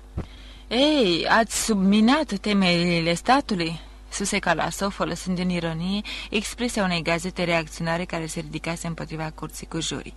Ați achitat pe cei vinovați? Ați osândit pe cei nevinovați, nu așa? Au subminat temeliile, da, da, au subminat temeliile, repetă râzând prințul, care avea o încredere fără margine în deșteptăciunea și cultura prietenului și colegului său cu vederi liberale. Nicliudov, cu riscul de a prea nepoliticos, nu-i răspunse lui Kalasov și așezându-se la masă în fața farfurii cu supa burinte, mâncă mai departe. Lăsați omul să mănânce, să se emisi zâmbind și vrând prin această expresie familiară omul să arate cât erau de intim. Calasov început să povestească cu vieicine și cu glas tare conținutul articolului apărut, îndreptat împotriva juraților și care indignase. Mihail Sergeevici, nepotul prințului, îi ținea Isonul fiind de aceeași părere și povesti la rândul său cu prințul unui alt articol apărut în acela ziar. Misica întotdeauna era foarte distinghe și foarte bine îmbrăcată, deși simplu. Trebuie să fii stăvit de oboseală și de foame, spuse ea lui Nihludov când acesta îi sprăvi de mânca supa. Nu, nu așa de tare. Iar dumneata, ai fost să vezi expoziția? Nu, am amânat pe altă dată. Am fost însă la tenis, la Salamatovi. Într-adevăr, Mr. Crooks joacă minunat.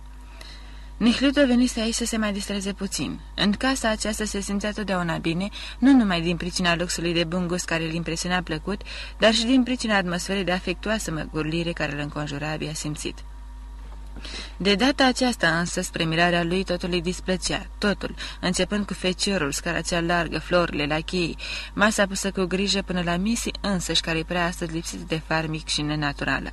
Era neplăcut și tonul încrezut, vulgar, liberal al lui Kalasov. Neplăcut era și înfățișarea bătrânului Corceaghin, zdravăn ca un taur, bestial și mulțumit de sine. Neplăcute erau frazele franțuzești ale slavofilei Caterina Alexeevna, precum și chipurile stânjenite ale guvernante și meditatorului, și mai ales deosebit de neplăcut, îi sunase în urechi expresia omul prin care îl desemnase misii. Nehludă șovăise întotdeauna între două sentimente față de misii. Ba o vedea frumoasă, suavă, deșteaptă și naturală, de parcă ar fi privit-o printre gene sau la lumina lunii, ba o vedea de parcă ar fi primit-o la lumina puternică a soarelui și era cu neputință să nu-i vadă toate cusurile. Astăzi o vedea astfel. Observa cele mai mici zbârcituri de pe fața ei. Își dădea seama cum și-a potrivit pieptănătura ca să-i pară părul cât mai bogat. Îi vedea coatele ascuțite și mai cu seamă cât de lat era unghia de la degetul cel mare, întocmai ca lui taicăsu. Plicticos e tenisul, spuse Kalasov. Mult mai vesel e jocul lapta pe care îl jucăm în copilărie.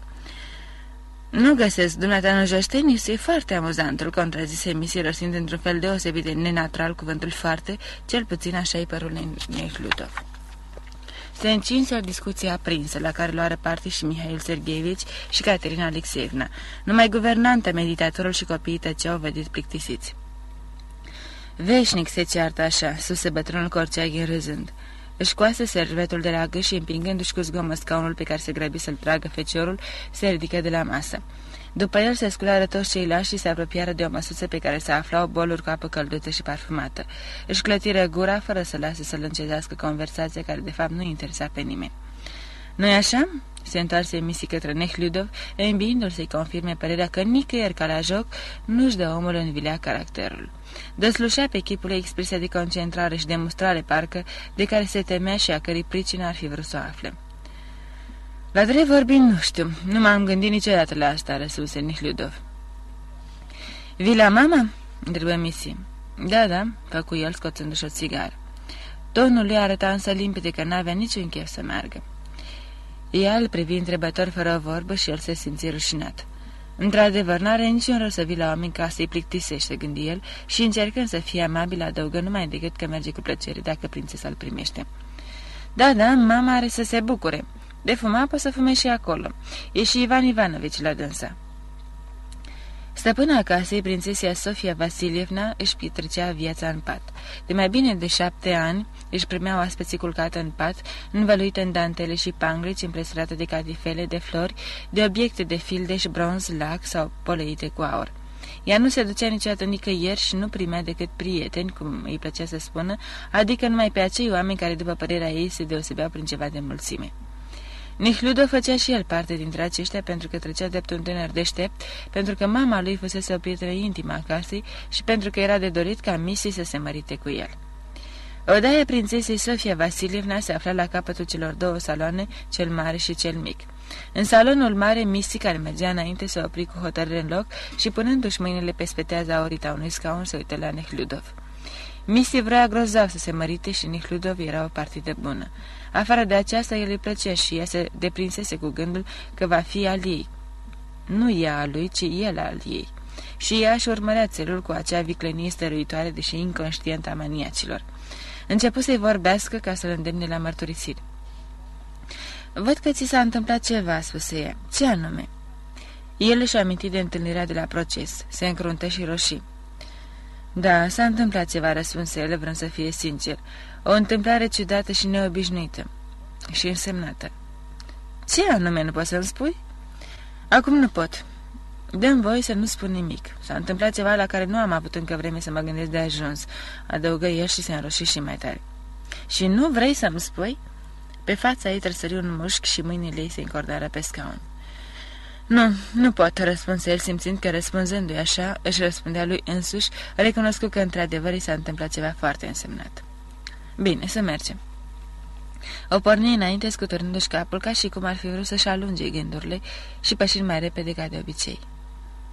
Capitolul 27 Prințesa Sofia Vasilevna sfârșise masa cu feluri alese și hrănitoare, pe care o lua întotdeauna singură ca să nu vadă nimeni în timpul acestui ritual lipsit de poezie. Acum prințesa fuma având pe o măsuță alături de canapea cafeaua servită. Sofia Vasilievna era o femeie brună, slabă, înaltă, cu ochi mari negri și dinți lungi și care se străduia să mai pară tânără. Se vorbea despre relațiile ei cu doctorul. Înainte, Nehludov nu lua în seama aceste clevetiri. Acum însă, văzându-l pe doctor cu barba lui pomădată despărțită în două, așezat lângă canapeaua prințesei, nu numai că și-a amintit de ele, dar se simți cuprins de dezgust. Calasov și de într-un fotoliu scund lângă Sofia Vasilievna, aproape de măsuță, și și-a măștecat cu lingurița cafeaua din ceașcă. Alături de cafea se afla un păhărel cu lichior. Misi intră împreună cu Nehludov, dar nu rămase în odaie.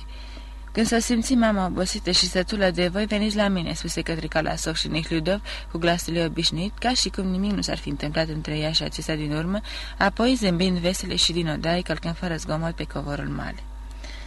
Ah, bună ziua, prietene! Stai jos și povestește-mi ce ai mai făcut," spuse prințesa Sofia Vasilievna, cu zâmbetul ei prefăcut, atât de bine reușit, că părea aproape natural, arătându-și dinții regulați și lungi, admirabili imitația celor pe care avusese cândva. Mi s-a spus că ai venit de la tribunal într-o sumbră dispoziție. Cred că nu e ușor a fi jurat pentru oamenii de inimă, spuse ea franțuzește. Da, e drept, spuse Necludov, uneori simți, simți că nu ai dreptul să-i județi pe alții. Cum se vrei?" exclamă prințesa, ca izbită de adevărul spuselor lui, căutând să mă gulească ca întotdeauna pe interlocutorul său. Ei, dar ce se aude cu tabloul dumitale? Mă interesează nespus," adăugă ea. Să nu fi fost așa suferindă, de mult aș veni la dumneata să-l văd. L-am abandonat cu totul, a răspuns curățeală Nehliudov, căruia astăzi îi sărea în loc și intenția ei de a linguși ca și bătrâneța ei. Și orică se străduia, nu izbutea să fie amabil. Păcat. Știi, Repin însuși mi-a spus că acest prieten al nostru are talent, susea către Calasov. Cum nu este rușine să mintă așa?" se întreba Nehliudov încruntându-se. Văzând că Nehludov e rău dispus și că nu-i chef să-l atragă într-o discuție plăcută și inteligentă, Sofia Vasilievna se întoarce către Kalasov, cerându-i părerea despre o nouă dramă ce se reprezenta în oraș. Întrebarea ei era pusă cu un ton, ca și cum părerea lui Kalasov avea să înlăture orice îndoiel și fiecare cuvânt al lui trebuia să rămână posterității. Kalasov critică drama și cu acest prilej își expuse și teoriile sale despre artă. Prințesa Sofia Vasilievna se entuziasma de dreptatea reflexiilor lui, încerca să-l apere câte puțin pe autorul dramei, dar se lăsa îndată învinsă de argumentele doctorului sau căuta o cale de mijloc. Nihludov se uita la ei și asculta, dar vedea și auzea cu totul altceva decât ceea ce se desfășura sub ochii lui. Ascultând ba pe Sofia Vasilievna, ba pe Kalasov, Nihludov își dădea seama în primul rând că Sofia Vasilievna și lui Kalasov nu le părsa câtuși de puțin de dramă și niciunea de celălalt, iar dacă vorbeau, o făceau numai spre a satisface nevoia fiziologică de a-și mișca după masă mușchii limbii și ai gâtlejului. În al doilea rând că Kalasov, care băuse vodcă, vin și lichior, era cam amețit, nu ca mujicii care beau rar, ci ca oamenii care și-au făcut un obicei din abia. Nu se clătina, nu spunea prostii, dar era într-o stare de excitare și încântare de sine normală. În al treilea rând, Nehludo vedea că prințesa Sofia Vasilina, în timp ce discuta, se uita cu îngrijorare spre fereastră de unde se apropia încet de ea o rază pierzișă de soare, care i-ar fi putut lumina prea fățiș pătrâneța. Cât e de adevărat, întâlni ea o observație de lui Calasov și apăsă pe butonul de sonerie din perete de lângă canapea. În clipa aceea, doctorul se ridică și, ca unul de ai casei, ieși din odaie fără să spună nimic. Sofia Vasilevna îl însoți cu privirea urmând înainte conversația. Te rog, Filip, trage perdeaua spre fereastră," spuse ea, arătând din ochi perdeaua feciorului celui chipeș, care își făcuse apariția în odaie la chemarea ei. Nu, orice îi spune, la el găsește acea notă mistică, absolut necesară în poezie, urmă ea, urmărind cu unul din ochii negri încruntați mișcările feciorului. Misticism fără poezie e o superstiție, iar poezie fără misticism proză, spuse ea, zâmbind trist, fără să-și ia ochii de la fecior și de la perdea. Filip, nu perdeau asta, cealaltă perdea, în spus, cea de la fereastra mare, porunci Sofia Vasilievna cu un glas plin de suferință, fiind probabil milă de ea însăși pentru sforțarea pe care o făcea rostind aceste vorbe. Și ca să se mai liniștească, duse la gură cu degetele sale împodobite cu inele țigara parfumată. Chipeșul Filip, lat în spete, mușchiulos, se înclină ușor, cerându-și iertare, parcă și călcând fără zgomot pe covor, cu picioarele lui zdravene, cu pulpe vânjoase, trecând supus la cealaltă fereastră și început să tragă perdeaua, potrivind-o astfel ca nicio rază de soare să nu cuteze să cadă pe prințesă. Dar nici de data aceasta nu nimeri bine ce avea de făcut și iarăși, suferinda Sofia Vasilievna, trebuie să-și întrerupă discuția despre misticism și să-l dojenească pe neîndemânaticul Filip, care îi tulbura fără milă liniștea. O clipă în ochii lui Filip spăcăpără un fulger. Dracu să te înțeleagă ce vrei. Trebuie să-și pună sinea lui feciorul că gândi Nehludov care urmărise toată scena. Dar Chipeșul și zdravărul Filip își stăpâni pe loc nerăbdarea și începu să facă liniștit ceea ce-i poruncea lânceda, lipsita de vlagă și falsa din cap în picioare Sofia Vasilievna. Desigur că este o mare parte de adevăr în teoria lui Darwin, reluă Kalasov, tălânindu-se în fotoliu scun și privind cu ochi somnoroși pe Sofia Vasilievna, dar uneori merge prea departe. Da. Dar dumneata crezi în ereditate? Întrebă prințesa Sofia Vasilievna pe Nehludov, a cărui tăcere o irita. Nereditate? întrebă Nehludov. Nu, nu cred, urmă el, copleșit în clipa aceea de imaginile ciudate ce îi răsăriseră neașteptat în închipuire. Și le reprezenta pe voinicul și chipeșul Filip pozând ca model, iar alături de el pe Calasov gol cu purta ca un pepene cu capul bleșuv și cu brațele slabe, moi, atârnându-i ca niște frânghii de-a lungul trupului și în mintea lui vedea nedeslușit umerii Sofii Vasilievna acoperiți cu catifea și mătase, cum ar arăta în realitate. Dar viziunea aceasta era atât de hidoasă încât se strădui să o alunge.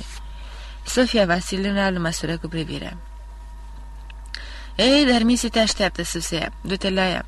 Știu că voia să-ți cânte o bucată nouă de Schumann. Foarte frumoasă. Nu vrea să-mi cânte nimic, toate astea sunt minciuni. Cine voia să le înșire? Gândi Nehludov, ridicându-se în picioare și strângând mâna oșoasă transparentă și împodobită cu inele a Sofiei Vasilievna. În salon o întâlni pe Caterina Alexievna, care s-a oprit să-i vorbească. Văd că îndatoririle dumitale de jurat au o influență deprimantă asupra dumitale, spuse ea în franțuzește ca de obicei. Da, iertați-mă, sunt cam deprimată asta și nu am dreptul să mă indispun și să indispun pe alții, răspunse Nehludov. Și de ce ești deprimat?" Dați-mi voi să nu vă răspund la această întrebare," spuse el căutându-și pălăria. Ai uitat când susțineai că omul trebuie totdeauna să spună adevărul și chiar ne-ai spus și nouă seamă de adevăruri destul de brutale. Atunci, de ce nu vrei să ne spui adevărul acum? Îți amintești Misi?" spuse Caterina Alexeevna către Misi, care tocmai intra în odaie. Atunci era un joc," răspunse Nehludov cu seriozitate. La joc e mai ușor. În realitate însă suntem atât de păcătoși, adică eu sunt atât de păcătos, încât eu cel puțin nu pot spune adevărul. Nu corecta ce ai spus, ci mai bine spune-ne prin ce suntem atât de păcătoși, spune Caterina Alexeevna, jucând pe vorbele rostite de el și prefăcându-se că nu bagă de seamă seriozitatea lui Nehludov. Nimic nu este mai rău decât să recunoști că nu ești bine dispus. Eu niciodată nu recunosc așa ceva și de aceea sunt totdeauna bine dispusă. Ei, haidem la mine, o să încercăm să-ți risipim această proastă dispoziție. Nehludov simțea ceea ce trebuie să simtă un cal când este dezmerdat ca să-i se pună frul și să fie înhămat. Și parcă niciodată nu-i fusese mai neplăcut ca azi gândul de a se lăsa înhămat. Se scuze spunând că trebuie neapărat să fie acasă și își lua rămas bun. Misii păstră mâna între ei mai mult ca de obicei. Nu uita că ceea ce este însemnat pentru dumneata este însemnat și pentru prietenii dumitale, spuse ea. Mâine vii?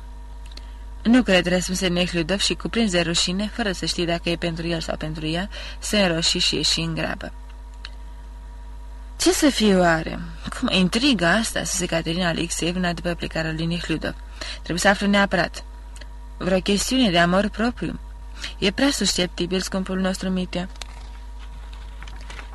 Mai curând o chestiune de amor murdar. Era să spună Misi, dar se stăpâni privind în gol cu fața întunecată, o față cu totul alta decât cea pe care o avusese în prezența lui Nihludov. Dar nici față de Caterina Alexeevna nu-și îngădui să spună acest calambur de prost gust, ci spuse numai atât. Fiecare dintre noi avem zilele noastre bune și zilele noastre proaste. Oare și ăsta să mă înșele? gândia. După tot ce a fost între noi, ar fi prea ură din partea lui. Dacă ar fi trebuit să explice ce înțelege prin vorbele tot ce a fost între noi, el n-ar fi putut spune nimic precis și totuși știa foarte bine că Nehludov nu îndemnase numai să spere, dar aproape că îi făgăduise să se însoare cu ea. Nu se rostiră vorbe limpezi, dar se schimbară priviri, zâmbete, aluzii, tăceri și toate acestea o îndreptățeau, credea ea, să-l socotească lui și ar fi venit foarte greu să-l piardă. Capitolul 28 Rușinos și dezgustător Dezgustător și rușinos, gândea Nehludov mergând pe jos spre casă de-a lungul străzilor binecunoscute. Sentimentul apăsător trezit în el de convorbirea lui comisii nu-l părăsea. Își spunea că formal, dacă se poate spune așa, n-avea nicio vină față de ea. Nu-i spusese nimic care să-l lege, nu-i propusese să o ia în căsătorie. De fapt însă își dădea seama că era legat de ea, că îi făgăduise taci și cu toate acestea simțea acum cu toată ființa lui că nu se poate căsători cu ea. Rușinos și dezgustător, dezgustător și rușinos, repeta într-una sinea lui, gândindu-se nu numai la legăturile lui cu Missy, ci la toate în general. Totul e rușinos și dezgustător, repeta el, urcând treptele casei sale. Nu mănânc," îi spuse lui Cornei, care intrase după el în sufragerie, unde le aștepta masa pusă pentru ceai. Poți pleca." Am înțeles," răspunse Cornei, dar nu plecă, ci se apucă să strângă masa. Nihludov se uită la Cornei cu ciudă. Ar fi vrut ca toată lumea să-l lase în pace și îi părea că toată lumea din adin să-l supără. După ce ieși Cornei din odaie, Nihludov se apropie de samovar cu gândul să-și pregătească niște ceai, Auzind însă pașa grafenii Petrovna trecu repede în salon ca să nu se mai întâlnească cu ea și închise ușa după el. În odaia aceasta morise maică sa cu trei luni în urmă. Acum, intrând în salon unde ardeau două lămpi cu reflectoare care luminau portretul tatălui și al mamei sale, își aminti de purtarea din ultima vreme față de maică sa și această purtare îi păru falsă și dezgustătoare. Era aceasta un lucru rușinos și urât. Își aminti cum în ultimele zile ale bolii ei, el chiar îi dorise moartea. Își spune atunci că o dorește pentru ea, ca să scape de chinuri. În realitate însă dorea ca să scape el de vederea chinurilor ei. Vrând să trezească în sufletul său amintiri frumoase de ea, se uită la portretul ei, făcut de un pictor vestit și plătit cu 5.000 de ruble. Era înfățișată într-o rochie neagră de catifea cu un decolteu foarte mare, care lăsa să-i se întrevadă pieptul. Se vedea că pictorul îi pictase cu deosebit de grijă bustul, locul între sâni, gâtul și umerii minunat de frumoși. Asta era din calea afară de rușinos și de dezgustător. Era ceva respingător și sacrilegiu în acest portret al mamei sale, în chip de femeie atrăgătoare pe jumătate dezgolită. Era cu atât mai respingător cu cât tocmai în odaia aceasta cu trei luni în urmă zăcuse aceeași femeie uscată ca o mumie și care totuși răspundea un miros cumplit de greu, ce nu putea fi îndepărtat cu nimic și care umplea nu numai această odaie, ci toată casa. Îi se părea că și acum mai simte acel miros. Își amintea apoi cum cu o zi înainte de a muri, ea îi luase mâna lui albă și zdreavă în mânuța ei mică, negricioasă, numai pielea și osul și spuse Nu mă judeca mitea, dacă nu m-am purtat așa cum ar fi trebuit." Și ochii ei, decolorați de suferință, se umplură de lacrimi. Ce dezgustător, își spuse încă o dată, privind femeia din portret pe jumătate dezgolită, cu umere și brațe minunate ca de marmură și cu un zâmbet biruitor pe buze. Pieptul dezgolit din portret îi aduse aminte de o altă femeie tânără pe care o văzuse cu câteva zile în urmă, la fel de dezgolită. Era Missy care scornise un pretext oarecare ca să-l cheme seara la ea, să o admire în rochei de seară înainte să plece la un bal. Își aduse aminte cu dezgust de umeri și de brațele frumoase. Și acest tată al ei, grosolan bestial, cu trecutul lui încărcat și plin de cruzime, și de mama ei cu reputație îndoielnică și faimă de belespri. Toate acestea erau respingătoare și în același timp rușinoase. Rușinos și dezgustător, dezgustător și rușinos. Nu, nu, nu se mai poate, spunea el, trebuie să mă eliberez, să rup toate aceste legături false cu familia Corciaien, cu Maria Vasilievna, cu moștenirea, cu toate celelalte. Da, să răsuflu ușurat, liber, să plec în străinătate, la Roma, să lucrez la tabloul meu. Își aduse aminte de îndoielile lui asupra talentului său. N-are a face, numai să răsuflu liber. De la Constantinopole, apoi la Roma, plec cum scap de îndatoririle mele de jurat, cum pun la punct chestiunea aceea cu avocatul. Și deodată îi răsări în închipuire cu o limpezime neobișnuită, pușcăriașa cu ochii negri și puțin sași. Și cum a plâns la ultimul cuvânt al acuzaților. Nehludov își trivi brusc în scrumelță țigara aprinsă alta și început să umble de colo până acolo prin odaie. Și una după alta început să-i învie în minte clipele trăite cu ea. Își aminti de ultima lor întâlnire, de patima aceea animalică care îl cuprinsese atunci și de, de dezamăgirea care urmase după îndestularea simțurilor. Își aminti de rochia ei albă cu cingătoare albastră, de slujba de înviere. Doar am iubit-o, am iubit-o cu adevărat, cu o dragoste curată noaptea aceea și chiar înainte. O, cât am iubit-o când am locuit prima oară la mătușile mele, când îmi scriam lucrarea. Își aduse aminte de cum era el pe vremea aceea și un val de prospețime, de tinerețe, de bucurie de a trăi el învălui și îl întristă și mai tare. Deosebirea dintre el cel de atunci și cel de acum era enormă aceeași, dacă nu și mai mare, ca între Catiușa din biserică și prostituata judecată astăzi dimineață, care a șchefuit cu negustorul. Atunci era un om plin de avânt, liber, în fața căruia se deschideau posibilități nemăsurate.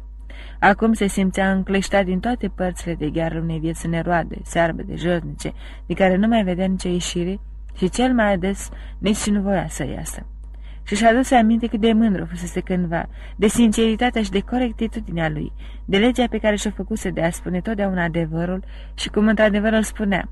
Era acum, era cufundat în minciună, în cea mai înspământătoare minciună pe care cei din jurul lui o luau drept adevăr. Și nu era nicio ieșire din această minciună.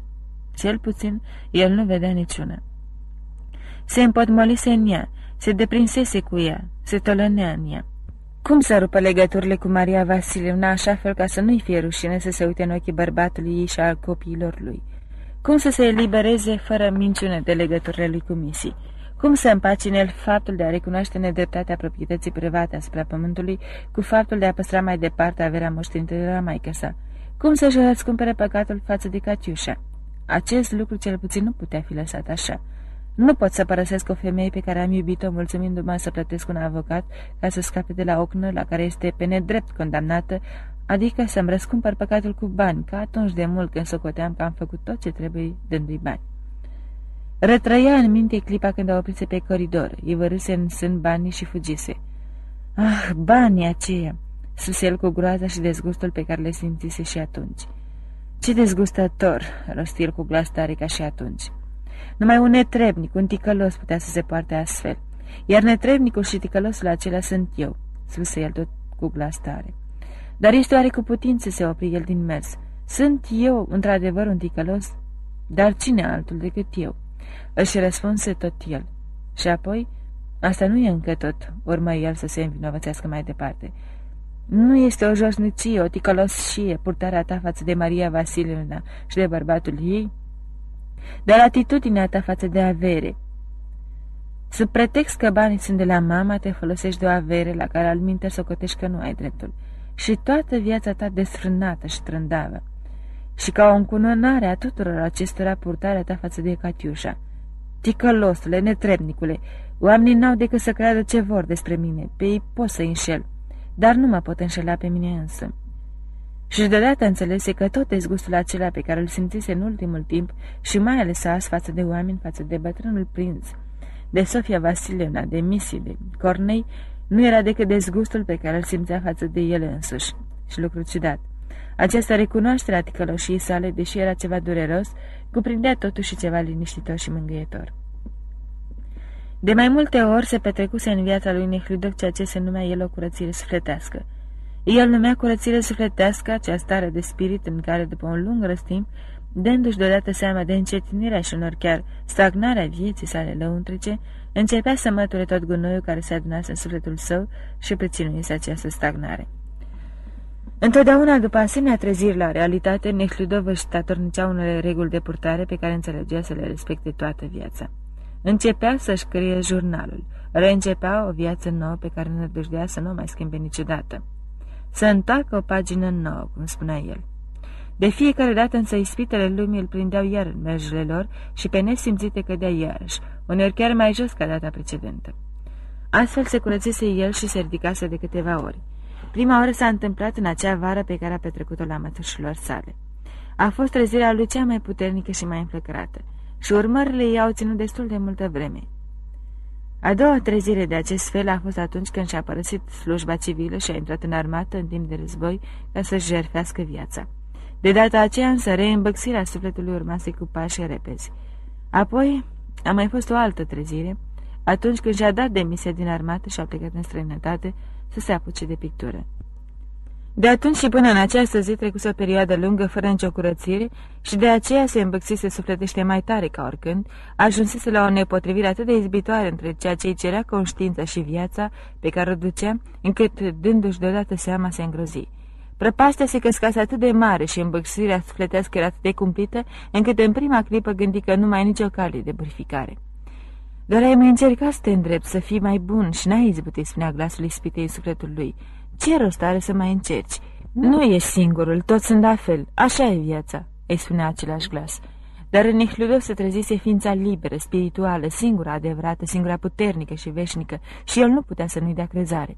Și oricât de enormă era deosebirea între ceea ce era el și ceea ce ar fi vrut să fie, pentru ființa spirituală trezită în el, totul era cu putință. Am să rup cu orice preț aceste legături mincinoase care m-au legat de mâini și de picioare. Voi mărturisi totul, voi spune adevărul tuturor și voi făptui numai adevărul, îi spus el cu glas tare și hotărât. Am să-i spun lui Misia adevărul, că sunt un desfrânat și nu mă pot căsători cu ea, că numai degeaba am tulburat-o. Am să-i spun Mariei Vasilievna, soției mareșalului nobilimi. De altfel, ei n-am ce-i spune. Am să-i spun bărbatului ei că sunt un ticălos, că l-am înșelat. Cu moștenirea am să fac așa cum cere dreptatea. Am să-i spun Catiușii că sunt un ticălos, că sunt vinovat față de ea și am să fac tot ce pot ca să-i ușurez soarta. Da, am să văd și am să rog să mă ierte. Da, am să-mi cer iertare cum cer copiii. Se opri o clipă. Am să mă căsătoresc cu ea la nevoie. Se opri și împreună mâinile, le lipi de piept, cum făcea când era mic, ridică ochii în sus și spuse către o ființă nevăzută. Doamne, ajută-mă, învață-mă ce trebuie să fac. Vino și de să lăsuiește într-un noi păcătoși și ne curățește pre noi de toate purcăciunile. Se ruga lui Dumnezeu. Îi cerea să-l ierte, să pogoare în el, să se sălășuiască în el și să-l curețe, și ceea ce l ruga el să și împlinise. Dumnezeu care să lășuia în el se și trezise în conștiința lui. Se simțea una cu el și de aceea simțea nu numai libertatea, avântul și bucuria vieții, dar și toată puterea binelui. Tot binele pe care îl poate face un om se simțea în stare să-l facă. În timp ce spunea aceasta, ochii se umplură de lacrimi.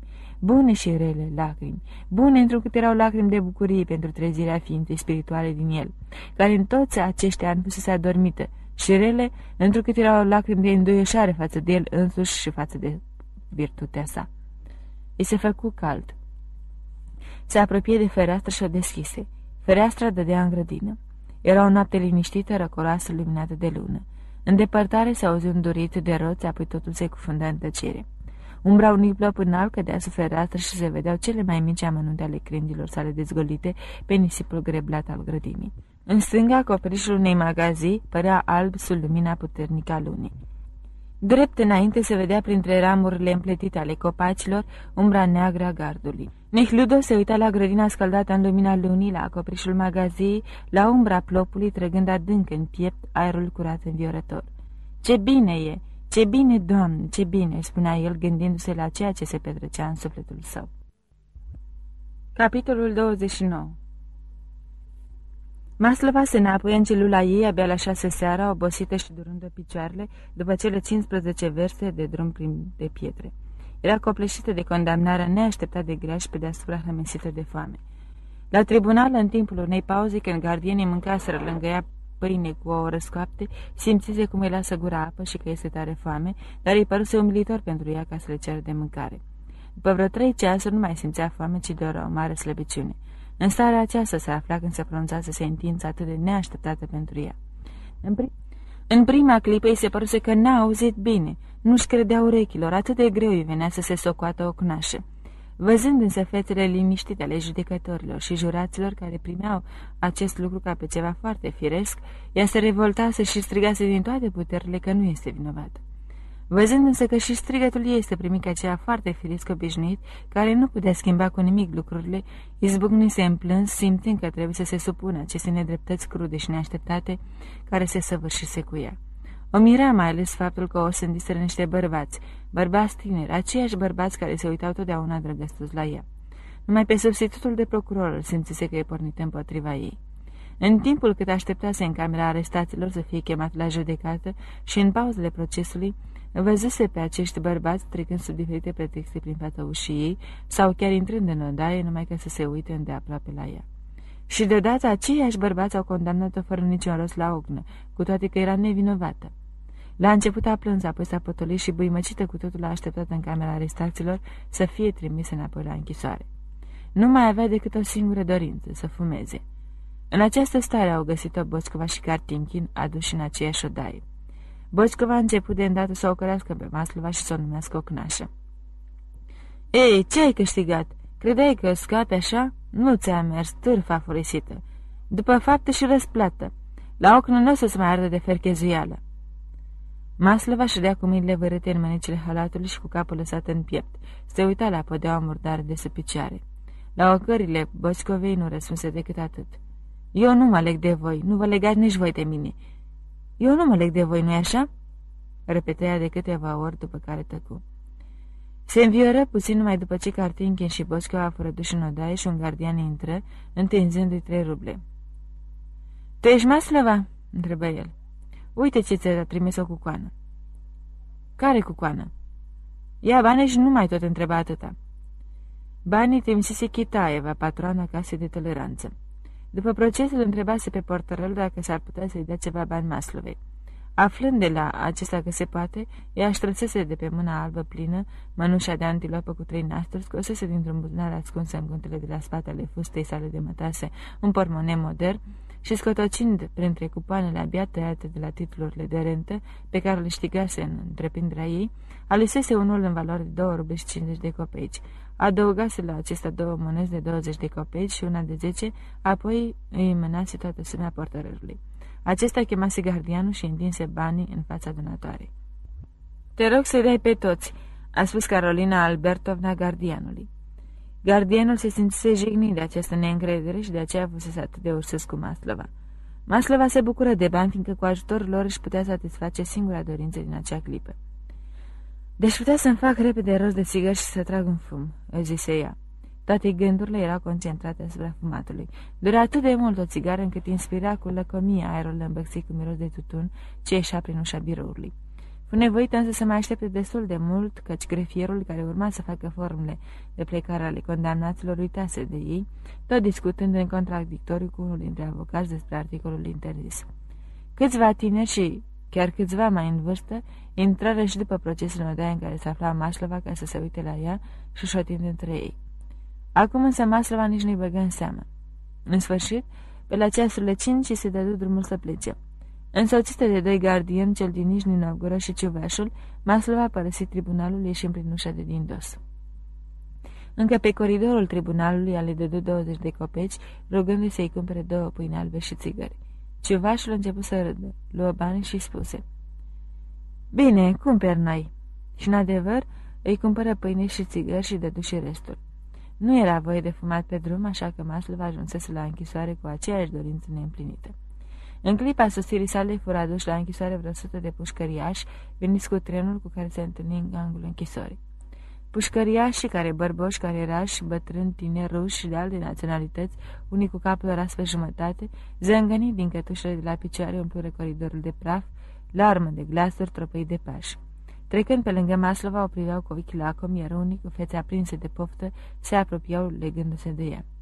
Uuu, ce fată frumoasă!" spuse unul. Respectele mele, domnișoară, sări un altul, făcându-i cu ochiul. Unul dintre ei, negricioși și mustăcioși, cu fața bărbierită și ceafa rasă aproape albastră, sărit spre ea încurcându-se în lanțuri de la picioare și apucă de mijloc. Ce, nu mă mai cunoști? Ai, lasă nazările!" strigă el răjând și fulgerând cu privirea când îl împinse ea în lături. Ce faci, nemernicule?" strigă subdirectorul închisorii apropiindu-se din urmă. Pușcăriașul se ghemui și se dădu înapoi. Subdirectorul se lăsi la Maslova. Tu ce cauți aici?" Maslova vrut să-i spună că fusese adusă de la tribunal, dar era atât de obosită că-i fulene să vorbească. Vine de la tribunal înălțimea voastră, spuse unul dintre însoțitorii ei, făcându-și loc prin mulțime și ducându-și mâna la cozoroc.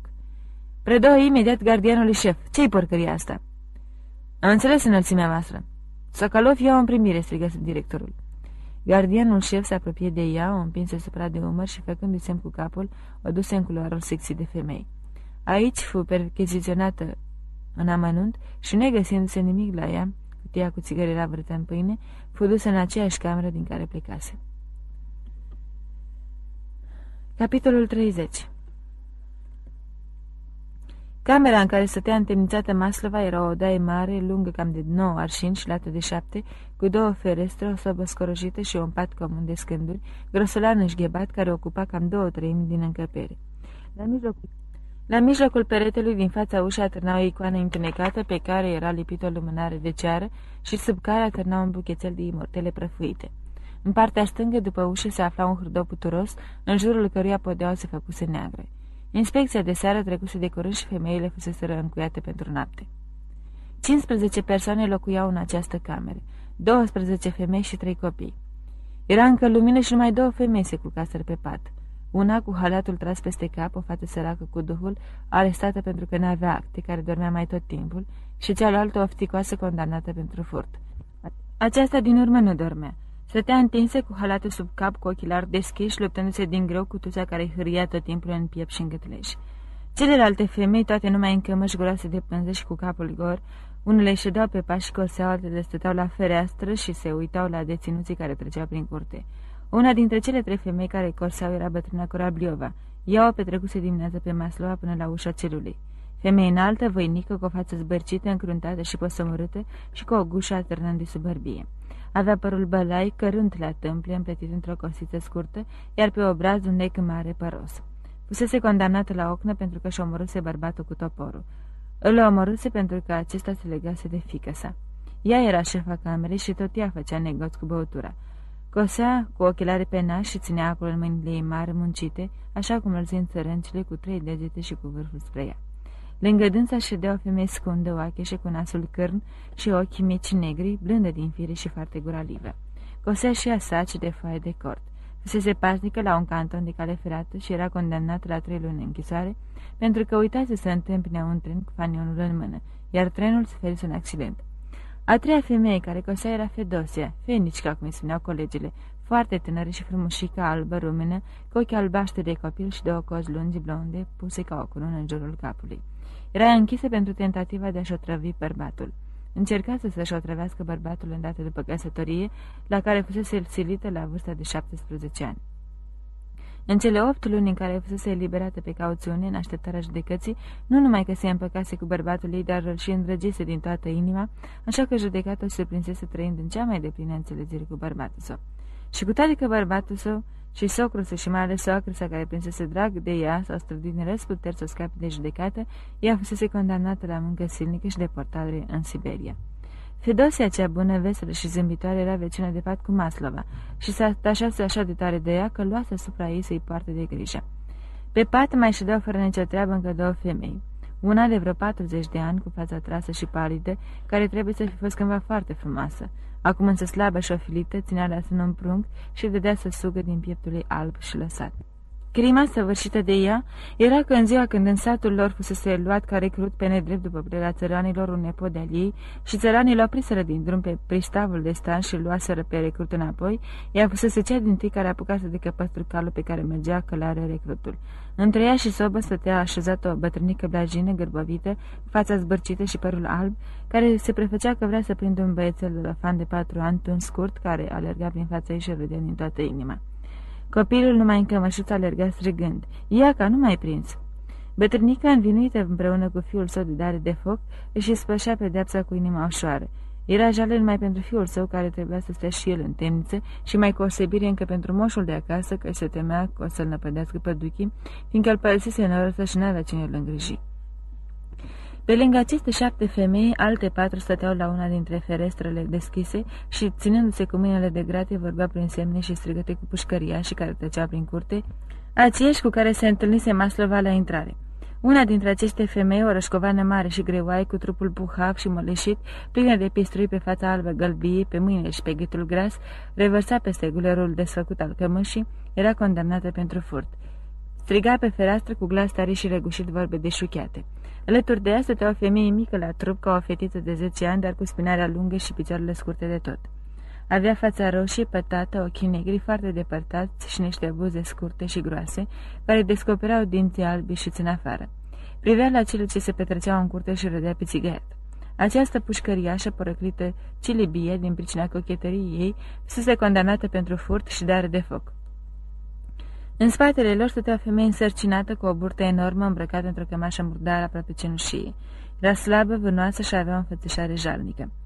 Fusese condamnată ca tăinuitoare în unele furturi. Tăcea și zâmbea cu o expresie îngăduitoare privind la cele ce se petreceau în curte.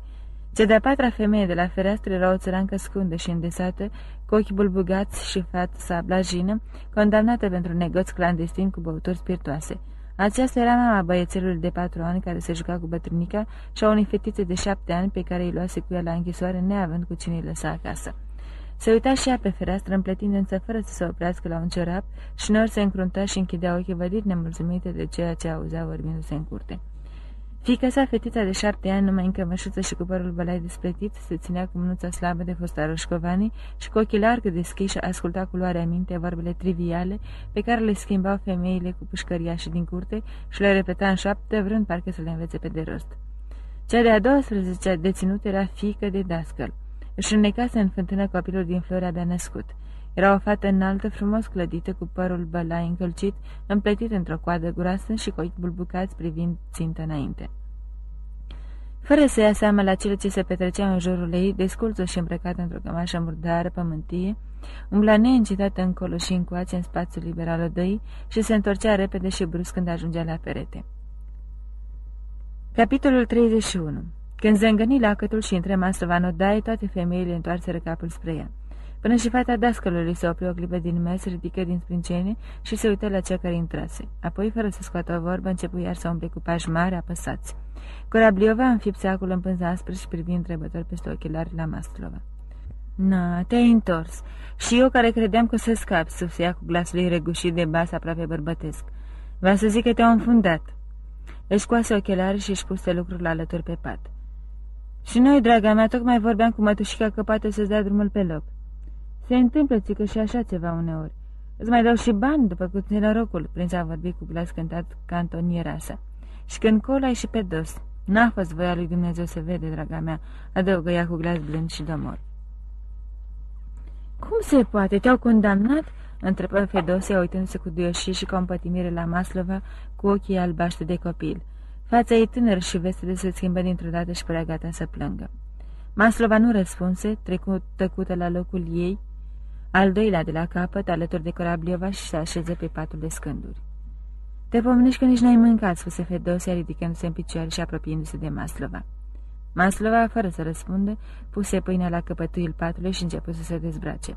Își coase halatul, apoi bazmaua ce acoperea părul negru, inela și se așeză.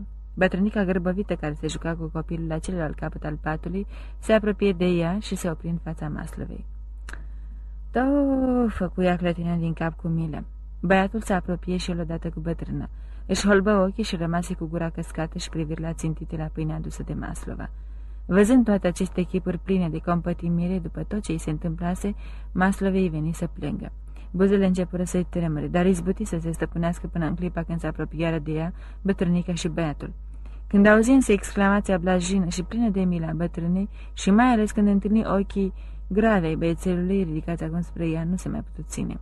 Fața a început să-i tremure și ei izbucni în plâns. Ți-am spus eu să-ți iei un apărător ca lumea, spuse Carabliova. La ce te-au condamnat? La deportare?" întrebă ea. Maslova a vrut să răspundă, dar nu izbuti.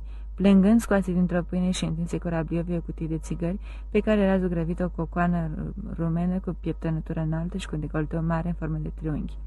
Femeia se uita la poza de pe cutie, clătină de jenitor din cap la gândul că Maslova cheltuiește banii cu atâta ușurință, apoi la o țigară, o prins la lampă, trase un fum în piept și trecut țigara Maslovei, care tot plângând început să tragă cu lăcomie din țigară. La ochi ne-a spus ea printre sughițurile de plâns. Cum de nu-l e frică de Dumnezeu, strig goia furisiți, căpcăuni, mormăi Cărabliova. Au sândit fata pe degeaba. Femeile care stăteau la fereastră izbucnire deodată într-un râs grosolan. Râdea și fetița. Glas Glasul ei subțirel se contopea cu râsul răgușit și strident al celorlalte trei femei. Unde ținut din curte făcuse să vede vreo șotie stărnindu-le râsul. Ia te uită hărmăsarul, ce de prin minte să facă se roșcovana cu trupul mare și gras, scuturat de râs și-și lipi fața de grate și început să strige niște măscări fără șir.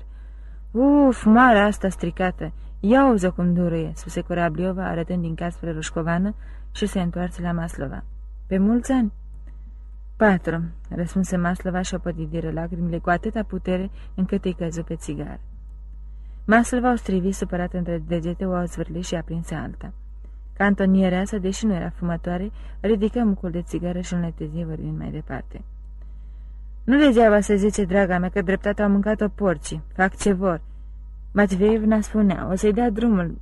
Da, eu ziceam, nu cred, drăguța mea, îmi spune mie inima că o să o înfunde, am arătat de ea. Și acătă că n-am greșit încheia și se vedea că îi plăcea să se asculte vorbind. În vremea aceasta, deținuții străbătuseră curtea și femeile, părăsind fereastră, se apropiară și ele de Maslova. Cea din tâi veni cărciumăreasa cu ochi bulbucați împreună cu fetița ei. De ce așa de aspră o sândă?" întrebă ea, așezându-se lângă Maslova și împletind de zor la cerap. Pentru că n-a avut bani, de aceea aspră. Să fie avut bănișor și ar fi luat un apărător bun de gur și ar fi achitat spuse Carabliova. E unul plătos și cu nasul mare, cum mai mai zice la... Te scoate bazma curată din orice încurcătură. Să-l fi luat pe el. Auzi vorbă, spuse Cilibia, hlizindu-se și așezându-se lângă ele. Ăla fără o mie de ruble nici nu se uită la tine. Așa i-a fost scris, spuse bătrânica condamnată pentru dare de foc. Gluma e asta, să iei flăcăului nevasta și plodul, apoi să-l zvârli în temniță, să-l mănânce păduchii. Și pe mine tot așa, la bătrânețe. A început ea pentru a suta oară să-și pună povestea. Adevărat e vorba poporului, de pușcării și de cercetorie nu-i chip să scapi. Dacă nu e una, e alta. Așa merge la ăștia să se cărciumăreasă și uitându-se cu luarea minte la capul fetiței, își puse cerapul deoparte, trase copila spre ea, o așeză între genunchi și început să o caute cu îndemânare în cap. Ci că de faci negoți cu spiritoase. Dar din ce să-mi hrănesc copiii, urmă ea, văzându-și liniștită de treaba începută. Cuvintele cărciumărese i amintire maslăvei de băutură. Șterachiu ar fi bun, îi spuse ea cu Rabliovei, ștergându-și lacrimile cu mânica și sughițând în răstimpuri. Basamac? Bine, fie în cuvință Corabliova. Capitolul 32 Maslova scoase banii ascunși în pâine și întinse hârtiei Corabliovei. Corabliova luă hârtia, o cercetă din noi și cu toate că nu știa carte, se încrezu în atot știutoare Cilibia, care o asigură că hârtia valora 2 ruble și 50 de copeici și se îndreptă spre răsuflătoarea sobii unde avea ascuns o sticlă cu rachiu. Femeile care nu erau vecine de pat cu Maslova plecară la locurile lor. Maslova își șcutură de praf alatul și bazmava, își trase picioarele pe pas și s-a apucă să mănânce pâine. Ți-am păstrat ceaiul, dar să fi răcit," spuse Fedosia luând de pe poliță cenicul de tablă, acoperi cu o cărpă și o cană tot de tablă. Ceaiul era rece și avea gust de coclale, totuși Maslova își umplu cana și început să soarbă după fiecare îmbucătură de pâine. Fineșca, na, ține," spuse Maslova rupând o bucată de pâine și întinzând-o băiatului, care nu-și lua ochii de la gura ei. Corabliova i-a adus sticla cu rachiu și o cană. Maslova le cinsti pe Corabliova și pe Cilibia. Aceste trei deținute alcătuiau aristocrația camerei, fiindcă erau singurele care aveau uneori bani și împărțeau totul între ele. După câteva timp, Maslova se învioră și început să povestească cu înflăcărare cele petrecute la tribunal, mai muțărindu-l pe procuror și amintindu-și despre tot ce o impresionase mai tare, și anume că toți bărbații se uitau la ea și își făceau tot timpul de lucru prin camera acuzaților. Până și jandarmul din escorte mi-a spus, ăștia vine anume să te vadă pe tine. Venea câte unul să caute, ci că vreo hârtie sau altceva, dar eu vedeam bine că n-are nevoie de nicio hârtie, ce mă sorbea din ochi, spunea zâmbind și clătind din cap nenuvenită parcă. Ea se prefăceau. Asta așa e, ținui sunul cantonierea asta cu glas cântat. Se înghesui ca muștele la miere.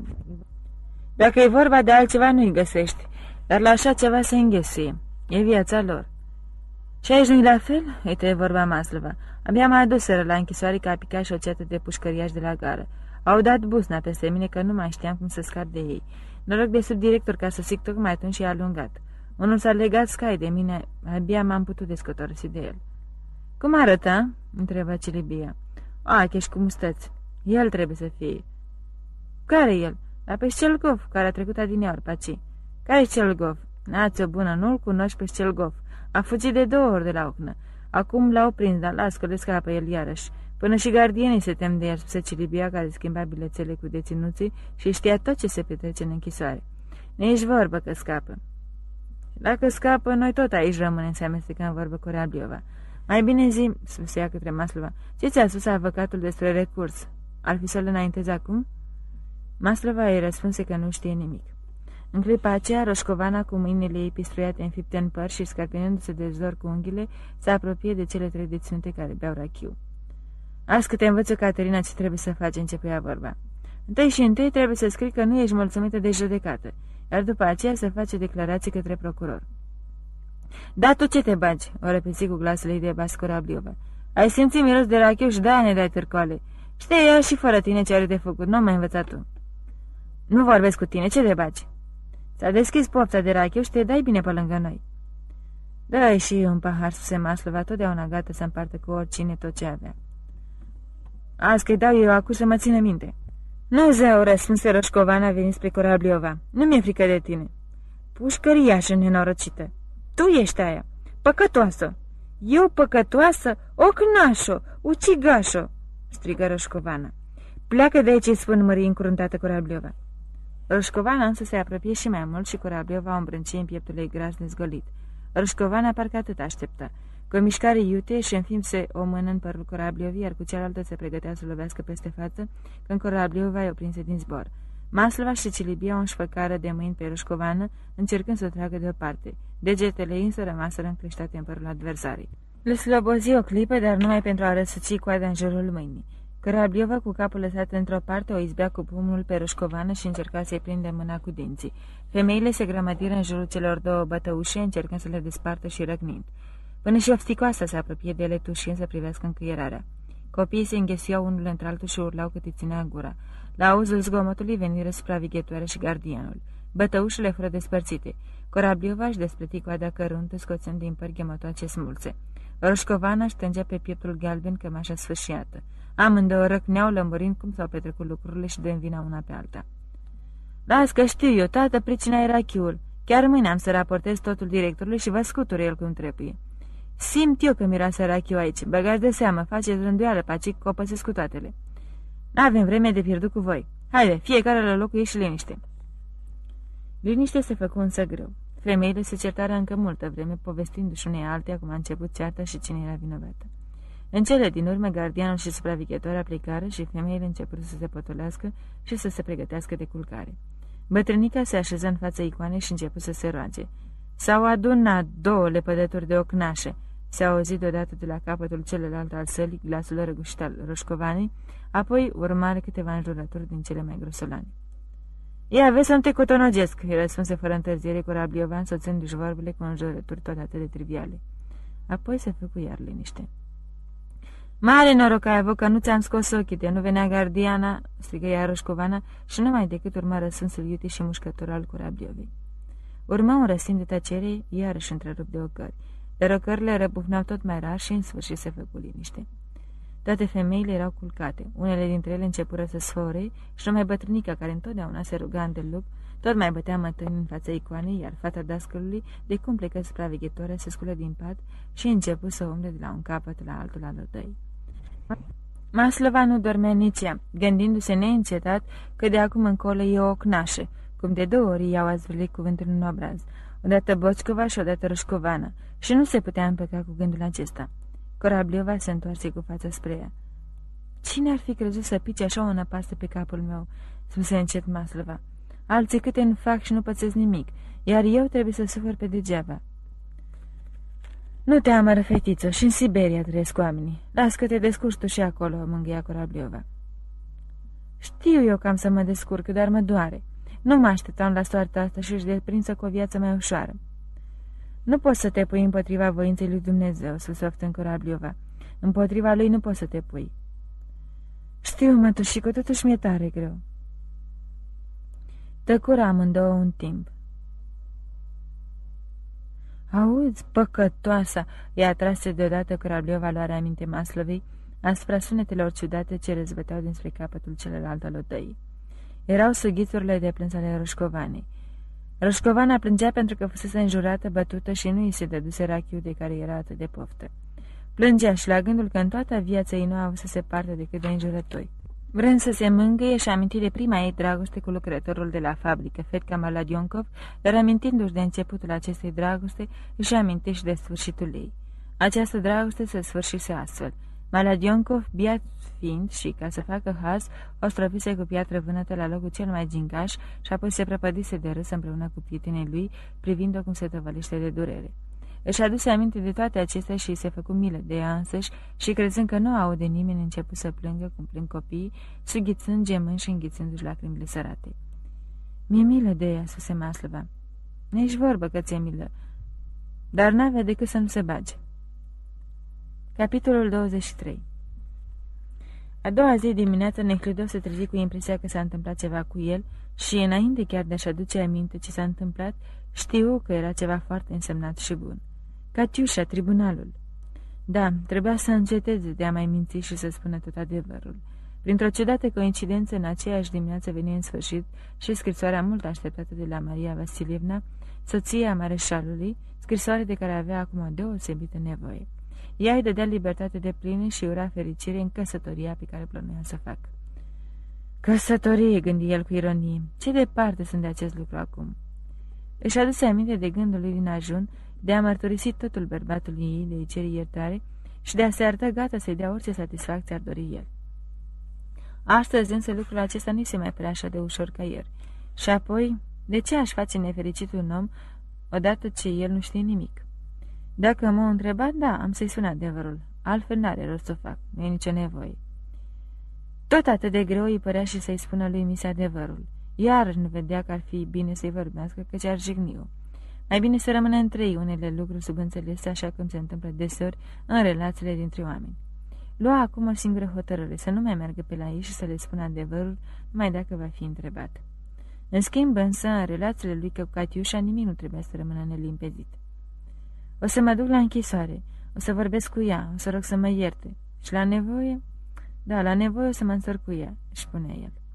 Gândul de a jerfi tot și de a se căsători cu ea pentru satisfacția morală, de a-și împăca conștiința, îl îndeșa în chip deosebit în dimineața aceasta. De mult nu mai început să o zic cu atâta vânt. Când Agrafena Petrovna intră în odai, el îi spuse cu o hotărâre de care se mira el însuși că nu mai are nevoie de această locuință și nici de serviciile ei. Printr-o înțelegere tacită se știa că el întreține această locuință mare și scumpă pentru că avea de gând să se căsătorească. Renunțarea la casă avea deci o deosebită semnificație. Agrafena Petrovna îl privi mirată. Îți mulțumesc foarte mult, Agrafena Petrovna, pentru grija pe care mi-ai purtat-o, dar de acum înainte nu mai am nevoie de casă așa de mare și de atâția servitori. Dacă vrei să să-mi dai o mână de ajutor, am să te rog să fii așa de bună și să poruncești să se strângă toate lucrurile așa cum se făcea pe vremea mamei. Când o să vină Natasha, o să facă cum crede ea că e mai bine. Natasha era sora lui Mihludov. Agrafena Petrovna clătină din cap. Cum așa? Dar o să mai aveți nevoie de lucrurile astea, spuse ea. Nu, Agrafena Petrovna, n-am să mai am nevoie de ele. Sigur că n-am să am nevoie. Zine Hliudov răspunzând prin acesta la ceea ce voise să spună femeia când clătinase din cap. Spune, te rog, și lui Cornei că am să-i plătesc lafa pe două luni înainte, dar că de acum înainte nu mai am nevoie de el. E păcat să faci asta, Dmitri Ivanovici, spuse ea. Chiar dacă pleci în străinătate, tot o să-ți trebuiască o casă când te întorci. E vorba de cu totul altceva, Agrafena Petrovna. Nu plec în străinătate. Iar dacă o fi să plec cândva, o să plec cu totul în altă parte. Nehlidă se înroși deodată ca focul. Da, trebuie să-i spun, gândi el, nu are rost să mai ascund nimic. Trebuie să spun tuturor adevărul. Ieri mi s-a întâmplat un lucru ciudat și de mare însemnătate. O ții minte pe Catiușa de la mătușa Maria Ivanovna? Cum să nu? Eu am învățat-o să coasă. Ieri, la tribunal, a fost judecată această Catiușă și eu am fost jurat la procesul ei. Ah, Dumnezeule, ce păcat!" se Agrafena Petrovna. Și pentru ce a fost judecată?" Pentru omor. Și numai eu sunt de vină de toate acestea." Cum așa? E foarte ciudat tot ce-mi spui," zise Agrafena Petrovna și o flacără se aprinse în ochii bătrâni. Ea cunoștea toată povestea cu Catiușa. Da, numai eu sunt de vină și faptul acesta mi-a schimbat toate planurile." Nu văd ce schimbare poate aduce acest lucru în viața dumitale," spusea Agrafena Petrovna stăpânindu-și un zâmbet. Dacă eu sunt vinovat că a apucat-o pe drumul ăsta, apoi tot eu trebuie să fac acum tot ce pot ca să o ajut." Asta e după bunăvoința dumitale, căci vine prea mare eu nu vă țai. Nu ești singurul care se întâmplă așa ceva și dacă este o ființă cu judecată, toate astea se drăg ele și se uită și viața merge mai departe, spusea Grafena Petrovna cu un aer grav și serios și nu ai de ce să te omori cu firea. Am auzit mai de mult despre fata asta că a luat pe un drum greșit și cine de vine? Eu sunt de vină și de aceea vreau să-mi îndrept greșeala. E, asta e cam greu să mai îndrepți. Știu eu ce am de făcut. Dacă cumva te gândești la dumneata, să știi că dorința mea mi-a fost... Nu mă gândesc la mine. Răposata mama dumitale a avut atâta grijă de mine că nu am nevoie de nimic. Lizanca mă cheamă la ea, în nepoată de-a ei măritată, așa că atunci când nu o să mai fie nevoie de mine, mă duc la ea. Numai că e păcat să pui toate astea la inimă. Se întâmplă asemenea lucruri în viață. Vezi? Eu gândesc altfel. Și te mai rog o dată să-mi dai o mână de ajutor pentru încheiatul locuinței și împachetatul lucrurilor.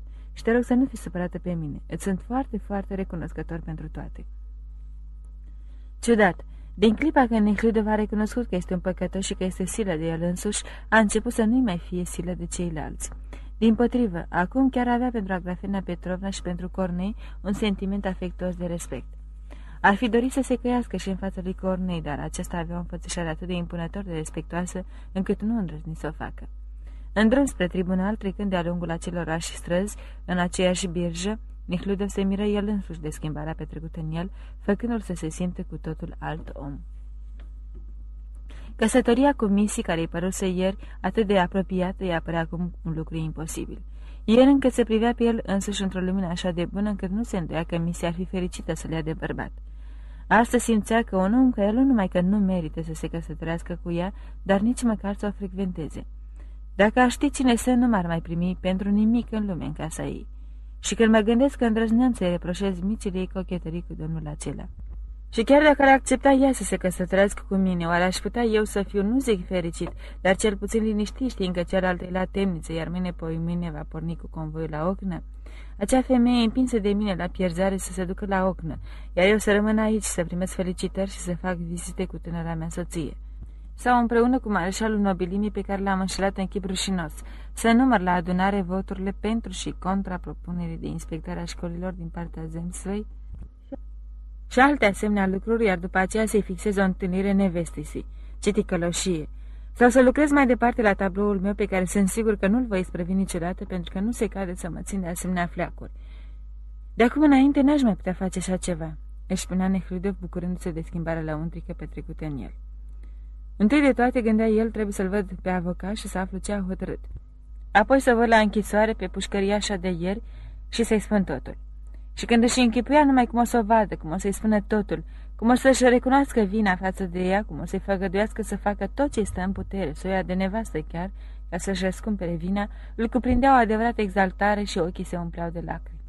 Capitolul 34 Intrând la tribunal, Nehludov întâlni în coridor pe portărelul de la procesul din ajun și îl întrebă unde se aflau închiși condamnații judecați ieri și cine poate da autorizația să-i vadă. Portărelul îi spuse că condamnații erau repartizați în diferite locuri și că până la pronunțarea definitivă a sentinței, numai procurorul poate da această autorizație. Vă conduc eu personal la el după proces. Procurorul n-a venit încă. După proces. Acum poftiți în sala de ședințe. Începe chiar acum. Nehludov îi mulțumi pentru bunăvoință portărelului care îi păru astăzi deosebit de prăpădit și se îndreptă spre camera juraților. În timp ce se apropia, văzut că jurații tocmai început să răsăiasă din această cameră, trecând spre sala de ședințe. Negustorul care luase iar o gustărică și băuse un păhrel, era la fel de vesel ca în ajuns și le întâmpină pe Nehludov ca pe un vechi prieten. Astăzi, nici Piotr Gerasimovici nu-l mai irita pe Nehludov cu râsul și cu familiaritatea lui. Nehludov ar fi vrut să spună tuturor juraților despre legăturile lui cu acuzată de ieri. De fapt, își spunea el în gând, ieri, în timpul procesului, ar fi trebuit să mă ridic și să mărturisesc în public vina ce o port. Când intră însă împreună cu ceilalți jurați în sala de ședințe și începu iar procedura din ajun, se anunță din nou curte și cei trei judecători în uniforme urcară pe podium și se făcu liniște în jur, iar jurații se așezară pe scaunele cu spetezele înalte și el văzut pe aceia jandarmi, același portret, același preot și Nehludov își dădu limpede seama că, deși ar fi trebuit să o facă, n-ar fi fost în stare ieri. Precum nici azi nu era în stare să tulbure toată această solemnitate. Pregătirile fură aceleași ca și cele din ajun, afară de jurământul juraților și discursul președintelui. De data aceasta se judeca un furt cu spargere. Acuzatul, păzit de doi jandarmi cu săbile scoase, era un băiat de 20 de ani, slab, firav, îmbrăcat într-un halat cenușiuș și cu o față palidă, cenușie și ea.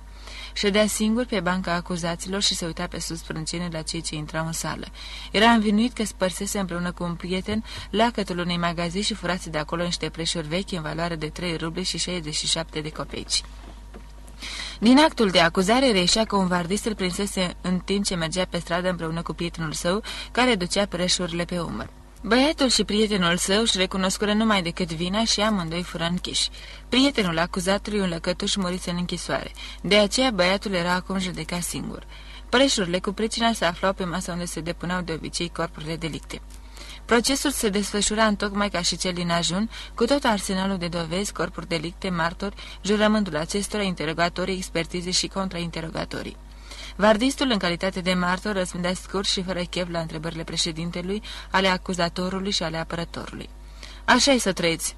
Nu am cum să știu și iarăși, așa-i să trăiți, dar cu toată îndobitocirea lui soldățească și felul lui automat de a vorbi, se vedea că era milă de băiat și că relata în silă cum l-a prins. Al doilea al doilea martor, un bătrânel, proprietarul casei în care se petrecuse furtul și posesorul preșurilor, un om ursus, la întrebarea dacă își recunoaște preșurile, răspunse cu o văditețile că preșurile cu pricina îi aparțin.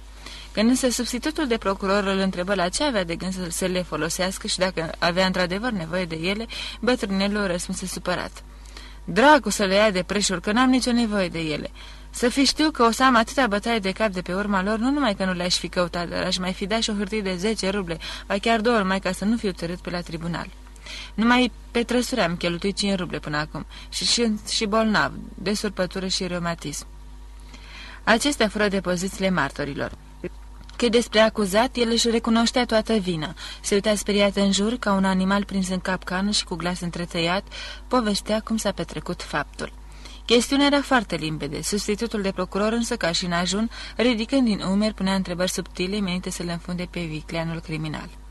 În rechizitoriul său dovedea că furtul fusese săvârșit într-o locuință prin spargere și deci tânărul trebuia să primească pedepsa cea mai grea. Apărătorul numit din oficiu căuta să demonstreze că furtul nu fusese săvârșit într-o casă locuită și deci, cu toate că delictul nu putea fi tăgăduit, totuși făptașul nu era chiar atât de primejdios pentru societate, după cum afirma substitutul de procuror. Președintele, întocmai că în ajun, se strădui să se arate drept și nepărtinitor și explică în amănuntul juraților ceea ce aceștia știau foarte bine și nici nu se putea să nu știe. Întocmai că în ajun se făceau pauze, se fuma și portărelul anunța curtea. Ca în ajun, cei de jandarmi ședeau smirnă lângă acuzat cu săbile scoase amenințător, trudindu-se să nu adoarmă. Din dezbaterile procesului reșea că băiatul fusese dat de taică suncă de copii la fabrica de tutun, unde rămăsese cinci ani. Anul acesta fusese dat afară de patron în urma unor neînțelegeri evite între acesta din urmă și lucrători. Rămas fără lucru, băiatul umblase teleleu prin oraș și băuse tot ce mai avuse la el. Într-o cârciumă se împrietenise cu unul în aceeași situație ca el, un lăcătuș rămas fără lucru, deși mai multă vreme și amândoi într-o noapte fiind bieți, spărseseră lacătul unei magaze și luaseră cele căzuse sub mână. Fusese prinși și își recunoscuseră vina. Urmase închisoarea unde lăcătușul în așteptarea judecății murise. Iar băiatul fusese acum adus la proces și judecat, fiind un element primejdios de care trebuie ferită societatea. Tot atât de periculos element ca și criminala de ieri, gândi Nehludov, ascultând cele ce se desfășurau în fața lui. Ei sunt primejdioși, dar noi care judecăm nu suntem primejdioși oare? Eu, de pildă, un desfrânat, un mincinos și noi toți și toți cei care mă știu ce sunt și nu numai că mă disprețuiesc, dar chiar mă stimează. Și chiar dacă acest băiat ar fi omul cel mai primejdios din că se află aici în sală, ce ar fi trebuit în numele bunului simț să facem cu el în clipa când a fost prins? E limpede doar că băiatul ăsta nu e vreun răufăcător deosebit, ci e omul cel mai obișnuit. Oricine vede asta, care a ajuns ceea ce este, numai pentru că s-a găsit în condiții care creează asemenea oameni. Și de aceea, ca să împiedicăm pe acești tineri să cadă în asemenea greșeli, este limpede că trebuie să ne străduim să înlăturăm condițiile care dau naștere unor astfel de elemente. Iar noi ce facem? Luăm un tânăr dintre aceștia, întâmplător căzut în mâinile noastre, știind foarte bine că alți mii de tineri, la fel ca el, rămân în libertate și îl zvârlim în temnițe, în condițiile unei totale trândăviu sau ale unei munci cum nu se poate mai nesănătoase și fără folos, alături de alți indivizi slabi și decăzuți ca el, iar apoi îl trimitem pe cheltuiala statului din gubernia Moscova în gubernia Irkutsk, în societatea unor oameni dintre cei mai pervertiți sufletește. Pentru a înlătura însă condițiile care dau naștere unor astfel de elemente, nu numai că nu facem nimic, dar din potrivă, încurajăm chiar acele stabilimente care le produc. Aceste stabilimente sunt prea bine cunoscute, fabricile, uzinele, atelierele, ceinăriile, cărciumile, casele de toleranță.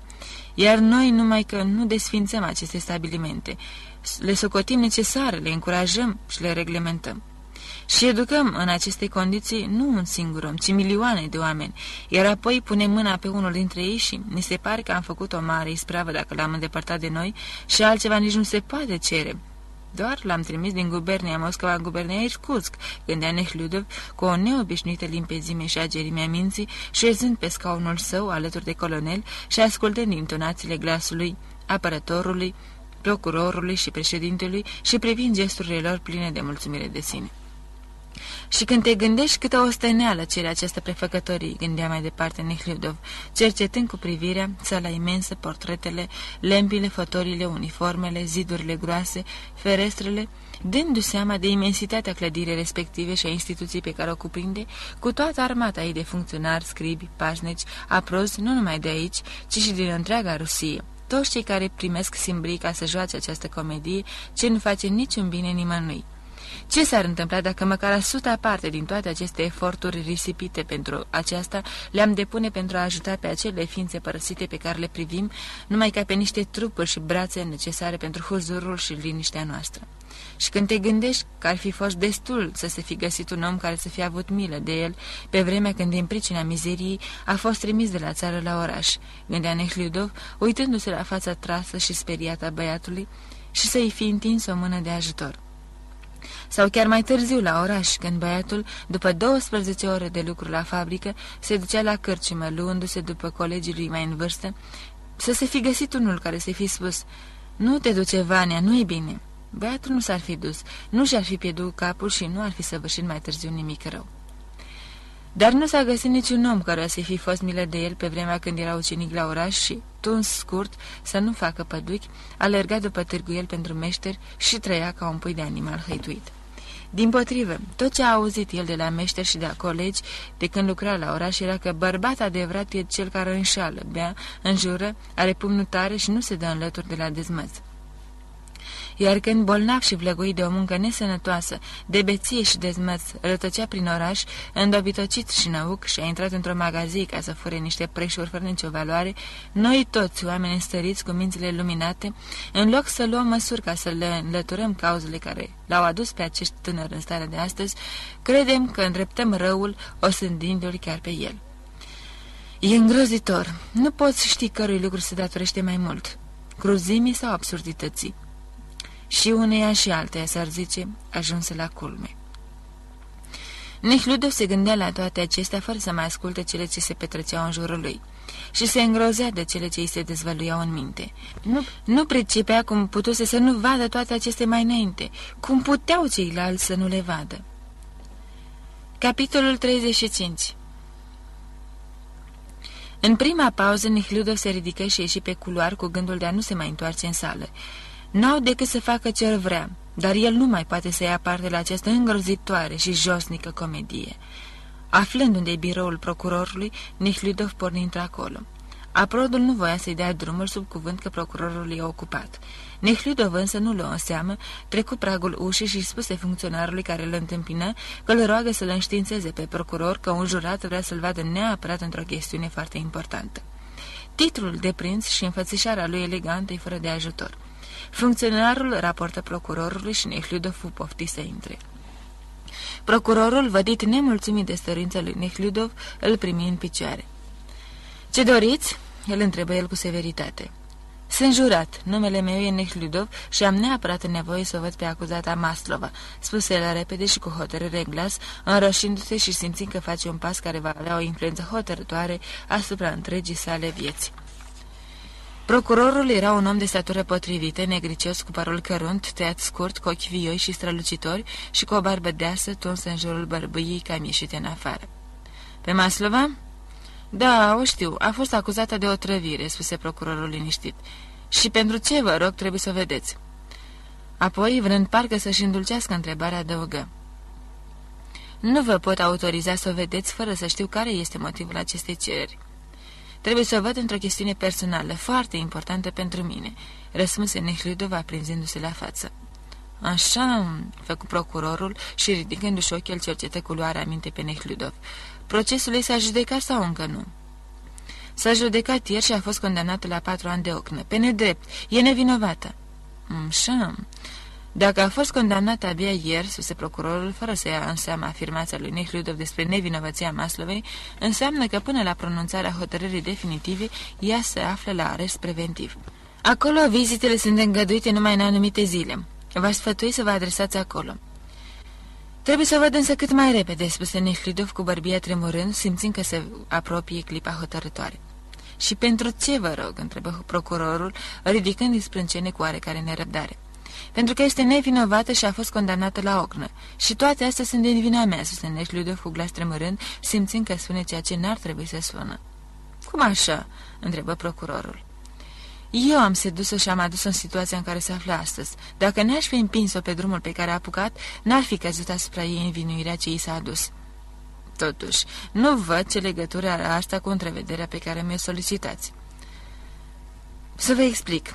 Vreau să urmez și să mă căsătoresc cu ea, izbuti să spună Nehludov, și ca totdeauna când vorbea despre această hotărâre, ochii se umplură de lacrimi. A, așa, a făcut procurorul. Da, într-adevăr, este un caz cu totul excepțional. Nu sunteți dumneavoastră delegatul Zenstei din Krasnopiorsk? Întrebă procurorul, amintindu-și că a mai auzit vorbindu-se despre acest Nehludov, care îi făcea acum o declarație atât de ciudată. Mă iertați, dar nu cred că aceasta să aibă vreo legătură cu rugămintea mea," răspunse Nehludov înroșindu-se de mânie. Sigur că nu, răspunse procurorul deloc tulburat și cu un zâmbet imperceptibil pe chip. Dorința dumneavoastră este însă atât de ciudată și iese atât de mult din cadrul formelor obișnuite, de ce aș putea să capăt autorizația? Autorizația? Da, vă dau numai decât. Luați loc, vă rog. Se apropie de masă și așeză și începu să scrie. Vă rog, luați loc pe scaun. Nehludov rămase mai departe în picioare. După ce scrise autorizația procurorului Iodedului Nehludov privindu-l cu curiozitate. Vreau să vă mai anunț, spuse Nehludov, că nu mai pot continua să fiu jurat în această sesiune. Pentru aceasta trebuie, după cum știți, să prezentați tribunalului motive serioase. Motivul este că eu găsesc orice judecată nu numai inutilă, dar și imorală. Bine, spuse procurorul cu același zâmbet imperceptibil ca unul care a auzit multe asemenea declarații și le găsea neserioase și amuzante. Cred însă că vă dați seama că eu, ca procuror, nu pot să fiu de părerea dumneavoastră și de aceea vă sfătuiesc să comunicați cele ce mi-ați spus tribunalului, care va hotărâ dacă motivele dumneavoastră sunt valabile sau nu și, în acest caz din urmă, vă va supune la o amendă. Adresați-vă tribunalului. Eu v-am comunicat dumneavoastră ce am avut de comunicat și nu mă adresez nimănui, spuse supărat Nehludov. Bine, vă salut," spuse procurorul înclinând capul, vădit grăbit să scape de acest vizitator ciudat. Cine a fost la dumneata?"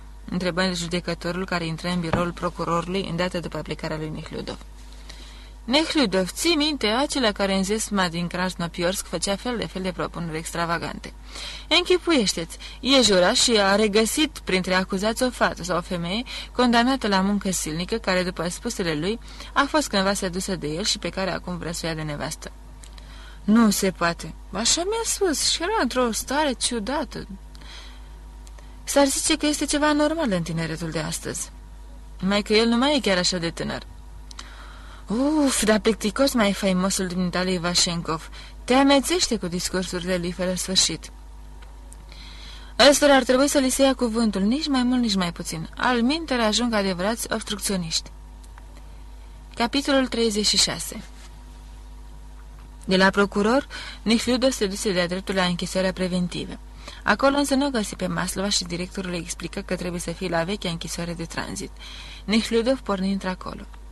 Într-adevăr, Ecaterina Maslova se afla acolo. Procurorul uitase că în urmă cu vreo șase luni, jandarmii stârniseră un proces politic dându-i niște proporții exagerate și acum închisoarea preventivă era înțesată de studenți, medici, muncitori, studente și felcerițe.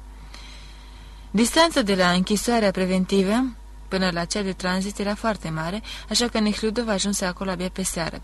Apropiindu-se de partea clădirii uriașe, o sentinelă l opri și apoi sună în locul lui. La chemarea soneriei și un gardian. Nihludov îi arătă biletul de intrare. Acesta îi răspunse însă că nu-l poate lăsa să intre fără încuvințarea directorului. Nihludov porni la director. Urcând scara locuinței acesteia, auzi răzbătând printr-o ușă sunete de pian. Se cânta o bucată grea cu caracter eroic. Când o slujnică ursuză legată la un ochi deschise ușa, sunetele acestea răbufnire dintr-o daie vecinei izvindu-i auzul. Era o rapsodie listă ultra cunoscută. Cel ce cânta la piano executa fără greș până la un punct numai, unde se oprea relând totul de la capăt. Nehludov întrebă fata legată la ochi dacă este acasă directorul. Fata îi răspunde că nu este acasă. Se întoarce repede. Rapsodia se opri iarăși, apoi reîncepu cu brio și vieiciune pentru a se potecni din nou la locul bucucloaș. Mă duc să întreb. Slujnica dispăru în casă. Rapsodia, care între timp își luase iarăși având, se opri înainte de locul cu pricina și se auzi un glas rostind.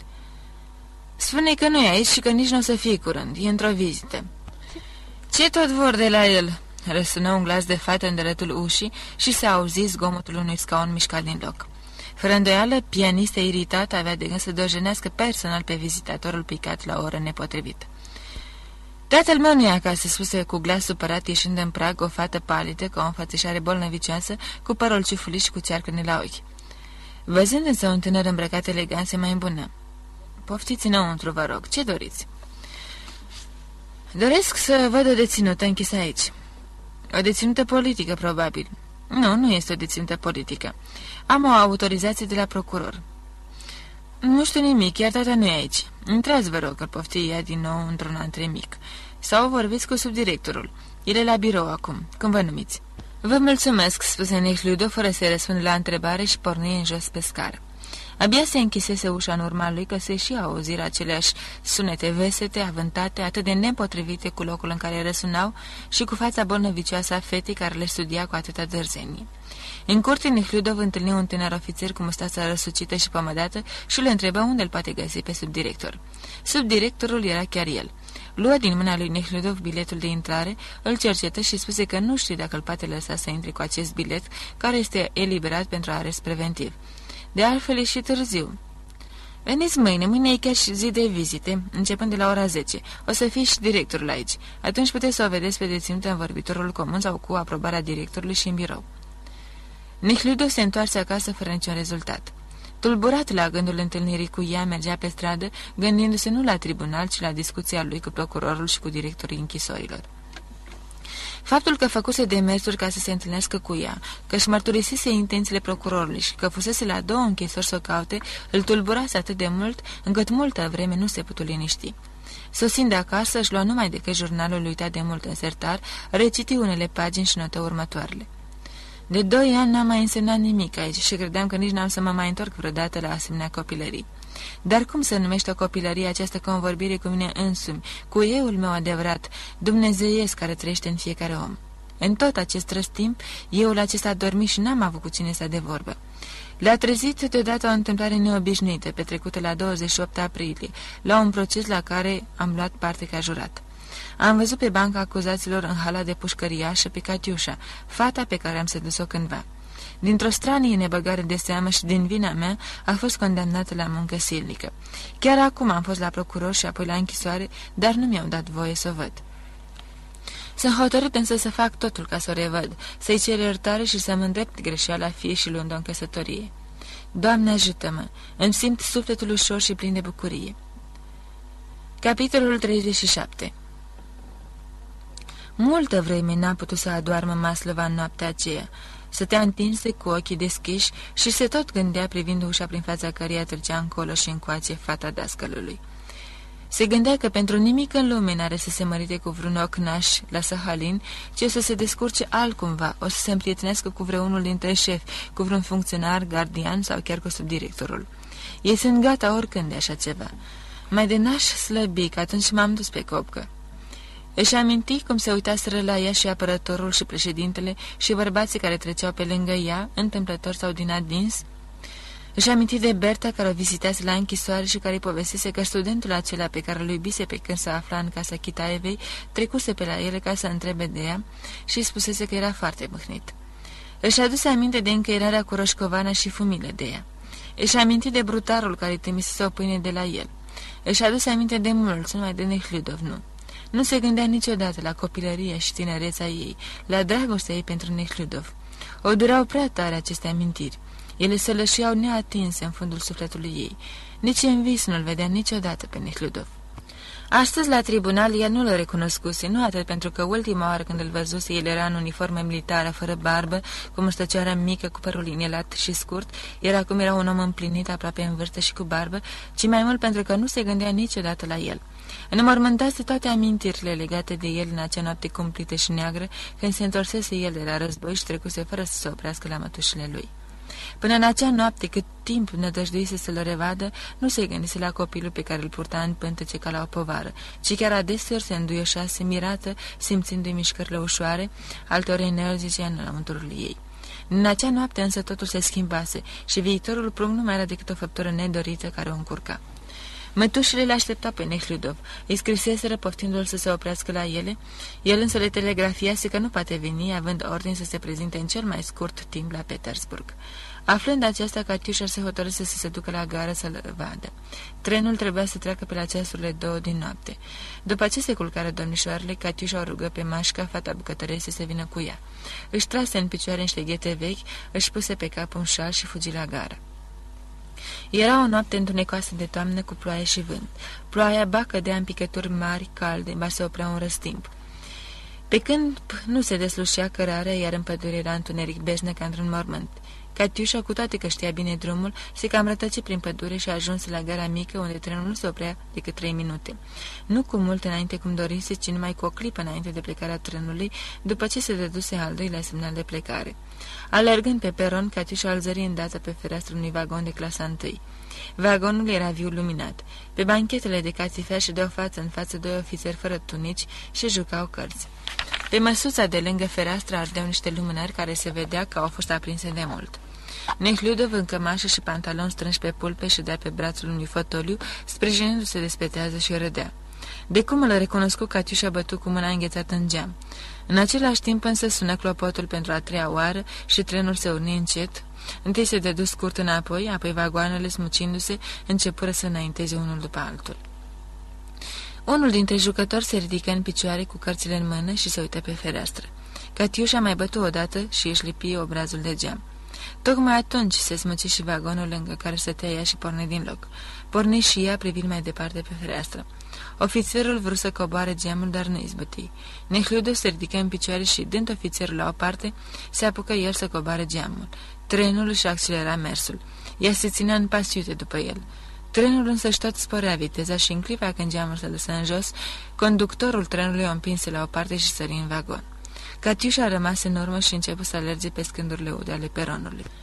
Când ajunse la capătul peronului, făcut pe ce să cadă coborând treptele, dar nu se opri din fugă, deși vagonul de clasa întâi se depărtase mult. Acum treceau pe lângă ea vagoanele de clasa a doua, apoi trecură și mai repede cele de clasa a treia. Catiușa însă alerga mereu înainte. Când trecu și ultimul vagon cu felinarul la spate, Catiușa se trezi dincolo de castelul de apă în plină bătaie a vântului, care se năpostea asupra ei smulgându-i șalul de pe cap și lipindu-i rochia de picioare. Șalul îi lunecase de pe umeri, dar ea tot mai fugea după tren. Leliță Mihailovna!" strigă fetița, abia izbutind să se țină după ea. Ți-a căzut șalul!" El șade într-un jeț de catifea în vagonul luminat, petrece și bea, iar eu aici în noroi, în întuneric, în ploaie și vânt, stau și plâng. Își puse Catiușa. Se opri și, răsturnându-și creștetul pe spate, se apucă cu amândouă mâinile de cap și izbucni în hohot de plâns. A plecat!" strigă ea. Fetița se sperie și o îmbrățișă peste rochea udă. Liliță, să mergem acasă!" La primul tren, sub un vagon și s-a isprăvit cu toate," își spunea Catiușa fără să răspunde fetiței. Și avea de gând să îndeplinească ceea ce își pusese în minte. Dar cum să se întâmplă întotdeauna, după marile emoții urmează o clipă de acalmie. Și el, copilul din ea, copilul lui trisăltă deodată, o lovi, apoi se întinse încet și o lovi din nou gingaș cu ceva plăpân și ascuțit și deodată tot ceea ce o clipă mai înainte o închinuise atât, încât îi păruse viața de neîndurat, toată amărăciunea ei împotriva lui Nihliudov și dorința de a se răzbuna pe el, măcar prin moartea ei, toate se risipiră pe loc ca prin farmec. Catiușa se liniști, își potrivi rochea, se îmbrăbăti cu șalul și porni cu pas grăbit spre casă. Ajunse acasă istovită, udă, murdară și din ziua aceea început să acea schimbare sufletească, în urma căreia ajunsese ceea ce era acum. Din acea noapte îngrozitoare încetase să mai creadă în bine. Înainte crezuse și ea că binele există pe lume, că oamenii cred în el, din acea noapte se convinse însă că nimeni nu crede aceasta și că tot ce se spune despre bine și despre Dumnezeu e mai minciună și înșelătorie. El, pe care ea îl iubea și care o iubise, ea știa asta, o părăsise după ce se desfătase cu trupul ei și îi batjocorise sentimentele. Și el era cel mai bun dintre toți oamenii pe care cunoștea ea. Toți ceilalți erau și mai răi. Și tot ce s-a întâmplat după aceea cu ea, i-a întărit pas cu pas această convingere. Mătușile lui, aceste bătrânele bisericoase, au dat afară cum n-a mai fost în stare să le slujească ca mai înainte. Toți oamenii cu care avusese de-a face nu vedeau în ea decât un mijloc de a câștiga bani. Dacă erau femei, iar bărbații, începând cu bătrânul comisar și până la gardienii din închisoare, un mijloc de desfătare. Și nimeni pe lume nu ținea la nimic altceva decât la desfătare, tocmai acest soi de desfătare. De aceasta o încredințase și mai mult bătrânul scriitor cu care se încurcase în al doilea an de viață liberă.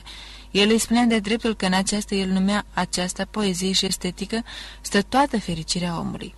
Toți trăiau numai pentru ei, pentru plăcerea lor, iar toate vorbele despre bine și despre Dumnezeu erau o înșelătorie. Și de câte ori se ridica în mintea ei întrebarea de ce în lumea asta totul este atât de prost rânduit și de ce oamenii nu contenesc de a-și face rău unul altuia și de a suferi, ea spunea că este mai bine să alunge acest gând. O țigară, un pahrel de vin, un ceas de dragoste cu un bărbat și totul se risipea. Capitolul 38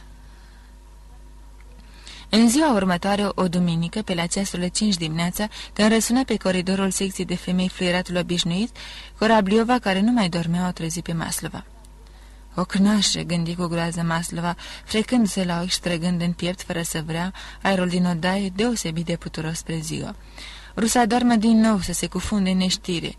Teama obișnuită însă învinse somnul și a se ridică în capul oaselor, se așeză pe pat răgându-și picioarele sub ea și început să privească în jur. Femeile se sculaseră, numai copii mai dormeau încă. Cărciumăreasa cu ochii holbați trăgea halatul de sub copii, cu grijă să nu-i trezească.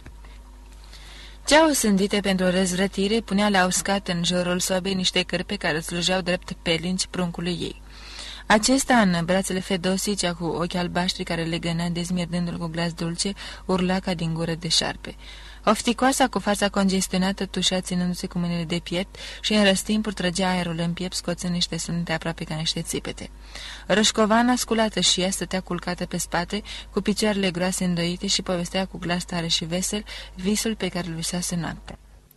Bătrâna incendiatoare era iarăși în fața icoanei și, șoptind mereu aceleași cuvinte, își făcea cruce și bătea mătănii. Fata dascălului ședea nemișcată pe pași, cu o privire adormită, pierdută, se uita într-un punct fix. Cilibia și învârtea pe dege șuvite din părul ei negru, aspru și gros. Pe coridor se auziră niște pași târșici, zângănitul lacătului și intrară în celulă doi pușcăriași în bluze și pantaloni genușii suplecați la gleznă, care cu niște fețe ursuze și amărâte ridicară pe un căricior cada puturoasă și o scoaseră din celulă. Femeile ieșiră pe coridor să se spele la robinete. Acolo Rășcovana se luă la harță cu o femeie dintr-o cameră vecină și iară răsunară în jurători strigăte văicareli. Vi s-a făcut cumva dor de carceră?" strigă gardianul și o plăzni cu palma pe roșcovană peste spinarea grasă și goală, de răsuna în tot coridorul. Să nu-ți mai aud gura!" Iar te uită la moșul, iar de de joacă," spuse roșcovana luând acest gest drept o dezmierdare. Hai, de repede, pregătiți-vă de liturghie." Nu apucă Maslova să se pieptene că și veni gardianul cu suita. La control!" strigă gardianul. Din cealaltă celulă ieșiră pușcăriașele și se așezară pe două rânduri în coridor. Fiecare pușcăriaș trebuia să pună mâinile pe umerii celei din fața ei. Se făcu numărătoarea. După numărătoare veni supraveghetoarea și duse pușcăriașele la biserică. Maslova și Fedosia se aflau pe la jumătatea coloanei alcătuite din o sută de femei și mai bine ieșite de prin toate camerele. Toate erau în bluze și fuste albe, cu bazmale albe pe cap și numai pe aici pe acolo întâlneai câte o femeie în roche colorată. Erau nevestele pușcăriașilor, unele cu copii venite să-și însoțească bărbații. Această procesiune umplea întreaga scară. Se auzeau întrăpăit ușor de picioare încălțate în cipici, larme de glasuri, uneori râsete. La o cotitură Maslova zări chipul răutăces al bocșcăvei dușmanca ei și o arătă Fedosii. Ajunsă în josul scărilor, Femeile tăcură și făcând cruz și plecăciuni începură să intre rând pe rând în biserica goală încă și lucind de aurării. Locul femeilor era în partea dreaptă a bisericii, înghesuindu-se una în alta prin să se orândui. În urma femeilor intrară pușcăriași, unii numai în trecere aici și în spre deportare, alții condamnați la închisoare sau la ocnă de obștile sătești și dregându-și glasul cu zgomot se orânduire în grup compact în partea stângă și în mijlocul bisericii. În galeria de sus se și aflau de o parte ocnașii cu capetele rase pe jumătate, zângănind din lanțuri, și de cealaltă parte cei aflați în arest preventiv, fără cătușe și nerași pe cap. Biserica închisorii fusese reclădită și împodobită pe dinăuntru de un negustor bogat, care cheltuise în acest scop câteva zeci de mii de ruble, strălucea îmbrăcată toată în aur și zugrăvită în culori vii. În biserică se făcu liniște un timp și nu se auzeau decât smiercă el, tuse și zângănii de lanțuri. Apoi, deodată, pușcăriașii din mijlocul bisericii se mișcară înghesuindu-se unii între alții, făcând loc de trecere directorului, care înainte până în față și se opri în fruntea mulțimii. Capitolul 39 Începu slujba. Slujba se oficia astfel. Preotul îmbrăcat în odăști aurite, veșmânt ciudat și incomod, tăia pâine în bucățele mici pe care le punea pe o farfurioară și apoi într-o cupă cu vin, șoptind unele nume și rugăciuni. În timpul acesta, dascălul citea fără întrerupere, apoi cânta împreună cu corul alcătuit din pușcăriaș, diferite rugăciuni în limba slavonă și așa greu de înțeles, iar din pricina repeziciunii cititului și al cântatului încă și mai greu de priceput. Rugăciunile cuprindeau mai cu seamă urări de propășire pentru țar și familia lui. Oamenii, stând în genunchi, rostau de mai multe ori aceste rugăciuni pentru țar, din preună cu alte rugăciuni. Dascălul citi câteva versete din faptele apostolilor cu un glas atât de strănuș de încordat încât nu se putea desluși niciun cuvânt. Apoi preotul citi foarte limpede un capitol din Evanghelia lui Marcu, care spunea că după ce Hristos a înviat, înainte de a se sui la cer pentru a sta de-a dreapta Tatălui, i s-a arătat Mariei Magdalena, din care izgonise șapte diavoli, apoi celor 11 ucenici ai săi, cărora le porunci să propovăduiască Evanghelia tuturor făpturilor, vestindu-le că cel ce nu va crede va pieri, iar cel ce va crede și se va boteza se va mântui și afară de acesta vor putea să izgonească diavolii, să temădească bolnavii, atingându-i cu mâna, vor ști să vorbească limbi noi, să îmblânzească șerpi, iar dacă vorbea veni, nu vor muri, ci vor rămâne nevătămați.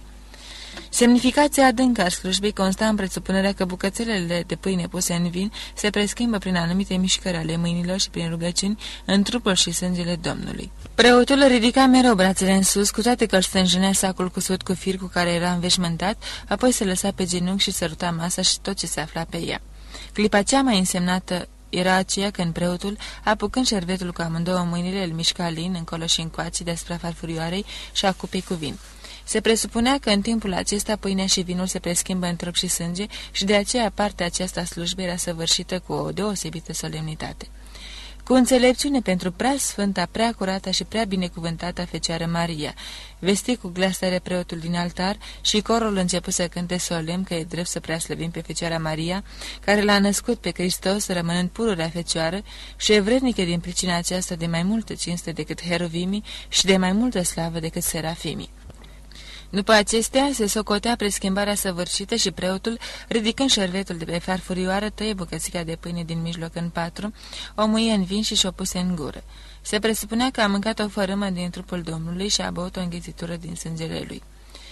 Preotul trase apoi perdeaua la o parte, deschise ușile împărătești și ieși în prea cu cupa de aur în mână, poftind pe cei ce vor să mănânce și ei din trupul și sângele Domnului din potir. Se apropiară de el câțiva copii. După ce îi întrebă cum îi cheamă, preotul locul lingurița din cupă vin și o bucățică de pâine și vără lingurița adâncă în gură unui copil și așa pe rând la fiecare, în timp ce dascălul ștergea buzele copilor și cânta cu glas voios că ei mâncaseră și băuseră din trupul și sângele Domnului. Apoi preotul duse cupa în altar, bău acolo tot sângele ce mai rămăsese în cupă și înghiți toate bucățelele din trupul Domnului, își subse mustățile cu sârguință, își șterse gura și potirul și ieși înviora din altar cu pași hotărâți, scârțind din pingelele subțire ale cizmelor sale de iuft. Cu aceasta luă sfârșit slujba principală. Preotul însă, vrând să aducă o mângâiere a mărâților de pușcăriași, adăugă la slujba obișnuită încă o slujbă deosebită. Această slujbă se mărginea la atât. Preotul, așezându-se înaintea unei icoane îmbrăcate în metal aurit, cu fața și mâinile negre, luminată de vrăzețe lumânări de ceară care înfățișa pe cel din trupul și sângele căruia mâncase, începu să cânte sau mai curând să spună cu glas ciudat și nefiresc următoarele. Iisuse prea bunule, slava apostolilor, Iisuse al meu, lauda mucenicilor, stăpâneau tot puternic, Iisuse mătuiește-mă pe mine cel ce alerg după tine. Iisuse, Mântuitorul meu, Iisuse al meu prea minunat, Mântuitorule, miluiește-mă pentru rugăciunile cele ce te-a născut și ale tuturor sfinților tăi. Iisuse și ale tuturor prorocilor, Iisuse Mântuitorilor, și mă învredniceste desfătării raiului, Iisuse, iubitorule de oameni. Preotul se opri, trase aer în piept, și făcu cruce, se închine până la pământ și toți făcură la fel. Directorul, gardienii, pușcăria și toți bătură câte o mătană și sus auziră zângănind lanțurile. Făcătorul îngerilor și Dumnezeu tot puternic, urmă preotul. Iisuse prea minunate, mirarea îngerilor. Iisuse prea puternice, izbăvirea strămoșilor. Iisuse prea blânde, slăvirea patriarhilor. Iisuse prea slăvite, tăria împăraților. Iisuse prea iubite, împlinirea prorocilor. Iisuse prea minunate, întărirea mucenicilor, Iisuse prea supuse, bucuria călăurilor, Iisuse prea milostive, mângâierea preoților, Iisuse prea îndurate, înfrânarea postitorilor, Iisuse prea blânde, bucuria prea cuvioșilor, Iisuse prea curate, neprihănirea fecioarelor, Iisuse cel mai înainte de veci, mântuirea păcătoșilor, Iisuse Fiul lui Dumnezeu, miluiește-ne pre noi, se opri el în sfârșit, rostind cuvântul Iisuse cu glas din ce în ce mai șurător, Apoi își ridică cu o mână odăștilor căptușite cu mătase, se așeză într-un genunchi și se închină până la pământ, în timp ce corul cânta ultimele cuvinte. Iisuse, Fiul lui Dumnezeu, miluiește-ne pre noi. Pușcăriașii se lăsau în genunchi și se ridicau, scuturându-și părul rămas netuns pe jumătate pe cap și zângănind din lanțurile ți le rodeau picioarele slabe. Și aceasta ținu vreme îndelungată. Întâi lăudau pe Domnul încheind cu vorbele minuiește-ne pre noi, apoi urmau alte laude care se încheiau cu aleluia, iar pușcăriașii își făceau cruce, se închinau până la pământ și băteau o mătanie.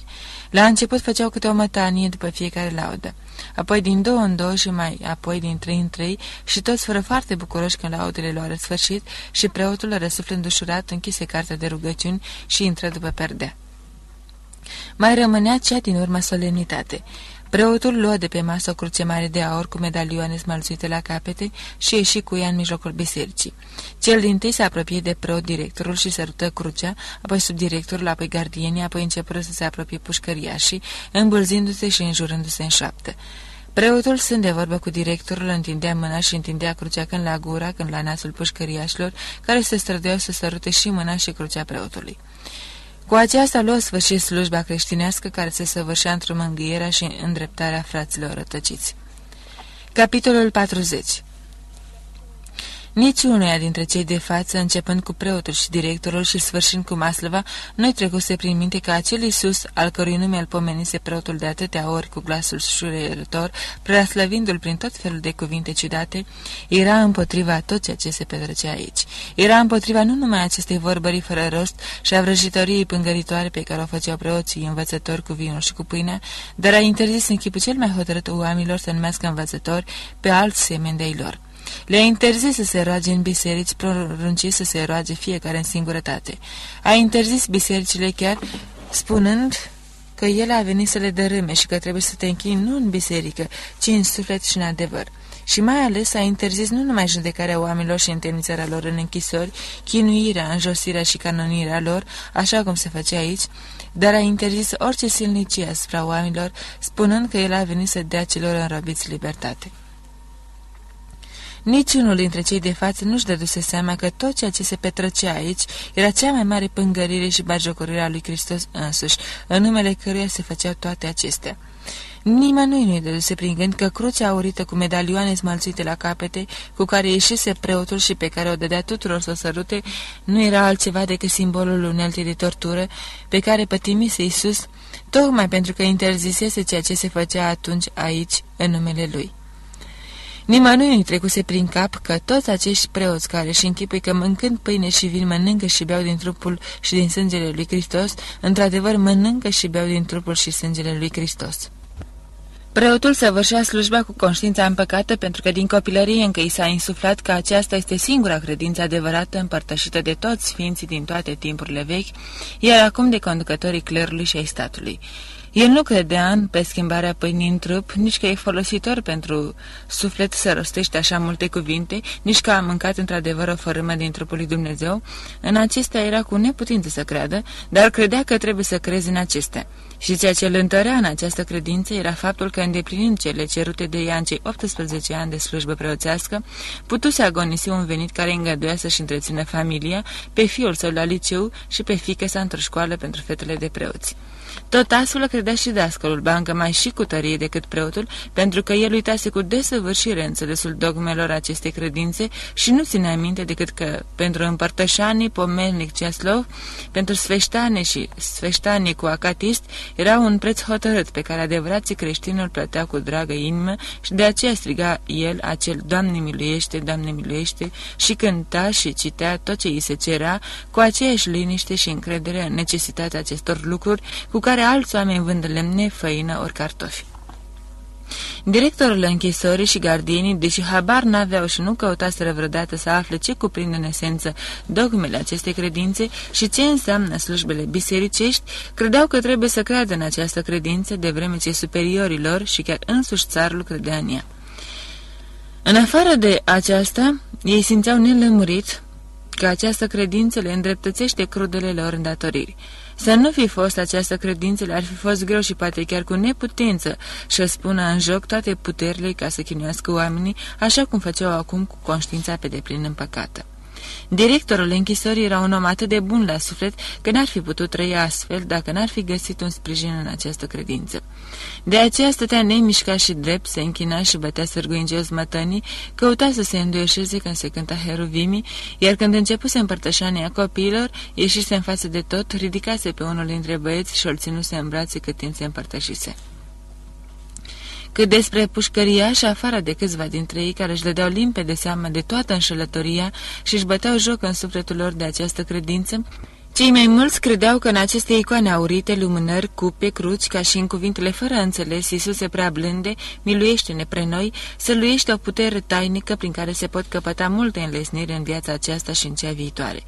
Cu toate că cei mai mulți dintre ei încercaseră în zadar să capete înlesnire în viața aceasta prin rugăciuni, sfeștane, lumânări și rugile lor rămăseseră neîmplinite, ei erau totuși de plin încredințați că e vorba numai de o întâmplare și că biserica încuvințat de oamenii învățați de mitropoliți este totuși o instituție foarte însemnată și necesară, dacă nu pentru viața aceasta, cel puțin pentru cea viitoare. Tot astfel credea și Maslova. Ca și ceilalți, încerca în timpul slujbei un sentiment de pietate și de plictiseală totodată.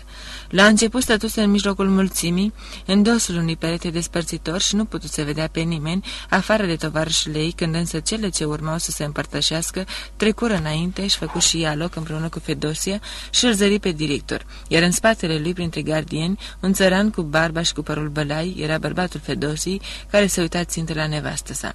În tot timpul citirii acatistului Maslova, închinându-se și bătând mătănii numai când o făceau toți ceilalți, vorbi în șaptă cu Fedosie și cercetă din ochi bărbatul. Capitolul 41 Nihliudov ieși de acasă de vreme. Pe ulicioară întâlni un țăran într-o cotiugă care striga cu un glas nefiresc. Lapte, lapte!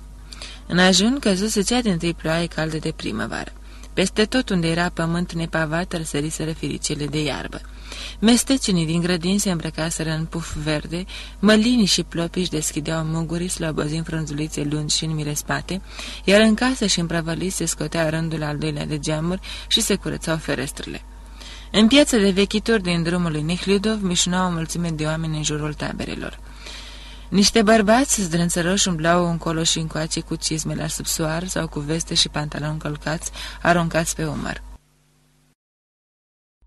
În jurul cărciumilor se îmbârjeau lucrători ieșiți de la fabrici, îmbrăcați în podiofice curate și cu cizme lustruite în picioare, și femei cu basmale de mătase viu colorate pe cap și în polcuțe împodobite cu mărgele. Vardiștii cu pistoale la brâu, legate cu găietane galbene, stăteau la posturile lor, privind vreo neregulă care se mai scoate din amărțala și plictisarea lor. Pe aleile parcurilor și pe gazonul abia înverzit, alergau și se jucau copii și căței iar dădacile guralive ședeau pe bănci și vorbeau între ele. Pe străzile încărăcoroase și umede, pe partea ombrită și uscate în mijlocul lor, treceau huruind neîncetat căruțe grele, alergau trăsuri ușoare, dorind pe caldarâm și tramvai cu cai sunând din clopoței. Văzduhul răsuna de dangătul clopotelor care chemau pe florite glasuri norodul la biserică, la slujbă, la fel cu cea care se oficia acum în capela închisorii. Oameni gătiți în haine de duminică se îndreptau fiecare spre parohia lui. Trăsura care îl ducea pe Nicludov nu se opri chiar în fața închisorii, ci la colțul din preajma intrării. Acolo, la vreo sută de pași de închisoare, aștepta un grup de bărbați și de femei, mai toți cu legături în mână. În dreapta se întindeau câteva clădiri joase de lemn, iar în stânga era o casă cu două etaje și cu o firmă pe fațadă. Clădirea uriașă de piatra închisorii se înălța în față și nimeni nu era lăsat să se apropie de ea. Sentinela, cu arma la umăr, umbla încolo și încoace prin fața clădirii, strigând sever la cei ce încercau să vină mai aproape. La partea clădirilor de lemn, pe partea dreaptă, în fața sentinele, dea pe o bancă un gardian în uniformă cu galoane, ținând în mână un caietel. De el se apropiau vizitatorii, spuneau numele persoane pe care doreau să o vadă și el îl înscria în caietel. Nehludov se apropie și el și o numi pe Caterina Maslova. Gardianul cu galoane o înscrise pe listă. De ce nu ne dă voie să intrăm?" întrebă Nihlidov. Nu s-a sfârșit încă liturgia. Îndată ce se sfârșește slujba, o să se dea drumul. Nehludov se întoarce la grupul celor ce așteptau. Un om, un om zdrânțăros cu fața brăzdată de dungi roșii, cu o pălărie bățită pe cap și cu picioarele goale în niște ghete rupte și scălciate, se desprinse din mulțime și se îndreptă spre închisoare. Unde mergi?" strigă sentinela. Ce-i zbiere așa?" Răspunse drânsărosul fără să se tulbure câtuși de puțin și făcu cale întoarsă. Nu se poate foarte bine, o aștepta. Nu-i nevoie să răgnești așa, de parcă ai fi vreun ghenerară. Mulțimea râse aprobatoare. Cei mai mulți dintre vizitatori erau foarte sărăcăcioși îmbrăcați, unii chiar în strânțe. Numai câțiva bărbați și femei aveau o înfățișare mai respectabilă. Lângă Nehludov stătea un om bine îmbrăcat cu fața rasă, gras, rumen, ținând în mână o legătură cu rufe pe semne. Nehludov îl întrebă dacă vine pentru întâia oară. Omul îi răspunse că vine în fiecare duminică și astfel intrară în vorbă. Era portar la o bancă și venea să-și vadă fratele osândit pentru fals. Bărbatul acesta prietenos îi istoriții lui Nehludov toată povestea lui și era gata să-l întrebe la rândul său când lua la minte le trasă de o trăsură cu rost de cauciuc trasă de un cal voinic de rasă negru cor. Din trăsură coborără o doamnă cu voaletă și un student. Acesta ținea în mână o legătură voluminoasă. El se apropie de Mihlidov și îl întrebă ce trebuie să facă pentru a putea împărți deținuților colații pe care i-a dus. E dorința logodnicei mele. Ea e logodnica mea. Părinții ei ne-au sfătuit să împărțim colacii deținuților. Și eu vin pentru întâia oară aici și nu v-aș putea îndruma. Cred însă că ar trebui să-l întrebați pe omul acela, spuse Nehludov, arătând spre gardianul cu galoane care ședea pe bancă cu caietelul în mână.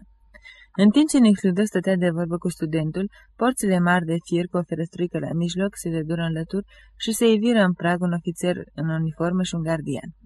Iar gardianul cel cu caietelul în mână vesti că a început primirea vizitatorilor. Sentinela se dădu la o parte și toți vizitatorii, temându-se parcă să nu întârzie, se repeziră spre poartă, care mergând, care alergând chiar.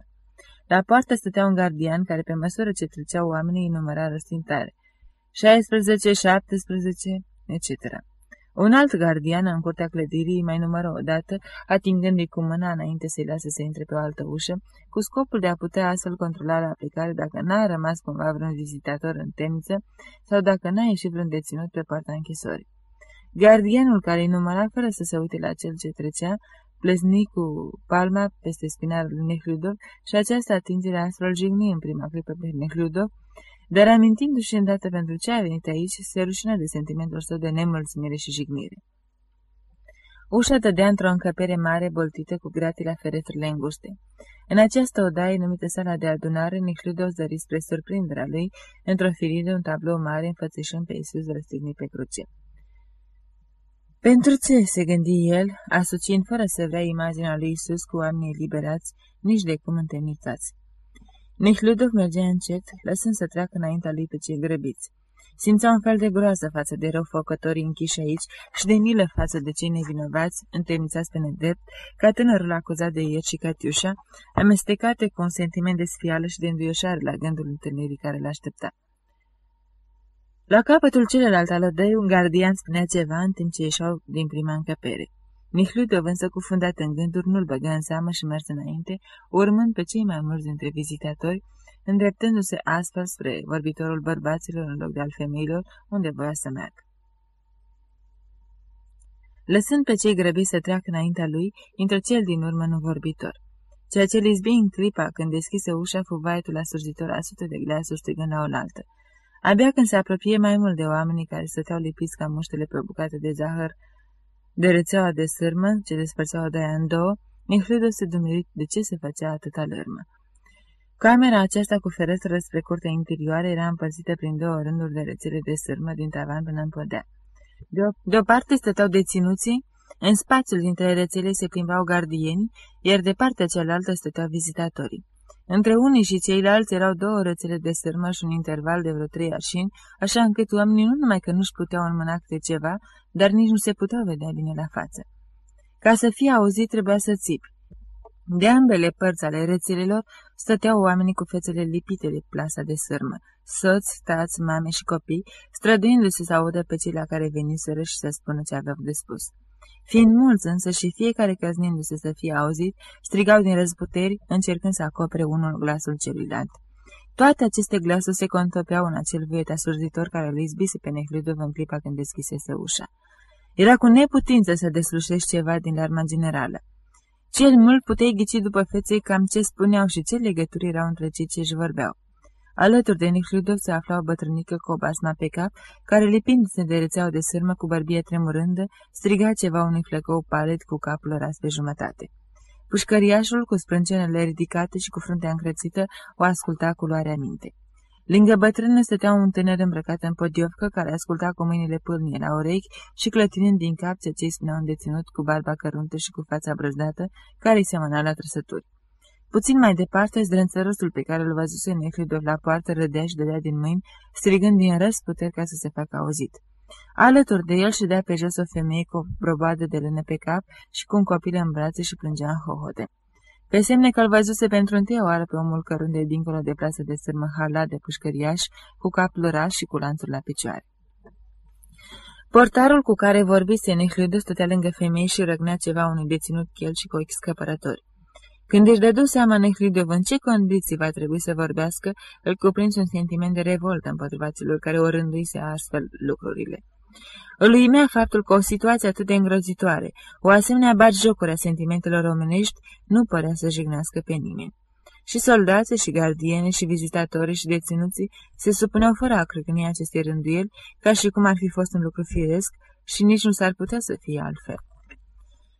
Nehludov rămas în această cameră vreo cinci minute, copleșit de un sentiment ciudat și apăsător, dându-și seama de neputința lui și de prăpastea dintre el și ceilalți oameni. Îl cuprinse un straniu dezgust moral asemănător cu senzația răului de mare. Capitolul 42 Trebuie totuși să fac acel lucru pentru care am venit aici, își zise el învărbătându-se. Dar cum să ajung să-l fac? Căută din ochi vreun șef, văzând un bărbat scund și slab, cu mustă și cu epolez de ofițer care se tot plimba în spatele vizitatorilor, Nehludu se apropie de el. N-ați putea să-mi spune, stimate de un susel, cu o sforțare și cu mare politețe, unde se află deținute femeile și unde este vorbitorul lor? Căuta secția de femei? Da, aș vrea să văd deținută, răspunse Nehludov cu aceeași politețe și constrângere. Trebuia să spuneți când erați în odaia cea mare. Pe cine vreți să vedeți? Pe Caterina Maslova. E deținută politică? Întreba subdirectorul. Nu e. ce cu ea? E condamnată? Da, de trei zile, răspunse Neclidoc smerit, temându-se să nu supere cumva pe subdirectorul care părea să-i arate oarecare bunăvoință. Atunci poftim pe aici, suset subdirectorul, socotind după înfățișarea lui Nicludov că merită oarecare considerațiune. Sidorov chemă el pe un subofițer mustăcios cu decorații pe piept. Condul pe domnul la secția de femei. Da să trăiți. În clipa aceea, cineva de lângă rețeaua de sârmă izbuni într-un sfârșietor. Totul îi părea ciudat lui Nihludov și mai ciudat încă îi părea faptul că era nevoit să-i mulțumească subdirectorului și gardianului șef să se simtă îndeatorat față de acești oameni care erau răspunzători de toate cruzimile ce se petreceau în casa aceasta. Gardianul îl conduse pe Nihludov din vorbitorul bărbaților într-un coridor și deschizând chiar ușa din fața lor în vorbitorul femeilor. Odaia, ca și cealaltă, era împărțită în trei prin două rețele de sârmă. Era însă mult mai mică. Deși erau mult mai puțini vizitatori și deținute, larma era tot atât de mare ca dincolo. Și aici se plimbau între rețele supraveghetori. O gardiană șefă într-o uniformă cu galoane la mâneci și cu vipușcă albastră, încinsă cu o centură la fel cu cea a gardinilor. Tot ca în vorbitorul bărbaților, oamenii stăteau cu fetele lipite de sârmă. De o parte, vizitatorii îmbrăcați feluriți, de cealaltă pușcăriașele, unele în haine albe ale închisorii, altele în rochile lor colorate. De-a lungul rețelelor nu se mai găsea niciun loc liber.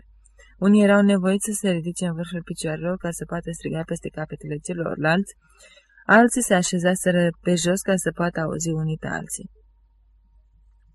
Dintre deținute atrăgea atenția prin înfățișarea și prin strigătele ei o țigancă slabă, lățoasă, cu o bajma care lunecase de pe părul cărlionțat.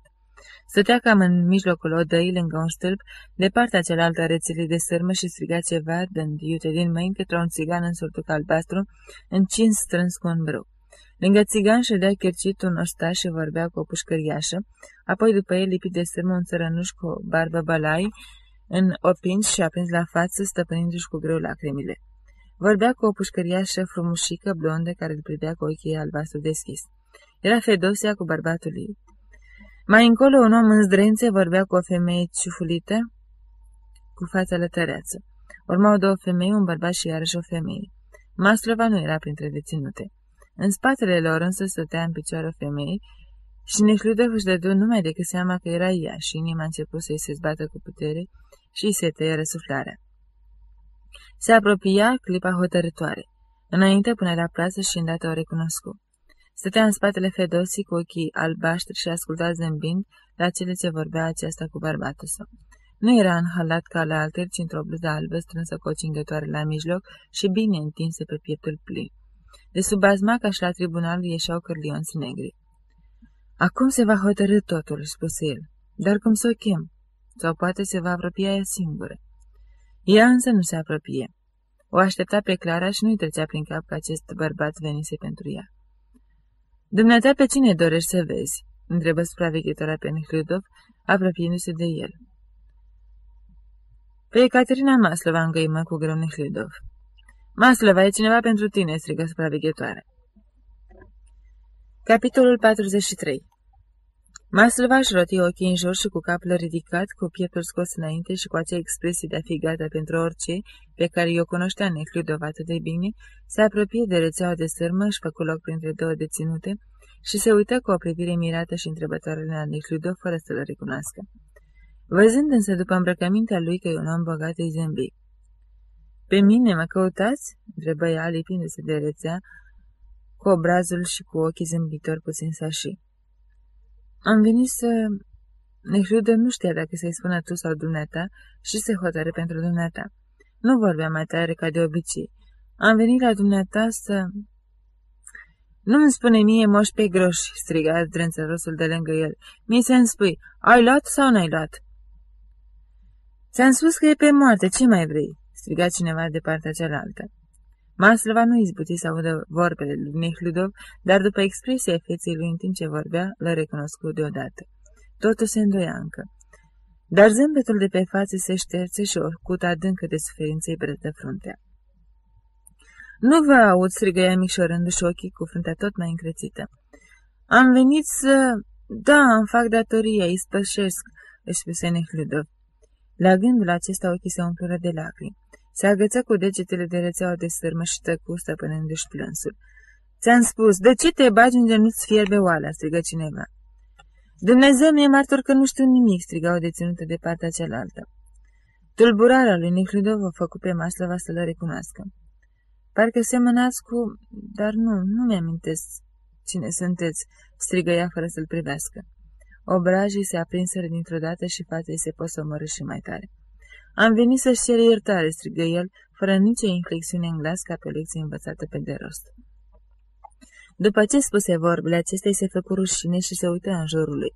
Îndată însă îi veni în minte gândul că e cu atât mai bine dacă este rușine, pentru că merită să îndure rușine. Și el urmă cu glas tare. Iartă-mă, sunt foarte vinovat față de tine. Ea stătea neclintită și îl privea ținte cu ochii sași. El nu mai fu în stare să urmeze mai departe și luptând să stăpânească plânsul care zguduia pieptul, se îndepărtă de rețea. Subdirectorul, acel care îl îndrumase spre secția de femei și a cărui curiozitate o strânise pe semne, intră în vorbitor. Văzându-l pe Nicliudov că se depărtează de rețea, îl întrebă de ce nu se de vorbă cu femeia pe care a dorit să o vadă. Nicliudov își suflă nasul ca să-și ascunde emoția și răspunse. Nu se poate vorbi prin plasă, nu se aude nimic. Subdirectorul se gândi o clipă. E, am putea să o aducem aici pentru câteva clipe. Maria Karlovna, spuse el către supraveghetoare, trimite-o pe Maslova aici. Peste un minut Maslova intră pe o ușă laterală. Se apropie cu pași ușor de Nechludov și se opri privindul pe sub sprânceni. Cărleonții negri ieșeau de sub azma ca și la tribunal. Fața ei albă, puhavă, totuși drăgălașă, era foarte liniștită. Numai ochii ei negri strălucitori aveau o lucire deosebită pe sub plapele umflate. Puteți sta de vorba aici, spuse subdirectorul și se îndepărtă. Nehludă făcu câțiva pași spre banca de lângă perete. Maslova se uită cu o privire întrebătoare la subdirector, apoi strângând din numeri mirată, se îndreptă și ea spre bancă și se așeza alături de Nehludov, potrivindu-și fusta. Știu că-ți vine greu să mă ierți, începu el și îndată se opri iar, simțind un nod în gât, dar dacă trecutul nu mai poate fi îndreptat, vreau cel puțin acum să fac tot ce se mai poate. Spune-mi, cum de m-ați găsit? spuse ea fără să-i răspundă la întrebare, privindu-l mai mult pe ziș și cu ochii sași. Doamne, ajută-mă, învață-mă ce să fac, își spunea Necludov privind fața ei schimbată, urățită. Am fost jurat al altăieri, spuse el la procesul dumitale. Nu m-ai recunoscut. Nu, nu v-am recunoscut. N-am avut vreme de așa ceva. Și apoi nici nu m-am uitat, răspunse ea. Ai avut un copil, nu-i așa? Întrebă el și simți cum rosește. Am richer atunci, slavă Domnului, răspunse scurt și cu răutate, întorcându-și privirea de la el. Cum? Din ce? Am fost rău bolnavă și eu, pe cât ce să mor, spuse ea, fără să-și ridice ochii. Cum de ți-au dat drumul mătușile mele? Cine ține o servitoare cu copil? Cum și-au dat seama că sunt însărcinată, m-au și alungat. Dar ce rost are să mai vorbim despre asta? Am uitat totul de mult. Ce a fost a isprăvit? Nu, nu s-a isprăvit. Nu pot lăsa lucrurile așa. Vreau cel puțin acum să-mi răscumpăr vina. Nu-i nimic de răscumpărat. Ce a fost adus urmă ea, apoi spre surprinderea lui, se uită la el cu un zâmbet neplăcut, ademinitor și jalnic totodată. Maslova nu se aștepta să s-al mai revadă vreodată și mai ales acum și aici, și de aceea venirea lui o uimise la început, stilindu să-și aducă aminte de lucruri uitate pentru totdeauna. În primele clipe își reaminti nedesus și despre acea lume nouă și minunată de sentimente și de gânduri pe care o deschisese acel tânăr fermecător, care o iubise și pe care îl iubise. Apoi și-a adus aminte de curzimea lui de neînțeles și de tot șirul de suferințe și de umilințe care urmaseră după acea fericire plină de vrajă. Și simți o mare durere în suflet. Neavând puterea să se oprească asupra acestora, făcu și acum așa cum făcea de obicei. Alungă toate aceste amintiri, căutând să le înnebușă în negura deasă a vieții desfrânate. În primele clipe la semâi pe Domnul din fața ei, cu acel tânăr pe care îl iubise odinioară, dar acest lucru fiind prea dureros pentru ea, renunță să-i suprapui în mintea ei. Domnul acesta bine îmbrăcat, îngrijit cu barba parfumată, nu mai era pentru ea cel necludov pe care îl iubise, ci unul dintre bărbații care, când au dorința, se folosesc de ființe ca ea și de pe urma cărora ființele ca ea trebuie să tragă cât mai multe folose. De aceea îi zâmbea de minitor, tăcu un răstim gândindu-se cu ce foloase s-ar putea alege de pe urma lui. Ce a fost s-a dus, repetă ea. Acum ia că te sunt condamnată la ocnă. Buzele tremurară rostind aceste orbe cumplite. Am știut, am fost convins că nu ești vinovată, spuse Nehludov. Sigur că nu-s vinovată. Ce-s eu, hoață, tâlhăraică? Aici mi s-a spus că totul atârnă de avocat, urmă ea, și că ar trebui să fac recurs, dar după cum se aude, costă foarte scump. Dar nici vorbă, spuse Nehludov, am și vorbit cu un avocat. Nu trebuie să te uiți la bani, trebuie luat unul bun. Am să fac tot ce cu putință. Tăcura amândoi. Catiușa zâmbi iarăși ca mai înainte. Aș vrea să vă mai rog de ceva bani, dacă se poate. Vreo zece ruble. Mi-e destul, zise ea deodată. Da, da, susține Lutov încurcat, ducându-și mâna la portofel. Ea aruncă o privire sub directorului care umbla încolo și încoace. Să nu mi dați față de el că nu ea. Când o fi mai încolo, Nihludov scoase portofelul din buzunar, de cum se întoarse subdirectorul cu spatele, dar n-a putut să-i dea bacnota Catiușei, căci subdirectorul se întoarse iarăși spre ei, așa că ascunse hârtia în pum. Dar e o femeie moartă, spuse el uitându-se la fața atât de drăgălașă odinioară, acum buhăită și vulgară, la ochii negri cu o strălucire neplăcută în privire, care urmăreau mișcările subdirectorului și mâna ce ținea strâns banii. Nehludov a avut o clipă de șovăială.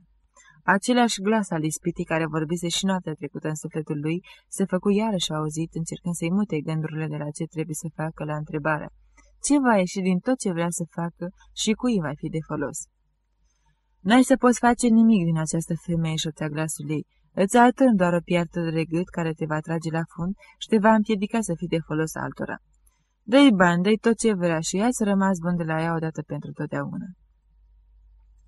Dar îndată își dădu seama că în clipa aceasta se petrecea ceva nespus de însemnat în sufletul lui, că viața lui leuntrică stă parcă într-o cumpănă și că cea mai mică atingere, cea mai mică sforțare pot să o facă să se aprecie într-o parte sau în cealaltă. Și el făcu această sforțare invocând pe Dumnezeul pe care îl simțise în ajuns să lășuind în sufletul său și care nu întârzie să-i răspundă. Nehlude hotărâ să-i spună pe loc totul. Catiușa, am venit la tine să-mi cer iertare. Și tu nu mi-ai răspuns dacă m-ai iertat, dacă o să mă ierți vreodată, spuse el repede trecând dintr-o dată la tu. Ea nu l-asculta, ci se uita când la subdirector, când la mâna lui. Când subdirectorul se întoarse cu spatele, i-a întinse repede mâna spre Necludă, luă bacnotă și șovâră în cordon. E ciudat ce spuneți, îi răspunse, zâmbind apoi cu dispreț după cât îi se părul lui. Necludev simți în toată ființa ei ceva dușmănos față de el, ceva care o apăra pe ea ce de acum și care le împiedica pe el să pătrundă până în inima ei. Dar ciudat, faptul acesta nu numai că nu îl îndepărta de ea, dar parcă l atrăgea și mai mult cu o putere neobișnuită. El simțea că e dator să-i trezească sufletul și că acest lucru va fi foarte greu. Dar tocmai această greutate îl atrăgea. Simțea pentru ea acum un sentiment pe care nu-l mai încercase niciodată, nici pentru ea, nici pentru nimeni un sentiment în care nu era nimic egoist. El nu dorea nimic de la ea, voia numai un singur lucru, să nu rămână așa cum este, să se trezească să redevină cea de altă dată. Catiușa, de ce vorbești așa? Eu te cunosc doar bine, îmi amintesc de tine cum erai atunci la Panovă. N-are rău să ne mai amintim de trecut, răspunse ea cu răceală. Mi-l amintesc, Catiușa, ca să pot îndrepta, ispăși vina mea, începu el, vrând să spună mai departe că e gata să o ia de nevastă, dar îi întâlni privirea, în care citea ceva atât de groaznic, de trivial și de respingător, încât îi făcu neputință să meargă până la capăt. Vizitatorii începură să plece. Subdirectorul se apropie de Nehludov și spuse că era ora de plecare. Maslova se ridică, așteptând supusă să-i se dea drumul. Rămâi cu bine. Aș mai avea multe să spun, dar după cum vezi, acum nu se mai poate, spuse Nehludov și întinse mâna. Am să mai vin. Cred că mi-a spus tot. Nu, am să caut să te mai văd într-un loc unde să putem vorbi mai bine și atunci am să-ți vorbesc despre un lucru foarte însemnat pe care trebuie să ți-l spun neapărat. Bine, atunci veniți, se răspunse ea zâmbindu-i așa cum zâmbea bărbaților cărora voia să le placă. Îmi ești mai apropiată ca o soră, spuse Nehludov. Ciudat, repetă ea și clătinând din cap trecut dincolo de rețeaua de sârmă. Capitolul 44 Mihludov își închipuise că de la prima întâlnire, văzându-l că se căiește și că vrea să o ajute, Catiușa se va bucura, se va înduieșa, va redeveni Catiușa cea de altă dată. Dar constată cu groază că ea nu mai exista, că exista numai Maslova, ceea ce îl surprinse și îl îngrozi. Îl mira mai ales faptul că Maslova nu numai că nu se rușinea de situația ei, nu de pușcăriașă, de asta era rușine, ci de situația ei de prostituată de care prea mulțumită și aproape se mândrea. De fapt, nici nu putea fi altfel. Fiecare om, pentru a-și vedea de îndelenicirea sa, trebuie neapărat să-și socotească îndelenicirea și însemnată și frumoasă. Și de aceea, oricare ar fi situația unui om, el își va alcătui în chip firesc o concepție despre viață, în care propria lui îndelenicire să-i se pară și însemnată și frumoasă. Îndeoște se crede că hoțul, ucigașul, spionul, prostituata, recunoscând că profesia lor este urâtă, trebuie să se rușineze de ea.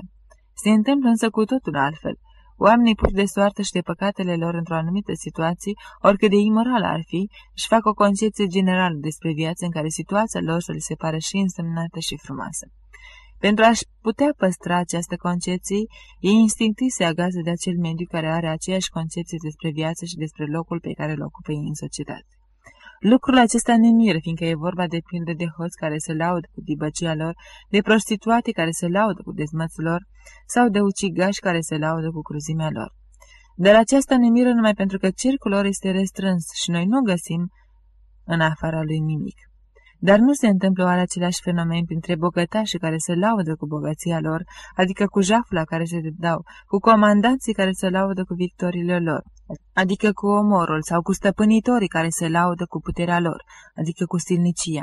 Noi nu vedem la aceștia concepția lor falsă despre viață, despre bine și rău, pe care o denaturează cu scopul de a justifica situația lor, numai pentru că cercul acestor oameni e mai larg și facem și noi înșine parte din el. O astfel de părere despre viața sa și despre locul său în societate își făcuse și Maslova. Era prostituată, condamnată la ocnă și totuși își făcuse o concepție de viață datorită căreia își putea justifica situația sa, ba chiar se mândrea cu ea în fața celorlalți. După concepția ei, singura fericire a bărbaților, a tuturor bărbaților, fără excepții, bătrâni, tineri, liceeni, generali, culți și inculți, constă în raporturile fizice cu femeia trăgătoare așa încât toți bărbații, chiar dacă se prefac a avea alte preocupări, nu doresc de fapt decât acest lucru. Ea fiind o femeie atrăgătoare care le poate satisface sau nu la voia ei această dorință, este deci o persoană însemnată și necesară. Toată viața ei din trecut, ca și cea de acum, confirma temenicia părerii sale. De zece ani încoace, oriunde s-ar fi aflat, a văzut că toți bărbații, începând cu Nehlidov și cu bătrânul comisar și isprăvind cu gardiene la închisoare, toți aveau nevoie de ea. Pe cei care nu aveau nevoie, ea nu-i băga în seamă și nu-i vedea. Și astfel, lumea întreagă îi apărea ca o adunare de bărbați roși de pofte trupești, care o pândesc de pretutindeni și caută prin toate mijloacele amăgire, forță, bani sau șiretenie să o aibă. În felul acesta înțelegea Maslow a viața și de aceea nu numai că nu se socotea cea din urmă ființe, ci din potriva se credea o persoană foarte importantă. Maslova ținea nespus de mult la această concepție ei și nici nu se putea să nu țină, căci, schimbându și ar fi pierdut stima față de ea însăși pe care o dădea acest fel de a vedea. Și tocmai ca să nu-și pierdă stima față de situația ei în societate, Maslova se învârtea în instinctiv într-un cerc de oameni care priveau viața la fel cu ea. Simțind că Necludă vrea să o atragă într-o altă lume, ea se împotrivea presimțând că în acea lume în care o chema el, ea își va pierde concepția ei de viață care dădea încredere și stimă față de ea însăși. Din aceeași pricină alunga și amintirile din prima ei tinerețe cu primele ei legături cu Necludov. Aceste amintiri nu se împăcau cu concepția ei de viață de acum și de aceea le șterse cu totul din minte sau mai curând le păstra neatinse ascunse undeva în minte ei, zăvărâte și astupate cu grijă așa cum albinele astupă cuiburile viermilor care ar putea să le nimicească toată truda lor. De aceea ea nu voia să vadă în Heslidov pe acel tânăr pe care îl iubise cândva cu o dragoste curată, ci numai un domn bogat de la care poate și trebuie să tragă folase și cu care nu ar putea avea alte relații decât acelea pe care le are cu ceilalți bărbați. Da, n-am putut să-i spun ceea ce era mai însemnat, își spunea Necliudov îndreptându-se odată cu ceilalți pe ieșire. Nu i-am spus că vreau să mă căsătoresc cu ea. Nu i-am spus-o, dar am să o fac, gândea el. Gardienii de la ușă, de drumul vizitatorilor, îi numărau iarăși, atingându-i cu mâinile pe fiecare, nu cumva să rămână vreun vizitator înăuntru sau să iasă vreunul dintre deținuții din închisoare. De data aceasta, Necludov nu se mai simțe jignit când fu atins cu palma peste umăr, ba chiar nici nu băgă în seamă. Capitolul 45 Necludov hotărâse să schimbe tot felul său de viață, să închirieze locuința prea mare pentru el, să dea drumul servitorilor și să se mute la hotel. Dar Agrafena Petrovna îi demonstră că nu are rost să facă vreo schimbare până la iarnă, căci vara nimeni nu se închirieze casa, iar el oricum trebuie să locuiască undeva și să-ți țină mobilă. Așa că toate sforțările lui de a schimba felul de viață nu duseră la nimic. Nu numai că totul rămase ca înainte, dar casa se umplu deodată de intensă activitate. Aerisitul și scuturatul lucrurilor de lână și al blenurilor, treabă la care luau parte și portarul și ajutorului și bucătăreasa și însuși Cornei. Mai întâi, fără scoase afară și atârnate pe frânghie tot felul de tunici și de haine de blană, pe care nu le mai folosea niciodată nimeni. Apoi începură să scoată covoarele și mobila, iar portarul împreună cu ajutorul său, cu mânecile suflecate și cu brațele vânjoase, goale, le băteau de zor în măsură și prin toate odăile se răspândi mirosul de naftalină. Trecând prin curte sau uitându-se pe fereastră, Neclude se mira cât de multe lucruri erau în casa lui de care nu avea trebuință. Singura menire a acestor lucruri era de a da un prilej de exerciții fizice a grafenei Petrovna, lui Cornei, portarului, ajutorului lui și bucătăresii, gândea Necludă. De fapt, nu are rost să fac vreo schimbare până nu se rejudecă procesul Maslowei, spunea el. E și prea complicat. Când au să o elibereze o oră, o să o deporteze și am să plec cu ea și totul o să se schimbe de la sine.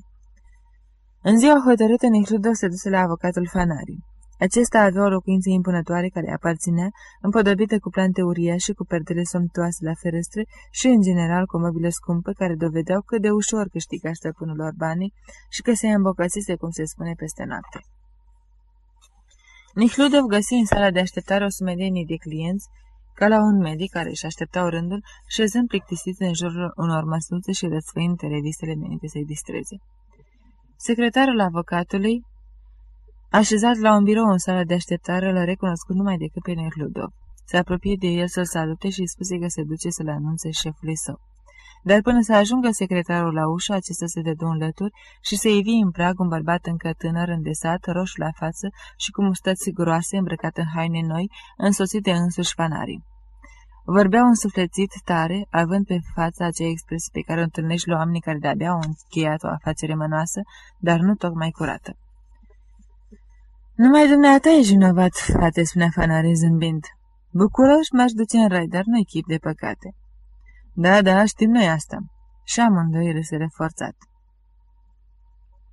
Ah, prințul Nehliudov? Poftiți, vă rog, suse fanarii, văzându-le pe Nehliudov. Apoi, salutându-l încă o dată pe negustor, îl pofti pe Nehliudov în biroul său sobru mobilat. Nu doriți să fumați?" întreba avocatul, așezându-se în fața lui Nehliudov și stăpânindu-și zâmbetul care venea pe buze la gândul la afacerii strălucite abia încheiate. Mulțumesc, am venit pentru procesul Maslovei. Da, da, numai decât. Ah, dar ce pungaj mai sunt și oamenii ăștia plini de bani, spuse el. L-ați văzut pe hoșmălăul ăsta? Are vreo 12 milioane capital și l-ați auzit cum vorbește. Nu e chip de păcate. Dacă poate să-ți ia o pițulă de 25 de ruble, cu dinții ți-o smulge din buzunar. El spune, nu-i chip de păcate, iar tu spui, pițulă de 25 de ruble se gândea Nehludov simțind o antipatie de neînvins față de omul acesta, care dorea să arate prin vorbele și gesturile lui libere și sigure că și el și cu Nehludo fac parte din aceeași lume, pe când ceilalți clienți ai săi care își așteptau acum rândul erau cu totul pe altă treaptă. Mi-a scos sufletul pungașul ăsta și simțeam nevoie să învărs focul, spuse avocatul, vrând parcă să se scuze pentru digresiunea făcute. Ei, și acum să trecem la problema care vă interesează. Am studiat dosarul cu atenție, dar, cum spune Turgenev, împotrivit m-am cuprinsului său. Cu alte cuvinte, avocatul a fost cam slăbuț și a omis toate motivele de casare a procesului. Și atunci ce de făcut după părerea noastră? O clipă. spune se întoarce el către secretarul său care tocmai intrase pe ușă, că rămâne așa după cum am vorbit. Dacă poate bine, dacă nu îl privește. El nu se învoiește. E foarte bine, spuse avocatul și fața lui zâmbitoare și veselă se făcut dintr-o dată morocănoasă și re. Ei, poftim, și se spune că avocații iau bani pe degeaba, spuse el, încercând să dea feții sale expresia plăcută de mai înainte. L-am scos pe un datornic vândut dintr-o încurcătură și acum toți cei ca el aleargă la mine. Era o treabă ca asta cer o muncă uriașă. Da, și noi lăsăm câte o bucățică din carnea noastră în călimară, cum a spus nu știu ce scritor. Așadar, după cum spuneam, procesul noastră, sau mai bine zis procesul care vă interesează urmă el, a fost dus cum nu se poate mai prost. Motive de casare a procesului nu sunt, totuși am putea încerca să-l casăm și de aceea am scris următoarele. Lua de pe birou o foaie de hârtie scrisă și început să citească trecând repede peste formulele de procedură juridică și rostind rar și apăsat cuvintele care îi păreau importante. Plângere către Departamentul Penal al Casației și așa mai departe și așa mai departe. Prin sentința pronunțată în și așa mai departe și așa mai departe, prin verdictul și așa mai departe, acuzata Maslova a fost găsită vinovată de ucidere prin otrăvirea negustorului Smelkov și pe baza articolului 1454 din cod, condamnată la și așa mai departe, la muncă silnică și la și așa mai departe. Avocatul se opri. Era vădit că își citea opera cu deosebită plăcere, cu toate că era obișnuit cu asemenea hârtii. Această condamnare este rezultatul unor violări de procedură și greșeli, urmă el pe un ton impunător, așa încât hotărârea este pasibilă de casare. În primul rând, încă de la început, președintele a întrerupt în timpul ședinței citirea procesului verbal de analiză a vișerului lui Smelkov. Punctul 1. Bine, dar acuzatorul a fost cel care a cerut această citire, spuse Mihlidov mirat. N-are importanță. Apărarea putea să aibă și a motivele ei pentru a cere același lucru. Bine, dar asta n-ar fi folosit la nimic. Totuși, în cazul nostru este un motiv. Mai departe. În al doilea rând, apărătorul Maslovi, urma el să citească, a fost oprit în timpul susținerii apărării de către președinte, tocmai când vroia să caracterizeze personalitatea acuzatei, referindu-se la pricinile ascunse ale decăderii ei. Președintele l-a oprit, susținând că s-ar îndepărta de la obiectul procesului. În procesele penale, însă, după cum s-a arătat de nenumărate ori de către Senat, Descrierea caracterului și, în general, a aspectului moral al acuzatului are o însemnătate primordială pentru justa soluționare, cel puțin a chestiunii responsabilității, spuse avocatul uitându-se la Neclidov. Bine, dar apărătorul vorbea așa de prost și încurcat încât nu se putea înțelege nimic din ceea ce spunea, observă Neclidov din ce în ce mai mirat. Ești vorbe un prostonac și sigur că n-a putut spune niciun lucru de bun simț, răspunse Fanarin râzând. Totuși, pentru noi este un motiv. Mai departe, în al treilea rând, președintele, contrar prevederilor categorice din paragraful 1, articolul 801 din Codul de Procedură Penală, n-a explicat juraților în cuvântul său de încheiere din ce elemente juridice se compune noțiunea de culpabilitate și nu le-a spus că au dreptul, recunoscând că Mastrova este vinovată de a fi dat o travă lui Smelkov, să declare totuși lipsa ei de intenții de a omorâ, găsind astfel vinovată nu de crimă, ci de un simplu delict, de o imprudență, căreia i-a urmat moartea negusturului cu totul neașteptată pentru ea. Acesta este, de fapt, motivul principal. Noi ar fi trebuit să ne dăm seama de acest lucru. Este greșeala noastră. Și în sfârșit al patrulea punct, urma avocatul la întrebarea curții dacă Maslova e vinovată, jurații au dat un răspuns care conținea o bătită contrazicere. Maslova era învinuită de otrăvirea lui Smelkov numai din lăcomie de bani, acesta fiind singurul motiv al crimei. Ori jurații, în răspunsul lor, au respins mobilul de furt și participarea Mastrovei la sustragerea valorilor, cu alte cuvinte, ei au vrut să nege intenția de omorât din partea acuzatei și numai din partea unei neînțelegeri pricinuite de cuvântul de încheiere incomplet al președintelui, ei nu s-au exprimat suficient de limpede. Prin urmare, Acest răspuns al juraților cerea neapărat aplicarea articolelor 816 și 808 din Codul de Procedură Penală, adică președintele ar fi trebuit să atragă atenția juraților asupra greșelii de care s-au făcut vinovați și să invite la o nouă deliberare pentru a da un nou răspuns la întrebarea cu privire la vinovăția acuzatei, citi Fanare. Și de ce n-a făcut președintele acest lucru? Asta aș vrea să știu și eu, răspunse Fanarii râzând. Deci, credeți că Senatul va îndrepta această greșeală? Asta depinde de zaharisiții care vor fi atunci în ședință. Adică cum zaharisiți? Adică ramuliți. Și acum mai departe. Un astfel de verdict nu dădea drept curții, urma avocatul repede, să supună pe maslva unei pedepse penale, iar aplicarea paragrafului 3, articolul 771 din Codul de Procedură Penală, constituie o gravă și flagrantă violare a principiilor de bază ale procedurii noastre penale. Pe temeii celor de mai sus am onoarea de a solicita, și așa mai departe, casarea verdictului conform articolului 901, 910, paragraful 2 și din articolul 912, 929 din Codul de Procedură Penală și așa mai departe și așa mai departe și trimiterea procesului la o altă secție din același tribunal spre rejudecare. Așadar, tot ce se putea face s-a făcut. Ca să fiu sincer, însă n-am mari speranțe de succes. De altfel, totul depinde din cine va fi alcătuit completul din ședința respectivă. Dacă aveți oarecare trecere pe lângă cei din Senat, ar fi bine să vă folosiți de ea. Da, cunosc pe unul din ei. Și să faceți cât mai repede, pentru că în curând o să plece cu toții să-și îngrijească hemoroizii și atunci trebuie să mai așteptăm vreo câteva luni. În sfârșit, în caz de nereușită, ne mai rămâne să facem o cerere către maestatea sa. Și asta depinde tot de lucrătura din culise. Și în cazul acesta sunt gata să vă servesc, nu în ce privește lucrătura din culise, ci la alcătuirea cererii de grație. Vă mulțumesc. Onorarul dumneavoastră? Secretarul meu să vă dea cererea de record bătută la mașină și o să vă comunice și onorarul. Aș vrea să vă mai întreb ceva. Procurorul mi-a dat o autorizație de intrare în închisoare ca să o pot vedea pe acuzată, dar mi s-a spus acolo că pentru a o vedea și în alte zile decât cele reglementate și în alt loc decât în vorbitorul comun, ar mai fi nevoie și de o autorizație de la guvernator. Nu știți, este într-adevăr nevoie de această autorizație? Da, cred că da. Numai că acum guvernatorul lipsește și ține locul viceguvernatorul, care e prost ca noaptea, așa că are să fie greu să obțină ceva de la el. Nu e cumva Maslenikov? Ba da. Îl cunosc, spuse Necrudo și se ridică în picioare să plece. În clipa aceea, o femeie mică și urâtă, cârnă, oșoasă și gălbejită la față, intra val vârtej în odaie. Era soția avocatului și nu părea deloc amărât de urăținia ei. Nu numai că era îmbrăcată în chipul cel mai original, era învăluită în catifea și mătase în culori vii, galben și verde, dar chiar și părul ei rar avea o piptănătură foarte complicată. Se nepustise cu un aer triumfător în cabinetul avocatului, însoțită de un domn înalt, zâmbitor cu fața pământie, îmbrăcat într-o haină cu revere de mătase și cu cravată albă la gât. Era un scriitor pe care Necludov îl cunoștea din vedere. Anatol, spuse femeia deschizând o altă ușă, vină te rog la mine. Semion Ivanovici ne-a făgăduit să ne citească o poezie și trebuie neapărat să ne citești și tu ce ai scris despre Garșin. Neclude vrut să plece, dar soția avocatului, după ce șopti ceva la ureche bărbatului său, se întoarse către Necludov. Vă rog, prințe, vă cunosc și găsesc că prezentările sunt deprisos.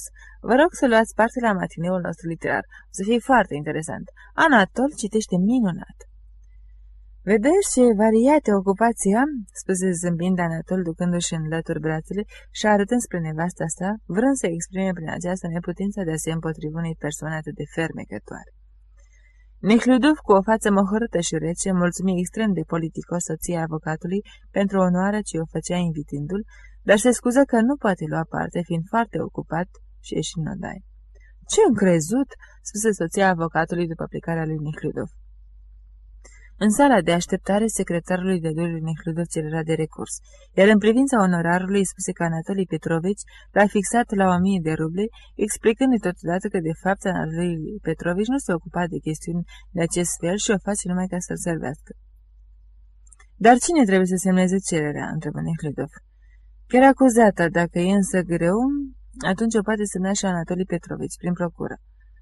Nu, am să mă duc la închisoare și am să o fac să-i scărească cererea, spune Necludov, bucuros de prilejul de a o vedea pe Maslova înainte de ziua hotărâtă de regulamentul închisorii. Capitolul 46 La ora obișnuită răsunară pe coridorul închisorii fluierăturile gardienilor. Ușile camerelor se deschiseră cu zângănii de fiare, se auzi lepăi de picioare goale și târși de cipiși de-a lungul coridoarelor, trecură cei care vărsau hârdăile cu murdării, umplând aerul de o putoare grea. Deținuțele și deținutele se spălară, se îmbrăcară și ieșiră pe coridor la apel, apoi porniră după cei. În ziua aceea, la ora ceaiului, în toate camerele închisorii se discuta cu aprindere despre faptul că în acea zi urmau să fie bătuți cu niele doi dintre pușcăriași. Unul dintre ei era un tânăr vânzător, Vasiliev, om cu carte care și-a omorât iubita într-un acces de gelozie. Tovarășii lui de cameră îl iubeau pentru că era un om vesel, darnic și dârz în relațiile lui cu șefii. El cunoștea bine legile și cerea ca ele să fie respectate, lucru pentru care șefii nu-l aveau la inimă. Cu trei săptămâni în urmă, un gardian îl lovise un deținut pentru că acesta îi pătați uniforma nouă cu ciorbă. Vasiliev luase apărarea deținutului spun că legea nu permite bătaia. Îți arăt eu ție lege, spuse gardianul și îl înjurase pe Vasiliev. Acesta îi răspunsese cu aceeași monedă. Gardianul vruse să-l lovească, dar Vasiliev îl apucase de mâini, îl ținu așa vreo trei minute, îl întoarse cu față spre ieșire și îl împinse afară. Gardianul s-a plâns directorului și directorul închisorii a poruncit ca Vasiliev să fie băgat la carceră.